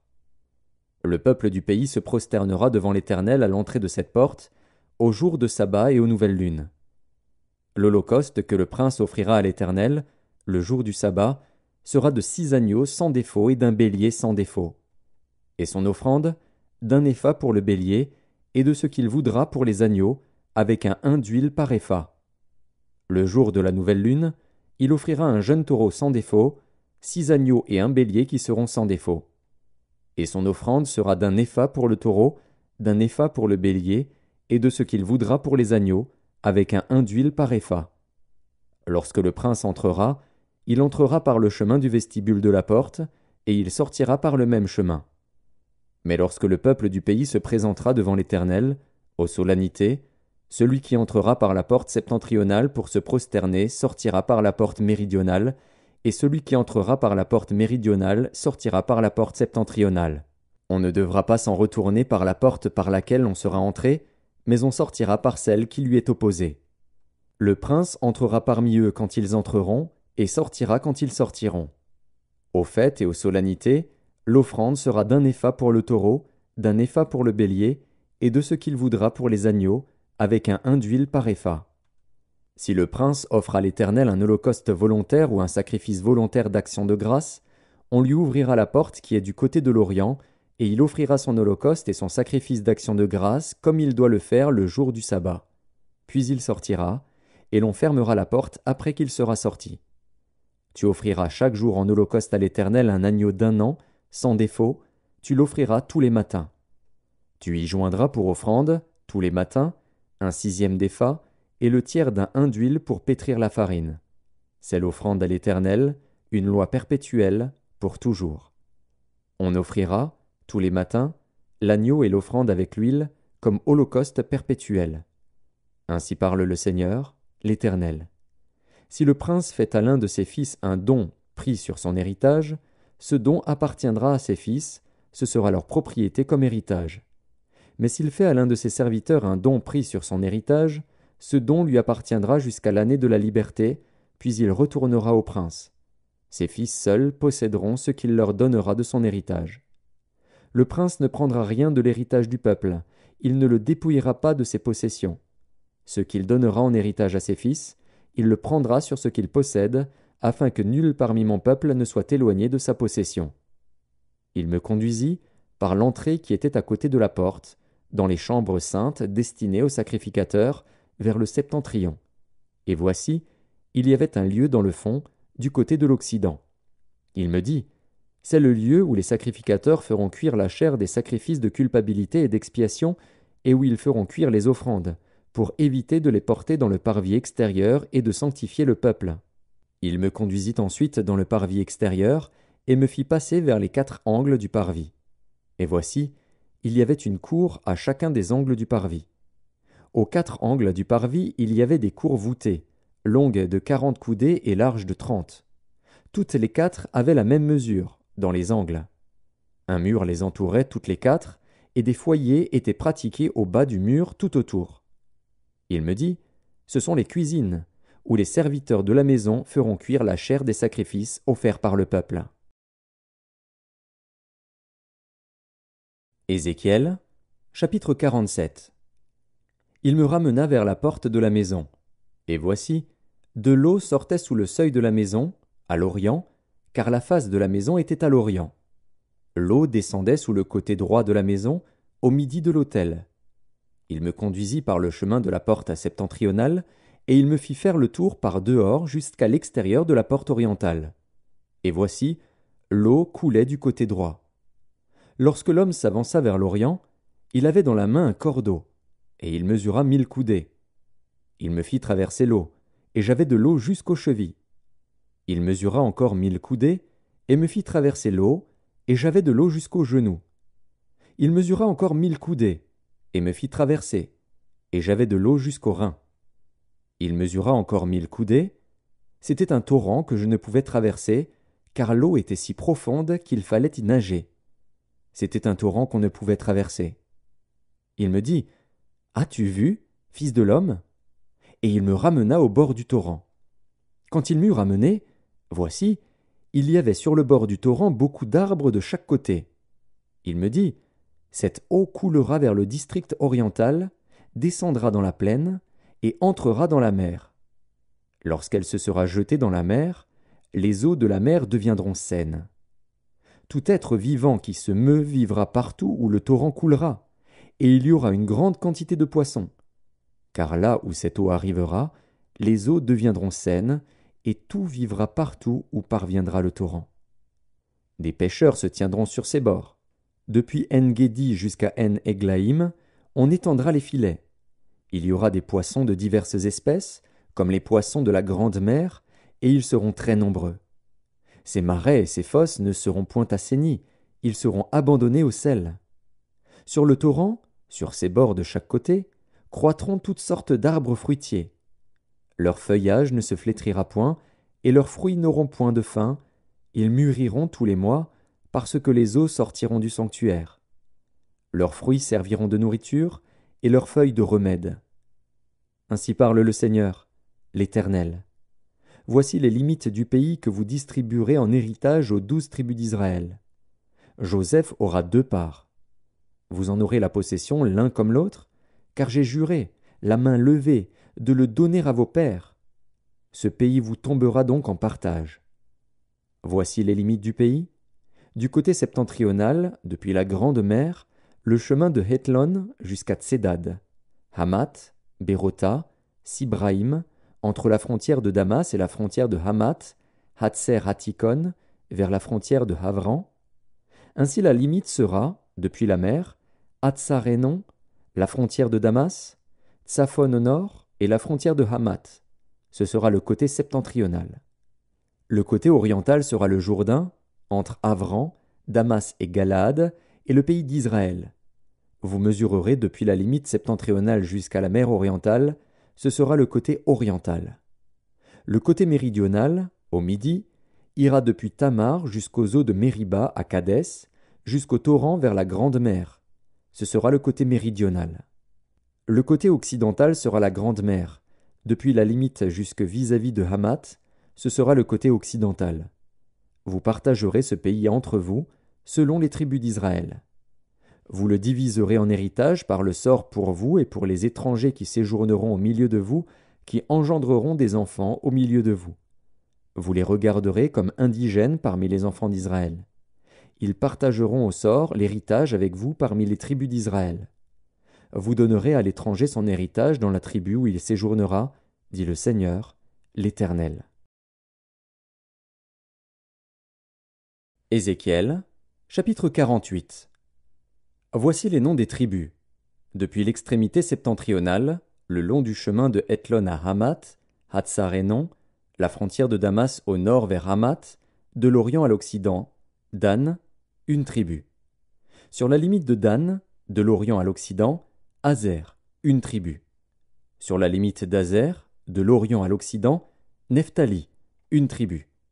Sur la limite de Nephtali, de l'Orient à l'Occident, Manassé, une tribu. Sur la limite de Manassé, de l'Orient à l'Occident, Éphraïm, une tribu. Sur la limite d'Éphraïm, de l'Orient à l'Occident, Ruben, une tribu. Sur la limite de Ruben, de l'Orient à l'Occident, Juda, une tribu. Sur la frontière de Juda, de l'Orient à l'Occident, sera la portion que vous prélèverez, large de vingt-cinq mille cannes et longue comme l'une des parts de l'Orient à l'Occident. Et le sanctuaire sera au milieu. La portion que vous prélèverez pour l'Éternel aura vingt-cinq mille cannes de longueur et dix mille de largeur.